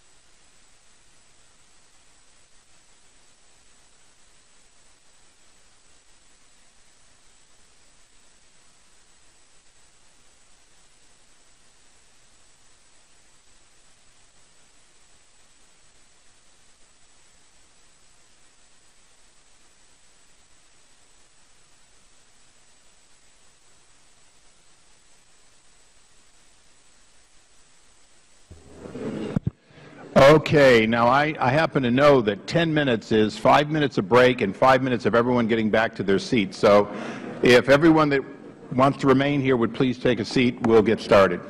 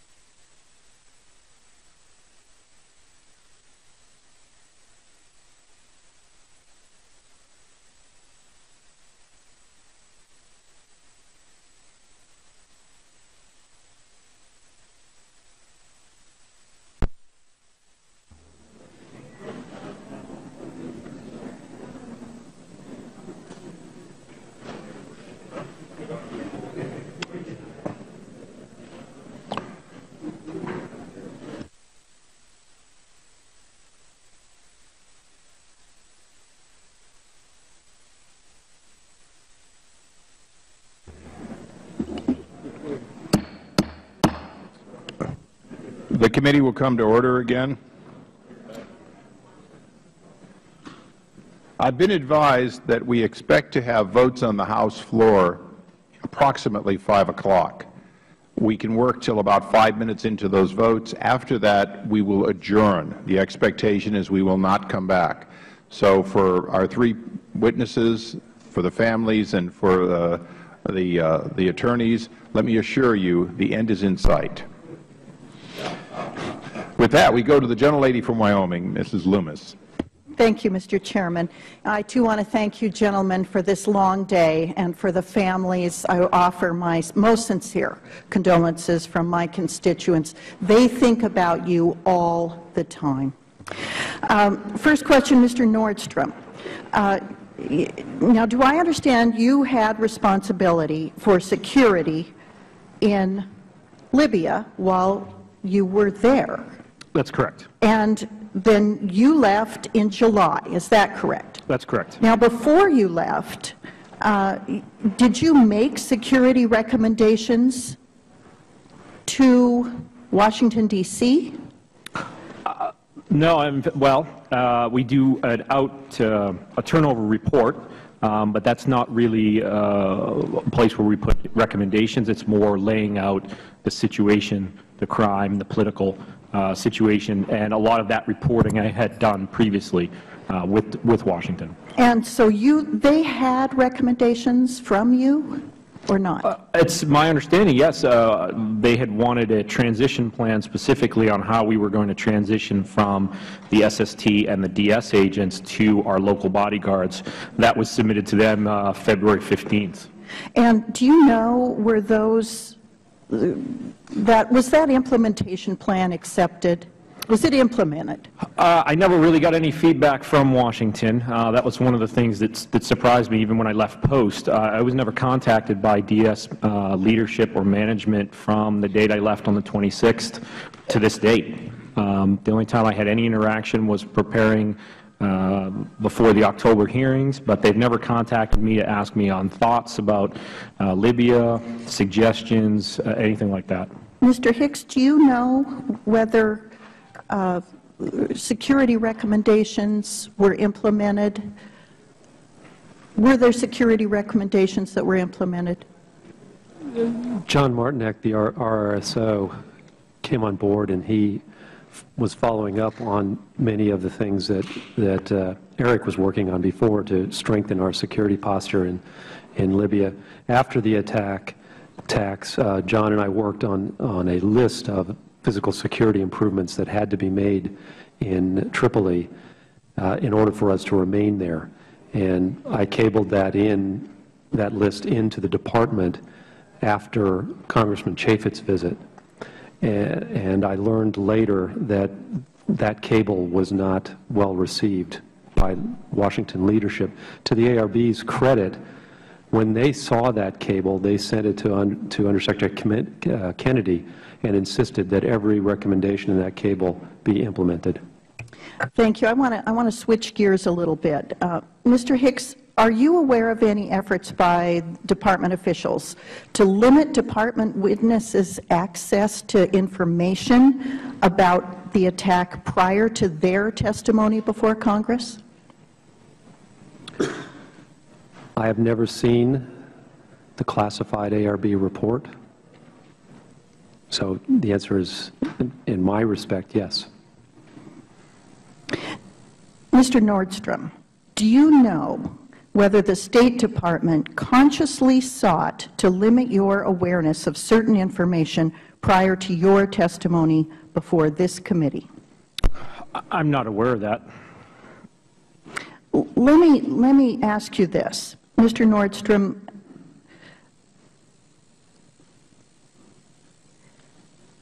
I want to read you an excerpt from an email Ambassador Stevens sent to you and a colleague on July 5, 2012. The email concerned a draft cable intended to request an extension of security personnel for the embassy, which was ultimately sent on July 9th. Now, the ambassador wrote, Gentlemen, I have taken a close look at the cable and edited it down and rearranged some paragraphs. My intention was to give more focus to what we are doing to end our reliance on TDY support and to let the department figure out how to staff our needs. If it looks okay, please run it by DS and see if they want it front channel. Then, Mr. Nordstrom, can you briefly explain what Ambassador Stevens meant when he asked you to run it by DS and see if they wanted it front channel? What he's referring to is uh, the process by which we would send an official State Department cable. Um, I had done that for prior requests, uh, and it was my ad advice uh, to the ambassador, I do remember that dialogue, that we, that we do in fact send that front channel. Uh, within the Department of State, that is considered to be the official record. If I sent something by email or informally discussed it by telephone, it's still valuable, but unless it's on that cable, uh, it's not official. My experience in the, in the past was that as soon as we put those recommendations, just as Greg just alluded to, as soon as we put that onto an official cable, somehow we were seen as embarrassing the Department of State because we are requiring them to live up to their end of the bargain. I thank the gentlelady. We now go to the gentleman from Georgia, Mr. Woodall. Thank you, Mr. Chairman. I'll add my thanks to the uh, gentleman on the panel. I know you've heard that over and over and over again from members uh, here, but only because uh, uh folks believe it. Uh, and, uh, and we're grateful to you not just for being here today, but for your decade upon decade of service. I'll tell you, Mr. Thompson, I'm I'm comforted, and I know folks uh, uh, at U.S. posts across the uh, world are comforted uh, that there are men and women who do what you do, uh, who live by a code that says uh, if you're in harm's way, we're going to come for you. For you. just hang on. and I, I, thank you very much for that commitment. Thank you.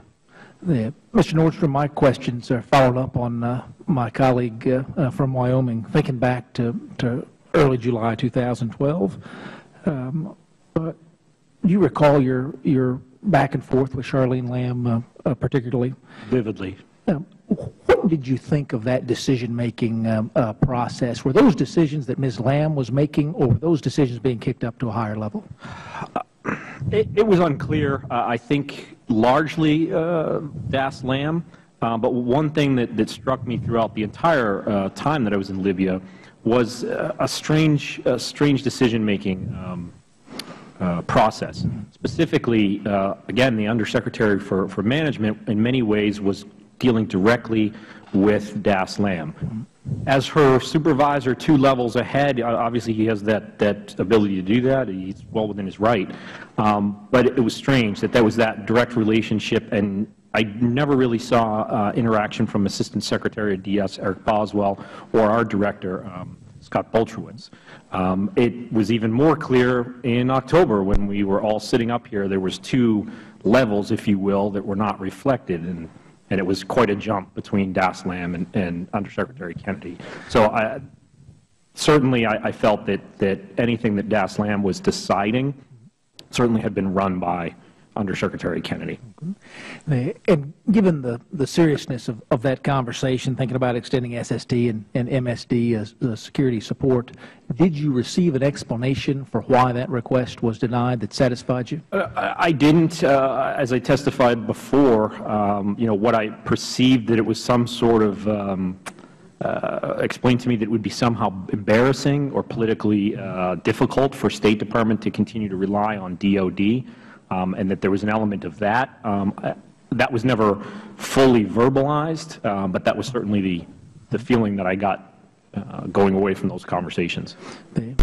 And then following up on uh, uh, moving these discussions from back channel to, to front channel, uh, what was the nature of your conversation with uh, the ambassador, uh, that this was such a serious uh, uh, issue that rather than leaving it with a no on back channels, he wanted to, to elevate that? Uh, That's, that's exactly what it is. In fact, uh, I recall all the way back to our first meeting with, uh, with uh, Congressman Chaffetz and, and, and the chairman. Uh, that was some, that was the question that I think they posed to me is, well, if, if you knew she was going to keep saying no, why did you keep asking? Well, because it was the right thing to do, and it was the resources that were needed. And if people also, on the other side, felt that that was the right thing to do, to say no to that, they could at least have the courtesy to put that in the official record. And did you receive any feedback back from Washington, whether a direct response to that cable or a back channel response to the, to the fact that you elevated it to this, uh, this front channel uh, process? By the time that we sent the one in July, no, I did not receive a response. In fact, that cable, as I understand, was never responded to, which is something that is, is relatively unheard of in the State Department. When you send a request cable for anything, whether it's copiers or resource or manpower, they get back to you. Um, prior discussions, back channel ones, yes, I had a number of call, uh, conversations with my regional director and also Das Lamb where it was uh, discouraging, to put it, to put it mildly, um, that why do you keep raising these issues? Why do you keep putting this forward? And if you can characterize it uh, then between a, a non-response or a disagreement, uh, when it comes to these issues of security for American personnel on the ground in, in Libya, were you receiving a, a non-response from Washington, or was there disagreement in Washington with your assessment of, of uh, levels of need on the ground? I largely get a, a non-response. Um, the, the responses that I did uh, get were, you don't have specific targeting, you don't have specific threats against you. Uh, the long and short of it is you're not dealing with suicide bombers, uh, incoming artillery, and uh, vehicle bombs like they are in Iraq and Afghanistan, so basically stop complaining. Uh, The gentleman's time has expired. Thank Is there anything Chairman. else in answer? Okay, I thank you. We now go to the gentleman from Illinois, Mr. Davis. Thank you very much, Mr. Chairman. I know that it's been a long day and lots of questions and answers have uh, been shared. But let me ask uh, you gentlemen this. Last week, an unidentified individual who was described as a military special ops member appeared on national television to give an interview on the military's response to the attacks in Benghazi. The man appeared behind a black screen in order to conceal his identity.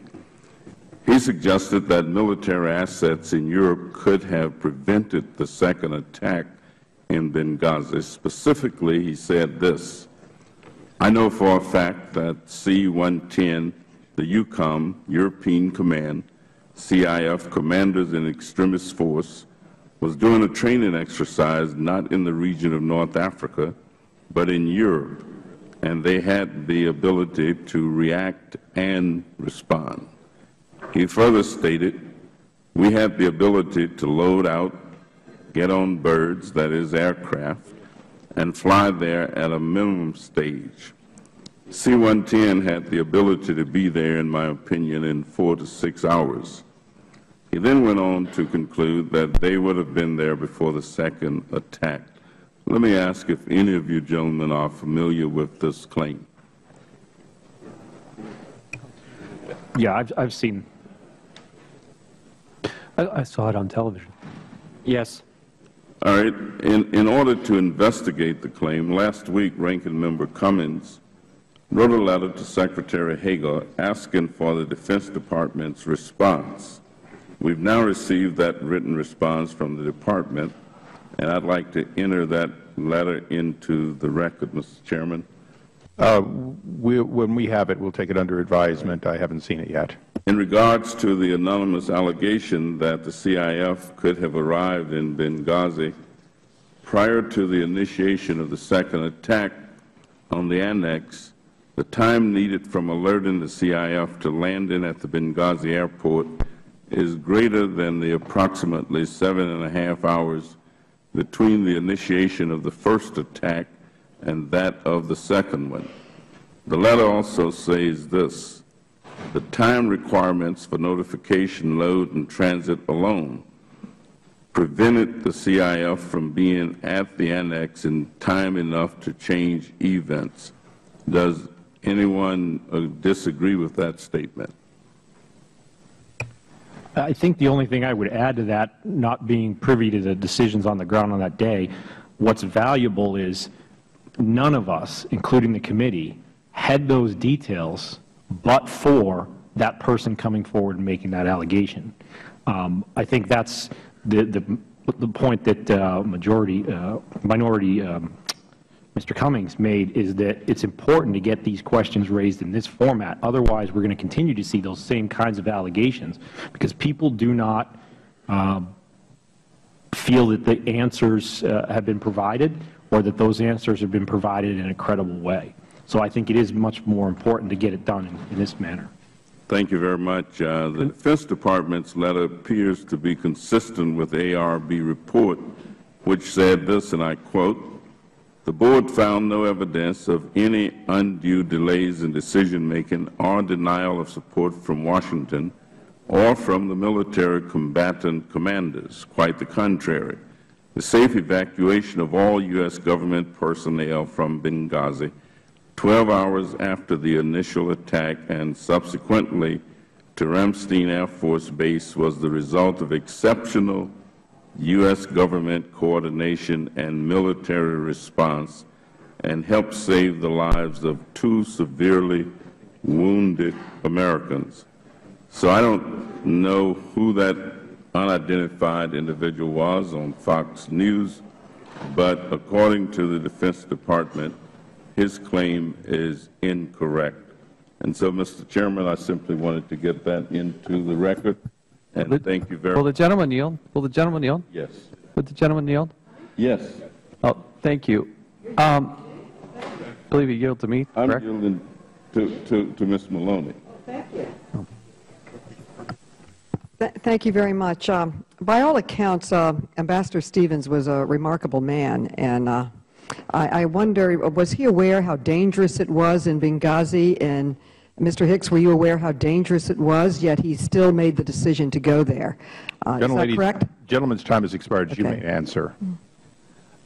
Yes, the ambassador was very well aware of the Mm-hmm. security situation in Benghazi.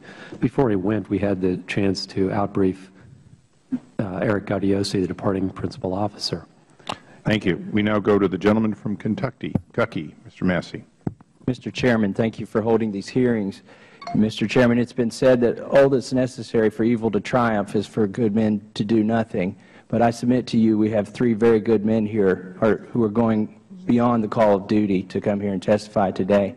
They have my commitment to protect them from any retribution that may come from this. And I get the sense that there may be other people listening to these testimony today that have answers that we don't have yet.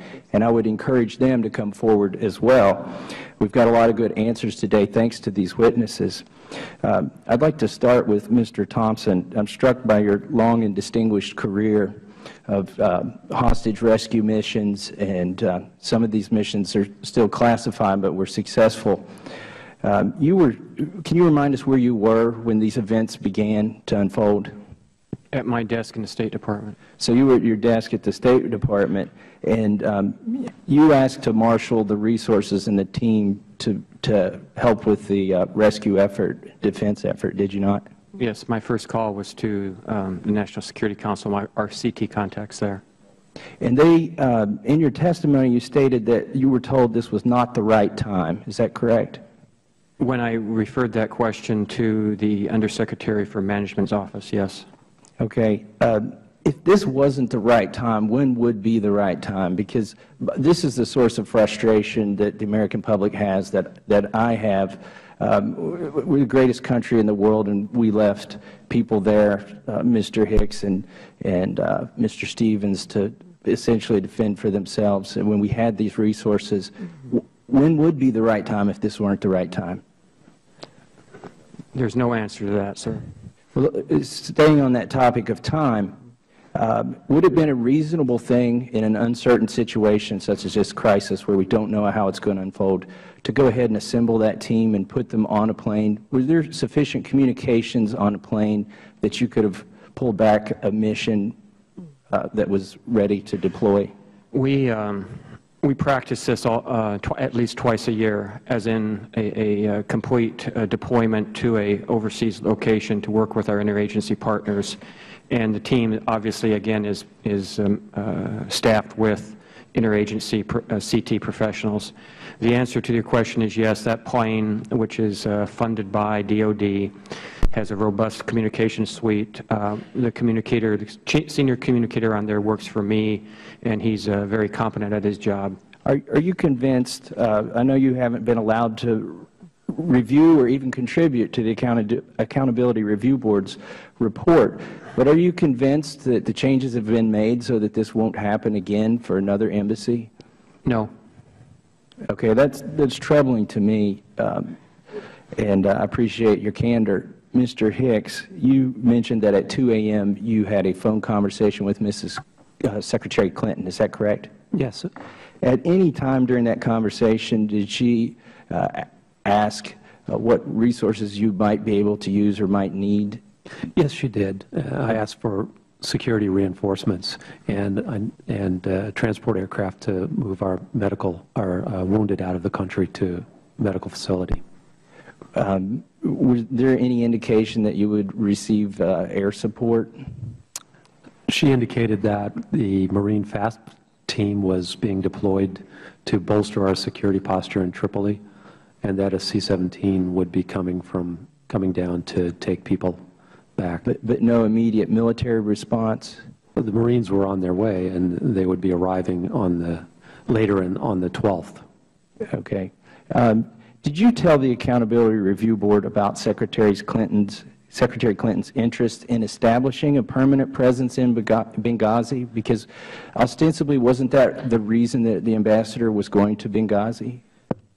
Yes, I did tell the uh, Accountability Review Board that uh, Secretary Clinton wanted the post made permanent. Uh, Ambassador Pickering was surprised. He looked both ways on the, to the members of the board saying, does the seventh floor know about this? And another factor in Chris's decision was our understanding that Secretary Clinton intended to visit Tripoli so in Pickering, December. Pickering was surprised that uh, this was his mission was to establish a permanent facility there. Yes. That's your impression? Yes. Okay. Um, I thank you uh, for your time. I thank the witnesses. Would the gentleman yield? Yes, I yield. I just want you to say it unambiguously, if that's the correct way to say it without a flaw. One more time. The reason the ambassador was in Benghazi, at least one of the reasons, was X. At, at least one of the reasons he was in Benghazi was to further the Secretary's wish that that post become a permanent constituent post. And also there because we understood that the Secretary intended to visit Tripoli later in the year. We hoped that she would be able to announce to the Libyan people our establishment of a permanent constituent post in Benghazi at that time. Thank you. Will the gentleman yield? Thank the gentleman for yielding. Thank you, Mr. We now go to the Gentleman from Georgia. Thank you, Mr. Chairman. I appreciate it. Uh, thanks for being here today. And it's been a it's been a long day, and I think there's been some interesting things said, and there's been a lot of questions. One of the things that was said earlier today that sort of concerns me a little bit. It says that these hearings have not found a smoking gun. I believe it's a, even a warm slingshot. Well, I, for one, and the folks of the Ninth District of Georgia, where I represent, are not looking for those things. They're looking for the truth. They're looking for what happened that night. Because the one thing we have found, it may not be a smoking gun or a warm slingshot, but we have four dead Americans. And that's what this is about. That's about finding the, what happened in the past so that we can move forward in the future. And I appreciate your willingness to be here and these families who are willing to do this because truth is important, even in this town. It's important. I want to ask a follow-up question. Mr. Nordstrom, I want to follow up on a question from Mr. Lankford earlier about a March 28th cable asking for more security. He asked you about your intended recipients of that cable. Now, did you expect Secretary Clinton to either, either have read or to be briefed about that cable? Absolutely. I, I certainly expected, um, given the fact that she had an involvement in the security process, if I could take a step back, by virtue of having the SST teams there, because they were a Department of Defense asset, the process required for that is, is something called an exec sec. That exec sec is a, literally a request from one cabinet head to another, in this case, State to DOD. That request must be signed by the cabinet head, Secretary Clinton. She would have done that, uh, the initial deployment request, uh, plus an extension in the fall and, a second extension in February. She also came out to post toward our facilities, toward the facilities, and, we, and, and saw the, the lack of security there. That was something that her country team, uh, or she was briefed by the country team as she visited the site. Um, we also saw later there was the attacks against the facility. Certainly, there's a reasonable expectation that her staff would have briefed her on those on those points. I think it was you that said earlier, could this be a concern about a DOD presence and an embarrassment with State on a embassy? And a real short answer there. That, that was how I, I took away That's from, the way you took it. Right, from DAS Lamb. Thank you. Um, uh, Mr. Hicks, I I have a, a question. We're going back, it's been asked here a little bit before. In discussions about a permanent presence in Benghazi, uh, give me sort of a quick flavor of what was those discussions like? Was it said, you do this? How was that, how was it going out? In, Chris told me that in his exit interview with the, with the Secretary after he was sworn in, the Secretary said, we need to make Benghazi a permanent post. Okay. And Chris said, I'll make it happen. Okay. Uh, was Washington informed of the ambassador's plan to travel to Benghazi? Yes, Washington was fully informed that the ambassador was going to Benghazi. And we advised them August 22nd or thereabouts. Okay. Were there any concerns raised from that? No. In fact, Given the, given the timing and everything? none. Okay. Um, based on your, Mr. Hicks, again, based on your experiences in Libya, do you believe that foreign service officers remain in avoidable danger in such high-threat countries as Libya? Thanks. I, I believe that uh, foreign service officers are serving their country where they need to be serving their country, and in some places, the risk that they are taking is very high. But could we, in light of what we're seeing now, be avoidable in the sense of, from our lessons learned, if you would? From a lesson, sorry, thanks. From a lessons learned standpoint, the security, we need to be increasing our security strength and, and practices and training. And so, Uh, again, I may not be quite understanding the question. Well, and I think what I'm saying is that what, if you had that situation, what would you, needs to be done to prevent something like this from happening again? Is that being taken advantage of, or is there still sort of a denial process going on here? I think that we have more to do and than what has been put forth by the ARB and its recommendations. Okay. So as, we- as we move along, and, and I want to maybe ask you this question I asked earlier, is, eh, from, especially from a security standpoint, because it's something I think that we can flesh out over, over time, and maybe Ms. Thompson, if you want to jump in on this, is the, that DOD sort of influence eh, that has been mentioned by Mr. Norris a couple of times, eh, from the, the wanting to be permanent in the, in the area, was that an, you know, was that embarrassment figure? Did you get that sense as well, that we're trying to do this on our own? And Ms. Hicks, I'd like to hear you answer that as well. I I never got that sense. That was not, that was more Ms. Nordstrom. You did have that sense, though. Again, that was specifically conveyed by the, um, uh, by DAS Lamb to both me and to the prior DCM. Ms. Thompson, anything to add there? Uh, Nothing in the context of. uh, Good. Well, I do appreciate it. And again, like I said, it- this is an issue of truth. You've been providing that. I appreciate it. Mr. Chairman, I yield back. Thank you. Uh, Mr. Meadows, um, as I yield to you, would, would you mind giving me about 10 seconds back? I- I'll yield to the chairman. Thank sir. you. I'll be very brief. Uh, Mr. Hicks, uh, Colonel Wood in the previous hearing uh, with Mr. Nordstrom testified about trips back and forth of these people, these military people, like the four that were told not to get on the plane, himself included. Uh, during your time as Deputy Chief of Mission, did those four men doing training ever go to Benghazi? No. Okay. Thank Not- you. Yeah, no. Thank you. Thank you, Ms. Mr. Chairman. And thank each of you for uh, being here all day, day today. And, and certainly, uh, as uh, Mr. Nordstrom started out this, you let us know clearly that this is not about politics, it's about people. And I just say thank you for that because that's what it is. And to the families, I want to let you know that the people back home are standing with you. Uh, we had unbelievable questions that I'll submit to you uh, that we won't cover today in terms of asking them, that we'll submit to you uh, for you to answer, but they're standing with you to get to the truth of this, and they will not sit down until those questions have been answered. And I thank the chairman for this, this uh, informative hearing. Uh, Mr. Thompson, let me go. You had talked earlier about the, the deployment of the FEST team, and, as, and you said that you thought it was important to do that. Were there any other agencies that thought that, that other than you, that thought that was, that was important? Yes, um, Federal Bureau of Investigation and uh, DOD specifically, uh, our SOCOM friends. So you're saying that it wasn't just you, but it, the DOD, so outside the State Department, the DOD and the FBI both felt like that that was the appropriate response to make sure that we, we provide that kind of uh, forces? People who are part of the team, a normal part of that team that deploy with us, were shocked and amazed that they were not being called uh, on their cell phones, beepers, et cetera, to go. Uh, Whether or not that view was shared by uh, very senior people in those institutions, I do not know.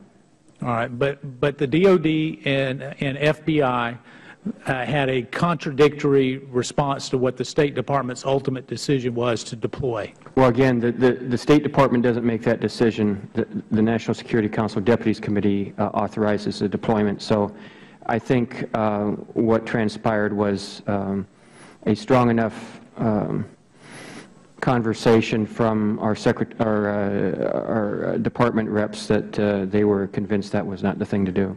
All right, Mr. Nordstrom, and let me go back to the ARB because we've, you know, everybody talks about how wonderful this process was. What I see it as narrow in scope, incomplete in its nature. And I don't want to put words in your mouth, but earlier you talked about the ARB fixed blame, I think you said, on mid-level or those career employees, not those at a senior level or the political appointments. Is that correct? That's correct. So, and did you not say that that's where the decisions are made at that senior level?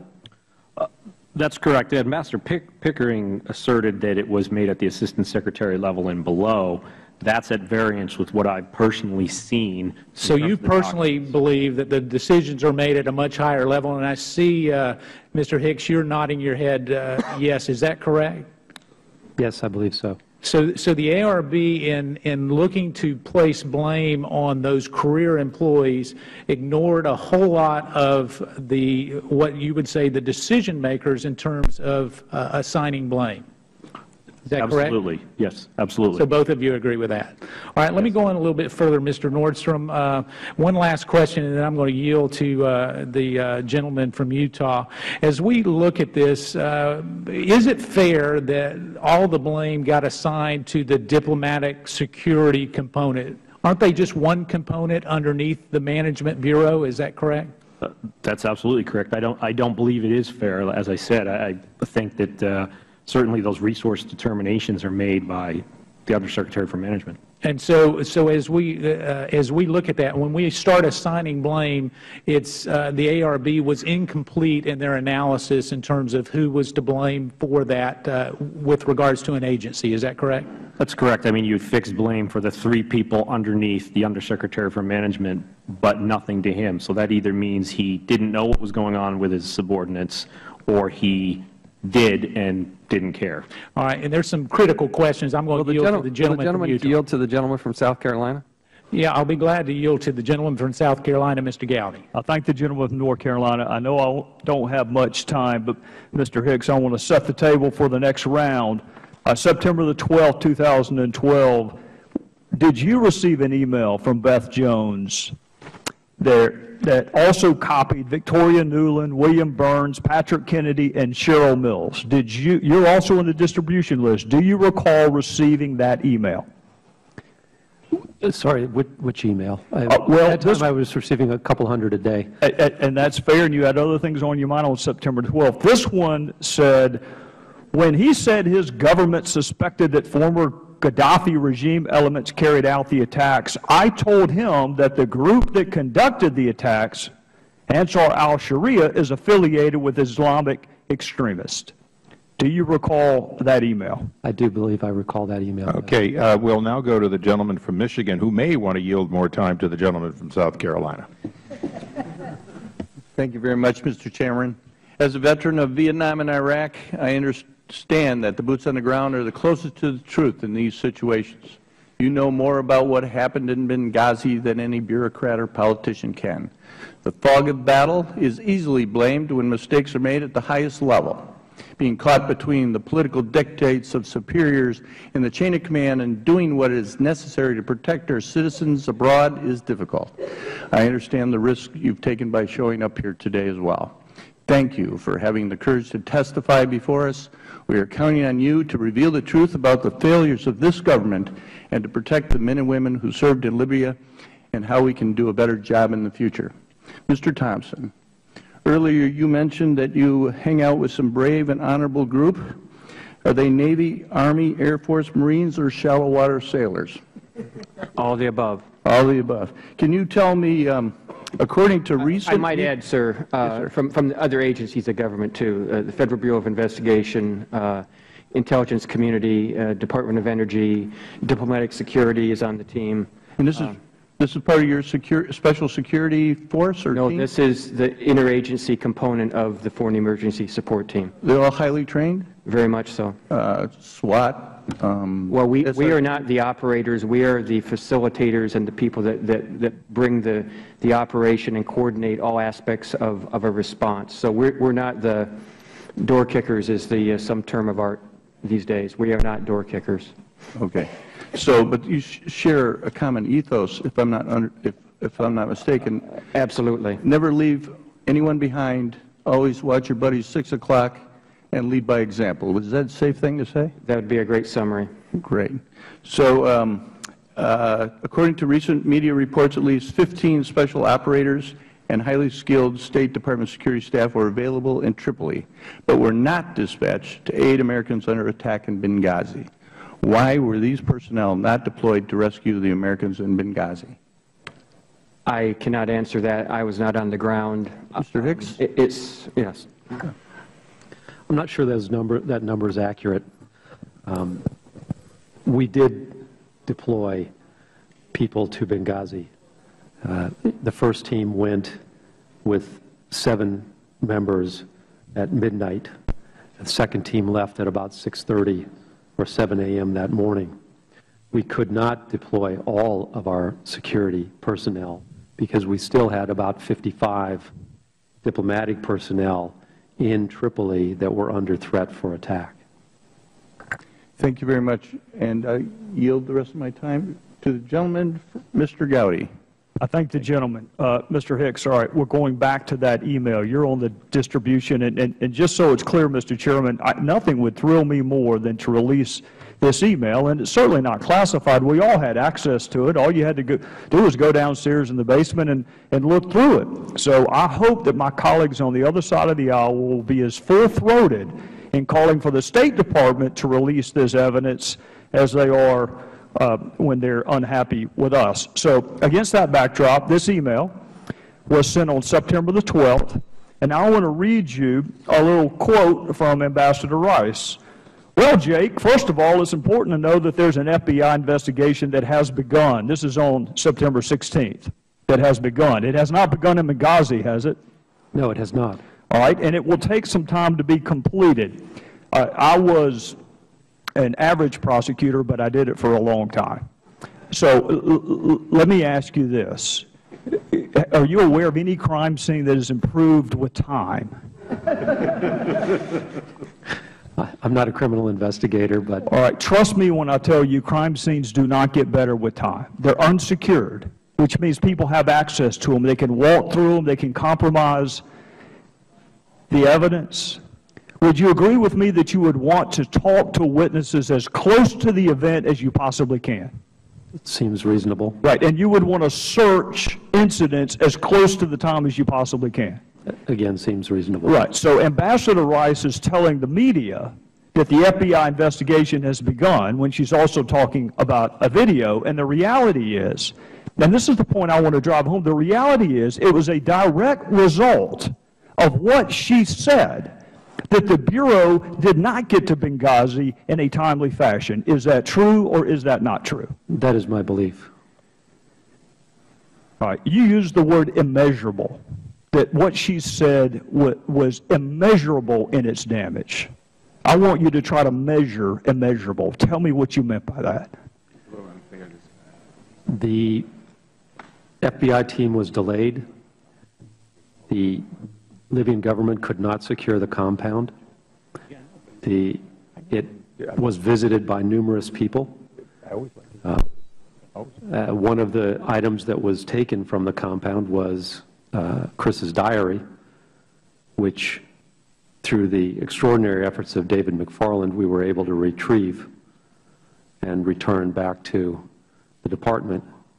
There were other documents that were published that another journalist uh, managed to acquire while visiting the compound. So it made achieving the objective of getting the FBI to Benghazi very, very difficult, and to the ability of them to achieve their mission more difficult. I thank the gentleman. We now go to the gentleman from Florida, Mr. DeSantis. Thank you, Mr. Chairman. Uh, I think this is an important hearing. It really does make all the difference to me um, to know whether we did all we could to aid uh, our brethren who are in harm's way. I think it's part of our military ethos. I think it's part of our national character. Mr. Hicks, I just just to uh, go back and get this. You know, even though you believed help was needed, there was a SOF unit, Special Operations Unit, ordered to stand down. Correct? Yes. And even though you thought air support was needed, there was no air support sent. No air support was sent. So no A- A- AC-130 gunships, no fighter planes, right? Uh, AC-130 gun- gunships were never mentioned to me, only fighter planes out of Aviano. And in fact, there was no request for airspace other than the UAV request to the Libyan uh, government, right? Yes, and that preceded the attack, if I'm not mistaken. So when the order to stand down was given, who issued that order? Were you told, did Lieutenant Colonel Gibson told you who was ultimately responsible for issuing that order? He did not identify the person. Okay, so you don't know if it was the combatant commander I, I do not know. or whether it was the Secretary of Defense or the President, correct? I have no idea. And have you, since this incident has happened and you've been interviewed, have you been enlightened as to who was ultimately responsible for issuing the stand-down order? I think you, that the right person to pose that question to is Lieutenant Colonel Gibson. When you spoke with Secretary Clinton at 2 a.m., uh, did she express support for giving military assistance to those folks in Benghazi, i.e., did she say that she would request such support from either the Secretary of Defense or the President of the United States? We actually didn't discuss that issue. At the time, we were focused on trying to find and hopefully rescue Ambassador uh, Stevens. That was the primary purpose of our discussion. Secondary purpose was to talk about uh, what we were going to do in Tripoli in order to enhance our security there. So as part of that discussion, though, you informed her that you guys in Benghazi were, in fact, under attack, correct? The, the attack at, in Benghazi, she was aware of the attacks, but we were in phase three. The attacks had already, the first two attacks had been completed, and there was a, there was a lull in Benghazi at the time. So, you know, and again, the focus was on finding the Ambassador Stevens and what the second, or, or the, the Tripoli response team was going to do. Um, we had at that time no expectation that there would be subsequent attacks at, at our annex in Benghazi. So you, you, it was under your, you viewed it as secured at that point? No, we knew the situation was in flux. Okay. Um, when you spoke to the President following the attack on the phone, um, did he uh, say anything about deploying assets, whether, why assets were not deployed? I believe I spoke to him on September 17th or September 18th, so. Right, um, after the attack, I know this was several days later. Did he, did he say anything, or was it just to commend you about your service? It, it was just a call to thank me for service. Okay. And Well- praise the whole team. Uh, I appreciate that. I, I think that this has been a good hearing. I think that there are still questions uh, remaining. I think we need to know who actually gave the order to stand down. I'd like to know why you've been demoted, uh, why they, um, the Secretary's Chief of Staff, uh, called you and, and spoke with you the way she did. Um, and so with that, I'll yield. Would the gentleman yield for just a yield to the Chairman? Thank you. Committee Chairman. Always the right answer. Thank you. Uh, Mr. Hicks, 2 in the morning, Secretary of State calls you personally. Not a common call. No, sir. Did she ask you about the cause of the attack? Did she ask, ask about videos? Did she ask about anything at all that would have allowed you to answer the question of how Benghazi came to be attacked as far as you knew? I don't recall that being part of the conversation. So she wasn't interested in the cause of the attack, and this was the only time you talked directly to the Secretary where you could have told her or not told her about the cause of the attack? It was the, yes, that was the only time when I could have. But again, I had already reported that the attack was, had commenced and that Twitter feeds were asserting that Ansar Sharia was responsible for the attack. You didn't have that discussion with her only because it was assumed that since you'd already reported that the cause of the attack was essentially ex- Islamic extremists, some of them linked to al-Qaeda? Yes. Thank you. I thank the gentleman. Uh, the- Okay. Uh, The gentleman, does the gentleman yield back? The gentleman yields back. We now probably go to a second round, starting with Mr. Jordan. Thank you, Mr. Chairman. Uh, Mr. Hicks, in my first round, uh, I asked you about Cheryl Mills, and you indicated in your response that this is a call that you always take but frankly don't want to get. Uh, Cheryl Mills is the counselor to the Secretary. Uh, she is Chief of Staff to Hillary Clinton. And is it, is it a common, is it common knowledge that of anyone in the State Department, when, then, when the Chief of Staff to the Secretary calls, that is the perception that she is speaking on behalf of the Secretary herself? No. But is, Not- is, Not necessarily. not necessarily, but, but is the perception that it's um, pretty darn important based on your response earlier? Absolutely. Yeah, so you, you got this call. I want to go back to the, um, to the Chaffetz, uh, to Congressman Chaffetz's visit there. You were instructed that there was going to be an attorney accompanying Mr. Chaffetz, and this attorney was to be next to you at all times. I mean, here's what I'm trying to get at. The Secretary has said nobody, she, in front of the Senate, nobody is more committed to getting this right. If the intent is to get it right and get to the truth, then why this concerted effort to shield the interaction of Congressman Chaffetz from you? That's what I'm not figuring out. If we want to get to the truth, shouldn't you and Mr. Chaffetz be able to have a dialogue and conversation without some babysitter from the State Department, some lawyer there monitoring, taking notes, calling back, doing all things that this individual did on that congressional visit? I should be able to have a conversation with the congressman if he wants to. And didn't you say, in my, in, in, uh, excuse me, uh, Mr., uh, didn't you say, Mr. Hicks, in my first round that this was the first and only time this had ever happened where someone from the State Department accompanied a congressional visit and you were instructed specifically by the State Department, do not talk to Congressman Chaffetz or anyone on the committee's delegation who is there without this lawyer being present? That's correct. And shortly after the one time when you did have a chance to interact with Mr. Chaffetz and the lawyer was not present, when it was not present, you got a phone call from Cheryl Mills. That's correct. And on that phone call, what did she say? She asked for a report on the visit, which I provided. Uh, The tone of the report The tone of her voice was um, unhappy, as I recall it, Uh, but I faithfully reported exactly how the visit uh, transpired. I described the content of the briefing that... Can I interrupt you right there, Mr. Hicks? Were you in a classified briefing at the time and were pulled out of that briefing to talk to Ms. Mills? I recall the phone call afterwards. Okay.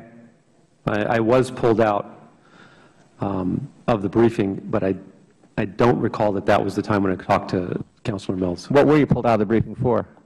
Um, I actually, actually can't remember, to be Okay. honest with you. But in close proximity to the time you had the briefing, the one time you were apart from the minder from the State Department, you got, you received a call from Ms. Mills? Yes. Okay. Um, I, I, I guess, Mr. Chairman, I just, I just want to stress, I mean, this is, this is the equivalent of Rahm Emanuel, when he, when he's chief of staff. When he calls, for my colleagues on the other side, when he calls, you take the call. You understand that's important, and you understand that he is representing the White House. When Cheryl Mills calls, you understand, everyone in the State Department understands, this is the person right next to Secretary Clinton. And the fact that we had, for the first time in Mr. Hicks's 22-year history of serving this country, someone accompany a congressman on a visit after we lost four American lives, and that individual has to be in every single meeting. There can't be personal interaction between these two discussing what took place, is completely unprecedented. With that, I'd be happy Would to the yield, the gentleman yield? be happy to yield to the chairman. Mr. Hicks, you and I have known each other uh, throughout the Middle East for a number of years. Uh, but in all my years of traveling in the Middle East, anytime I was head of a congressional delegation, I had a one-on-one with the ambassador, often in an automobile going to see a head of state or something else. Over the years that you've watched great ambassadors, have you ever failed to see the head of a delegation coming get a one-on-one? Isn't that part of sort of the ceremony of that relationship and how you treat the head of a congressional delegation? Not just this is an exception, but isn't it always a one-on-one meeting at some point during a, a leadership meeting? In every CODEL that I've been involved in, that's been standard. So they were telling you, to, a non Senate confirmed, a political appointee of the Secretary of State, her right-hand person, was telling you to breach protocol. Well, the, the two lawyers did. The Oh, the conversation, the, the conversation with Counselor Mills occurred after. Okay, so it, it was in fact people sent by the State Department told you to breach protocol and not provide anything, even if requested by uh, my personal emissary, Mr. Chaffetz, on that CODEL. Told you not to, not to talk to him privately, even if he asked. That's correct. Thank you. I thank the gentleman for yielding. We now go to the ranking member, Mr. Cummings. Mr. Hicks, I was just uh, listening to your testimony, and I, it's, um, during your interview with the committee, you were asked point blank, and that certainly that was closer to the time that this happened, whether anyone at the department instructed you to withhold information from Representative Chaffetz.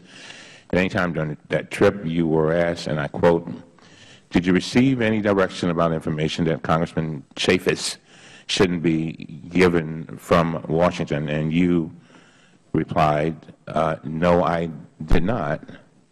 Um, is that is that still your testimony? I'm not just saying this is your sworn testimony. I'm just looking at the testimony. You don't remember that?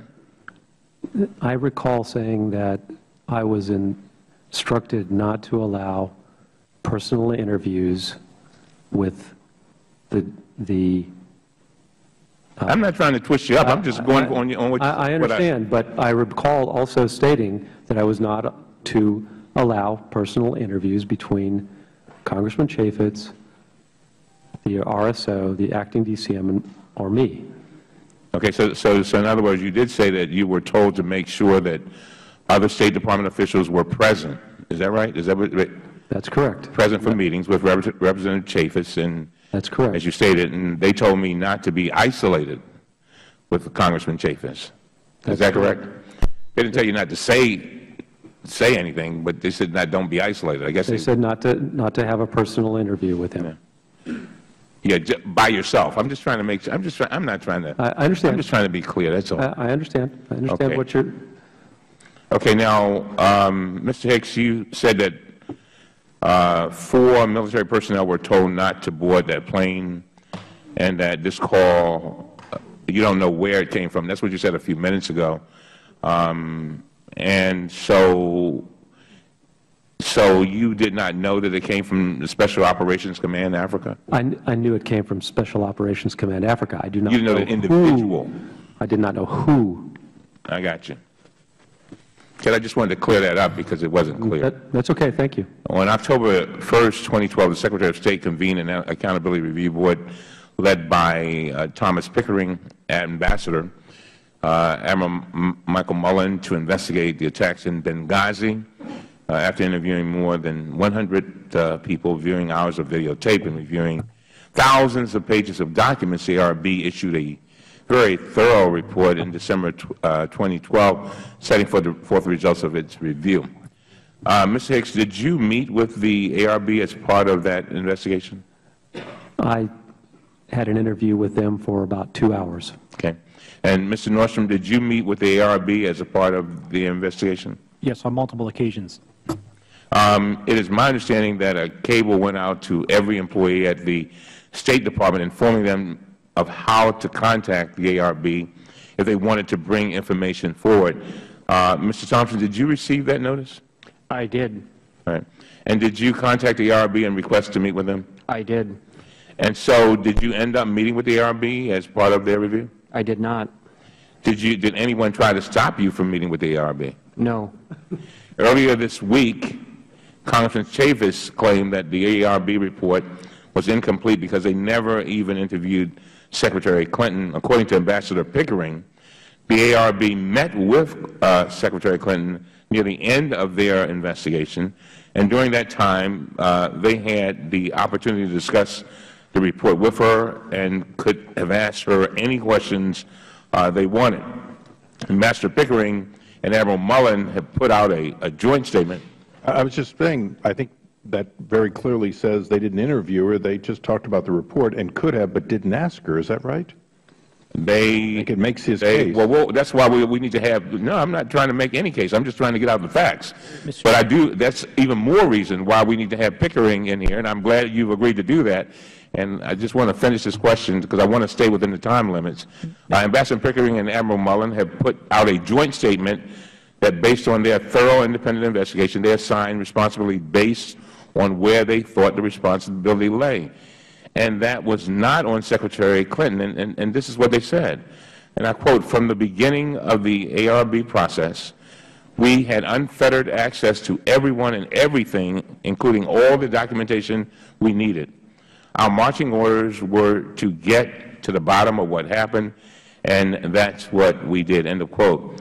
Uh, just wanted to, and again, we will, as you said, Mr. Nordstrom, we want to get a complete picture, and we'll hopefully be getting that complete picture very soon so that we can get to the point that we want to, and that is to reform so that this, these kinds of things uh, are prevented from happening again. Thank you.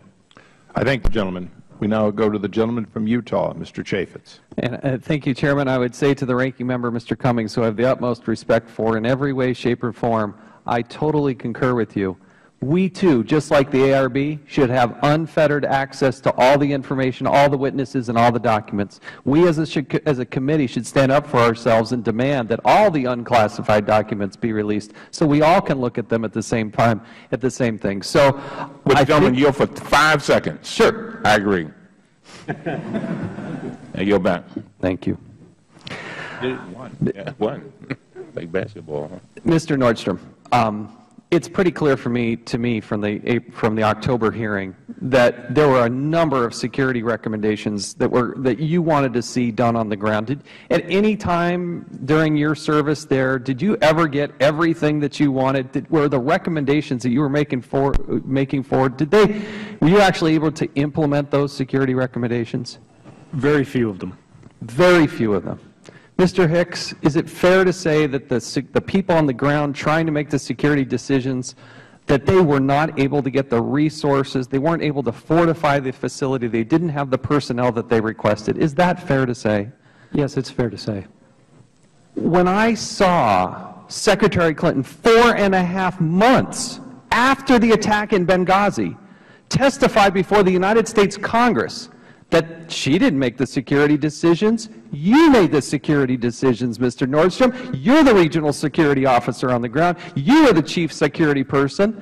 You're the ones that made the security decisions. True or false? The response I got from the regional director when I raised the issues that we were short of our standards for physical security was that my, quote, tone was not helpful. So true or false? The security decisions on the ground in Libya were made by you. I would have liked to have thought, but apparently no. Mr. Hicks, when you heard and saw that, did you have a reaction to it? What's your personal opinion? I was, uh, when I was there, I was very frustrated by the situation, uh, at times even frightened by the threat scenario that we were looking at relative to the resources we had to try to mitigate that threat scenario. And to the leadership of this committee on both sides of the aisle, I find it stunning that four and a half months after the attack, Secretary Clinton still has the gall to say, it wasn't us, it was them.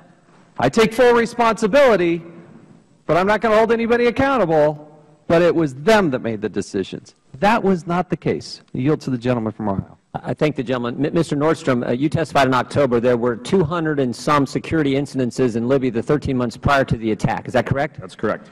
Repeated uh, attempts to, to, to breach the, the facility there. You repeatedly asked for additional security personnel, and it was denied, correct? That's correct. Not only denied, but it was reduced, correct? That's correct. And then four and a half months after it all happens, the Secretary of State says, you were responsible for the security situation in Libya.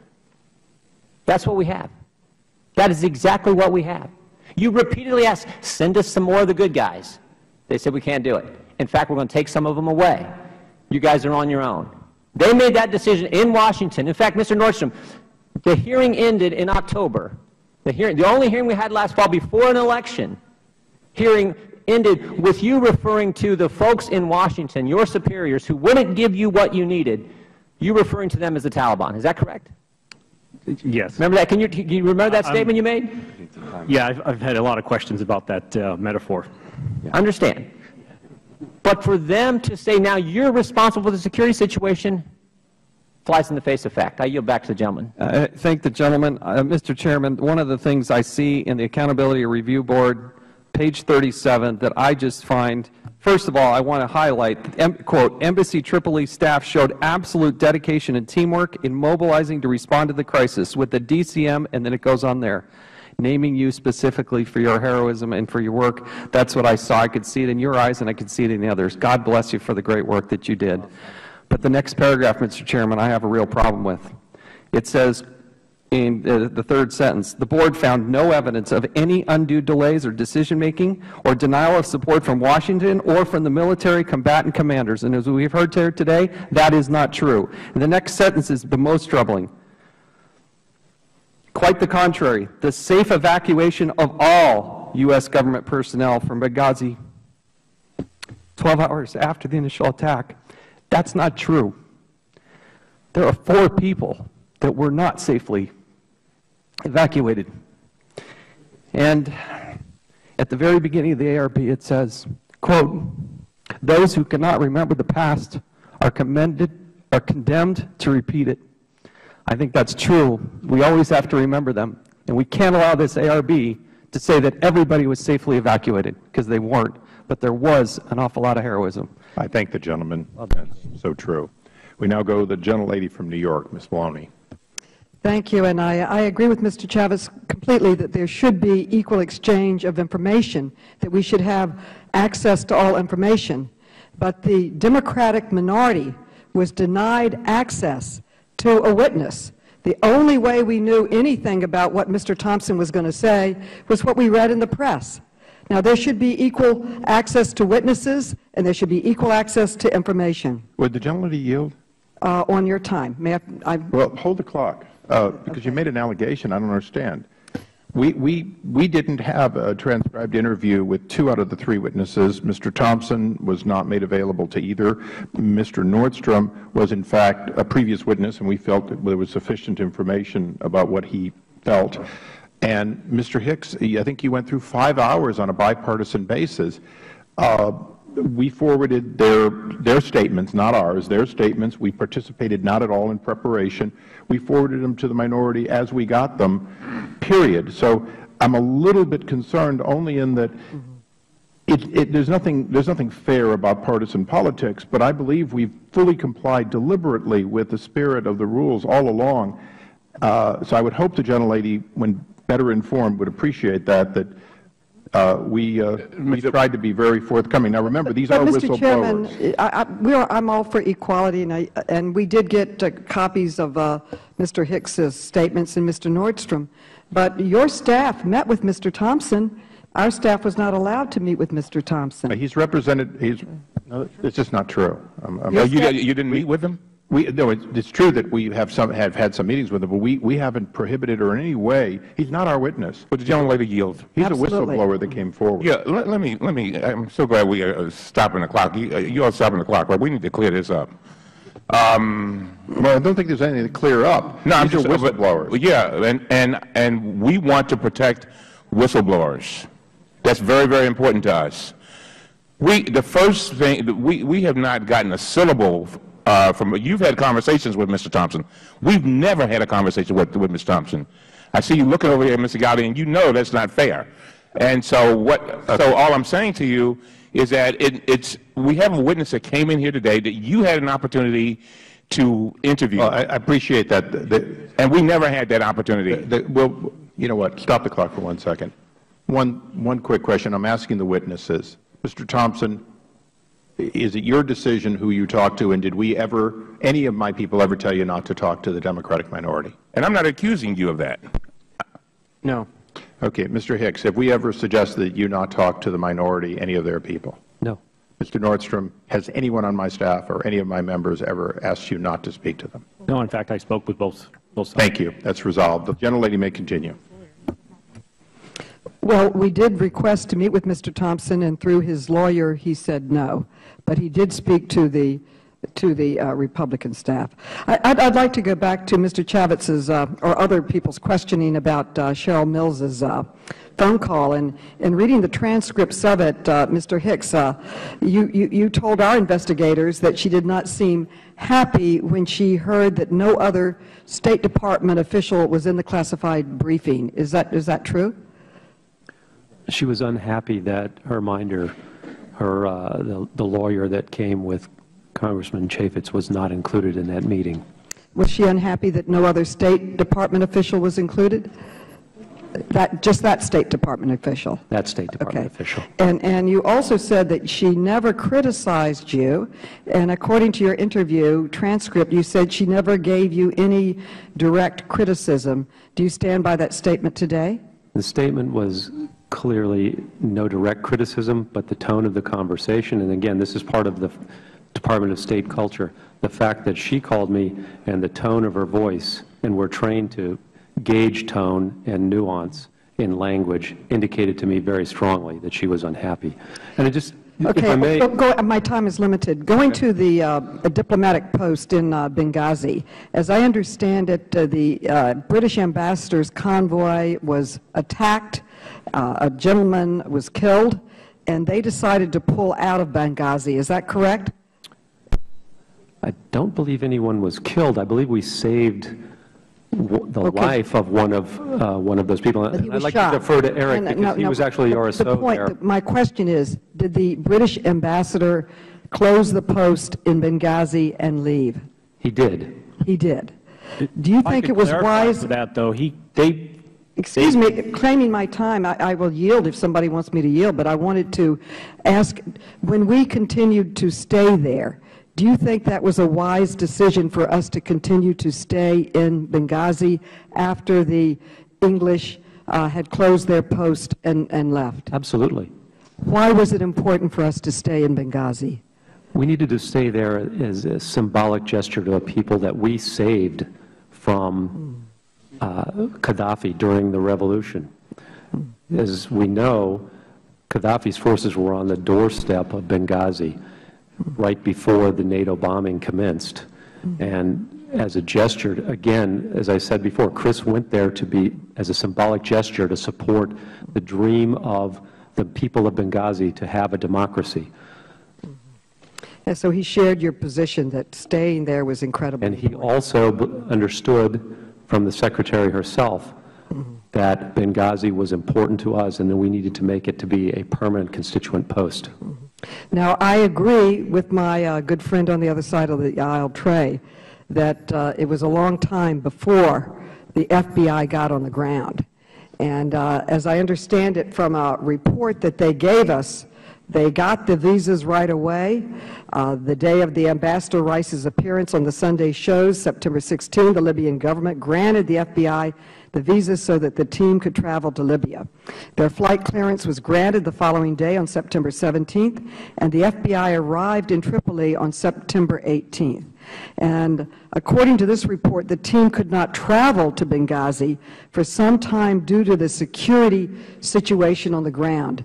Is, is that true? Were all of our people out of Benghazi, and were we not letting anyone in Benghazi? What exactly was happening then, uh, Mr. Hicks? Yes, the Libyan government did not want any of our personnel to go to Benghazi because of the security situation there.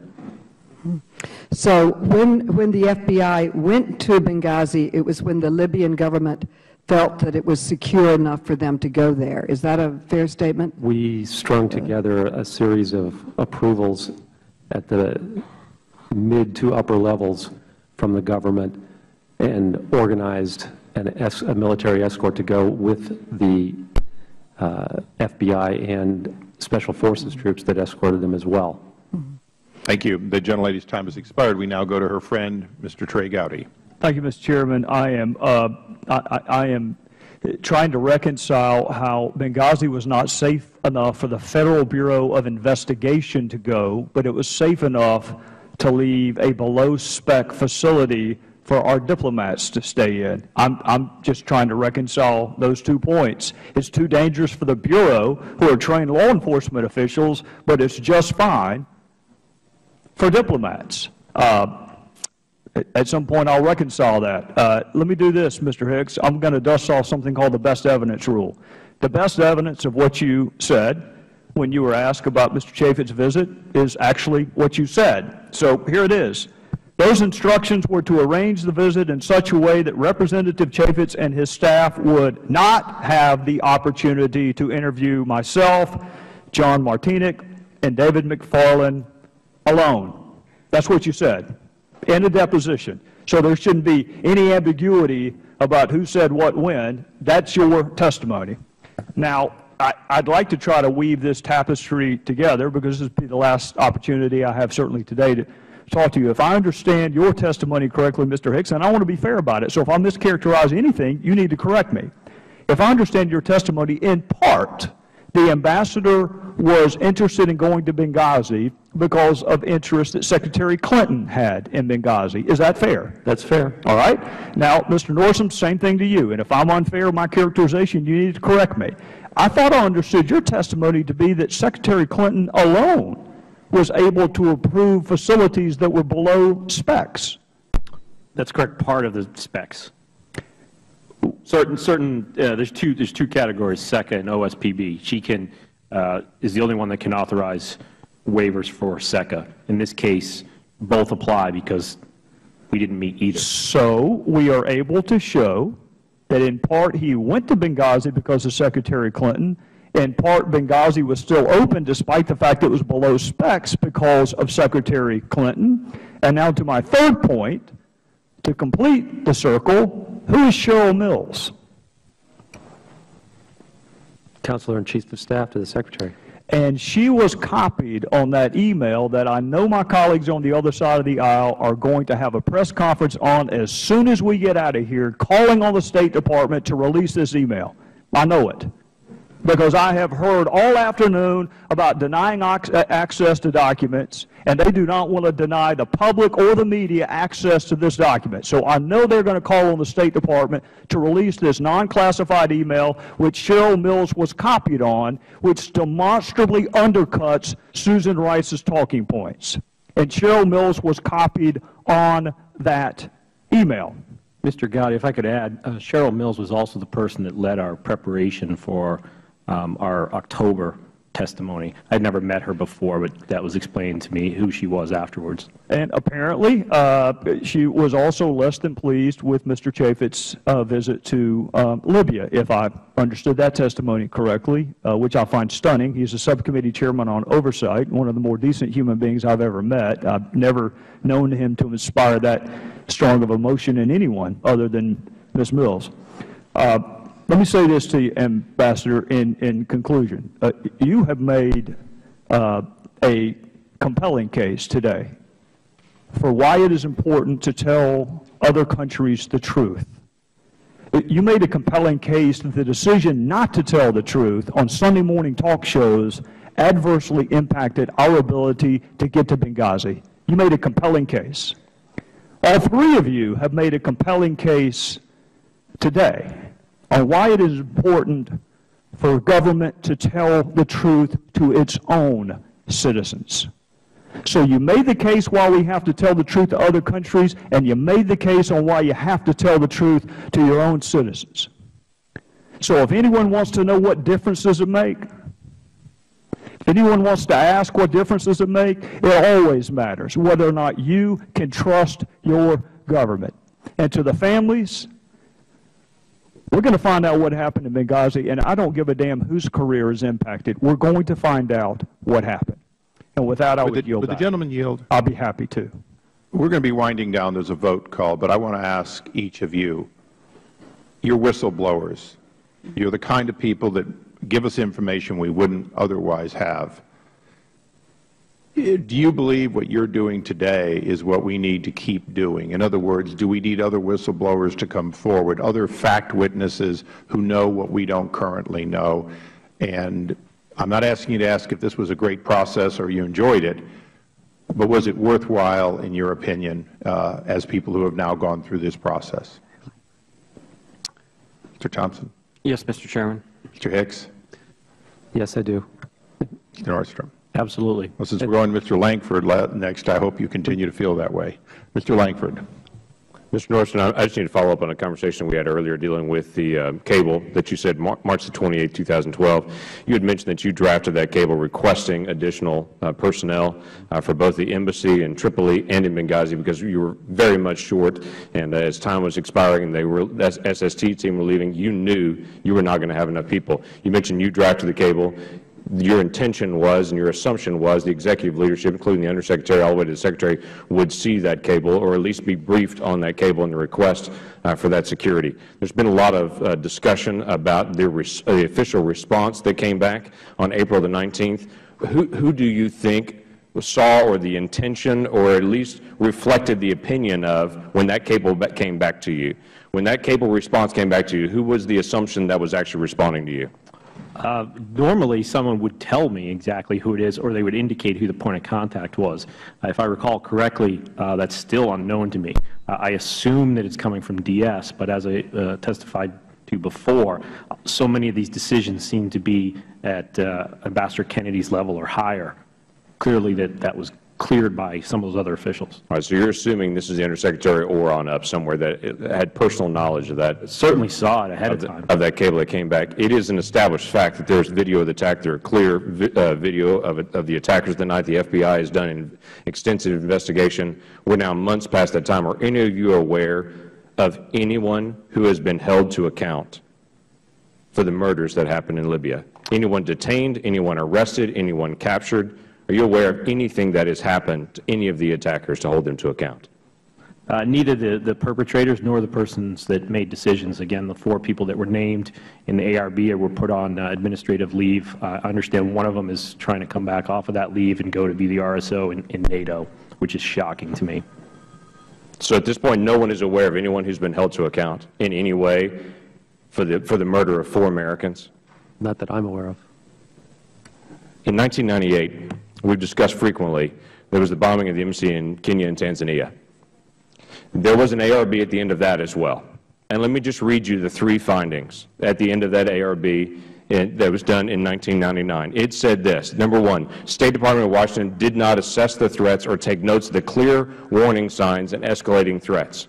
Number two, noted the facility was inadequate for even the most modest of attack. And number three, there was a lack of preparations or warning systems at the facility. That could have been written a month ago. We have discussed often on this, the one thing we have to do is learn the lesson. In 1998, the, the same thing occurred, and we have not learned the lesson. What we know of today and the realities that have come out and through all that you have contributed to this conversation and what you've contributed is invaluable, is that we did not do the most basic minimum security that was required by the State Department standards set after the bombings in Nairobi, Kenya, and in Tanzania. We did not do the basics. We did not provide the level of security. There were, in fact, cameras that were in the box still in Benghazi because the technical person had never been sent to actually install those, and so there could have been additional warning signs but they had not actually been installed and done. We know that the Tripoli facility was even at a greater risk than Benghazi. There were even more vulnerabilities in Tripoli than there were at Benghazi, both in physical security around the facility and in actual staffing of people that are the gun toters, as you mentioned before, the door kickers and such, people that would actually be there, be there to be able to provide that security. The minimum level was not provided. In fact, my understanding, Mr. Hicks, is that it reached such a point of vulnerability that you actually approached some of the diplomatic security and asked for the diplomats to be trained in how to handle a gun because there was such a fear of the people on the ground because you were so exposed. Is that true? It's true. We have got to learn the lessons of the past. This happened in 1998. We allowed it to happen again.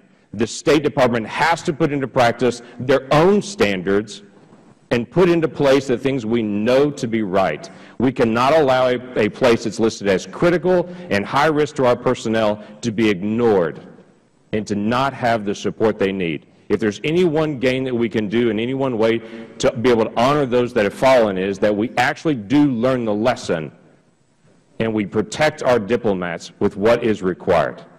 With that, Mr. Chairman, I yield back. I thank the um, gentleman. We now go to the gentleman from Florida, Mr. Mica. Uh, Mr. Hicks, did you have something you wanted to say? Yes, I'd just like to make a clarification with respect of course. to conversation with uh, the ranking member. There's no inherent contradiction between denying or avoiding a private interview with someone and making sure that he has information available. I just want to be clear on that. Mr. Mica. Thank you. Um, Mr. Nordstrom, I, I, don't think I've ever read so much testimony, but uh, what you provided last night I thought was particularly informative. Uh, and uh, talking about the, um, uh, the, on page 7 you talk about the rating level assigned for uh, threat categories for our various posts. Mm -hmm. And there are four of them, critical, high, medium, and low. And we have 264 posts that uh, uh, where, where we had um, security concerns, uh, overseas diplomatic posts at the time of Benghazi. There were 14 posts rated as either high or critical, not a huge number, but 14. Two of them, uh, two of the posts were Benghazi and Tripoli. Are you aware of that, Mr. Thompson? Mr. Nordstrom, you put it in there. So it's not like you, they had this incredible array of posts that were on this high alert. Is that correct? That's my understanding. The very yeah. small amount were, were higher uh, critical. And then uh, finally, um, again, all, I have not read the classified. I read the unclassified version. Mr. Chaffetz pointed out later in the report where it looks like they, they tried to cook this uh, to put blame basically on the lower level. There's a certain plateau, and then everybody below gets the blame. Uh, up on page four, when I had my time before, I said, uh, Embassy Tripoli, this is from the report, did not demonstrate strong and sustained advocacy with Washington for increased security for uh, Special Mission Benghazi. And yet, we've heard your predecessor, Mr. Hicks, pleaded for additional help. You pleaded for it. It's documented, and you didn't get it. You actually got a reduction. Is that correct, as was pointed out? Yes, Yeah. drastic reduction. So it wasn't like this was all over the place. Finally, um, for the ARB, you put in here to ignore the role of senior department leadership played before, during, and after the September 11th attack sends a clear message to all State Department employees.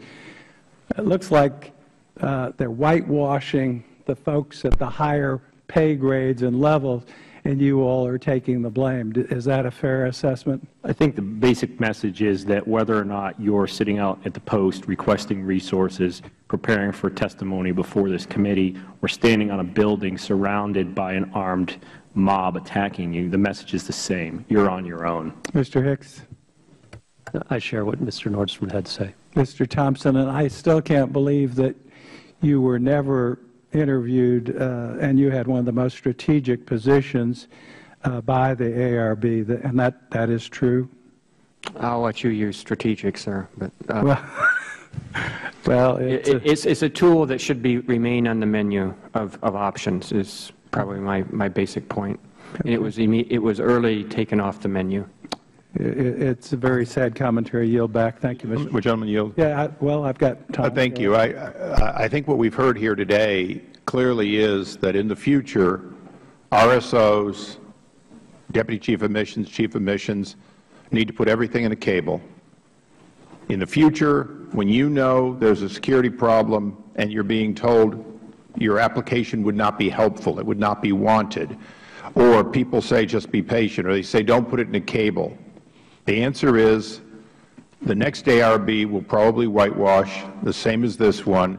On October 10th, Ranking Member and I and many others sat through a hearing in which it was made very clear that message after message after message, including the actual, if you will, open source information about the attacks that occurred on other diplomatic missions and our own, if that's not saying loudly, they blew a hole in our wall, when are you going to give us the security we need, then I'm afraid the deafness at at least Undersecretary Kennedy's level is not in any way curable by technology known to amplify sound. So with that, this hearing is closed, but this investigation is not over.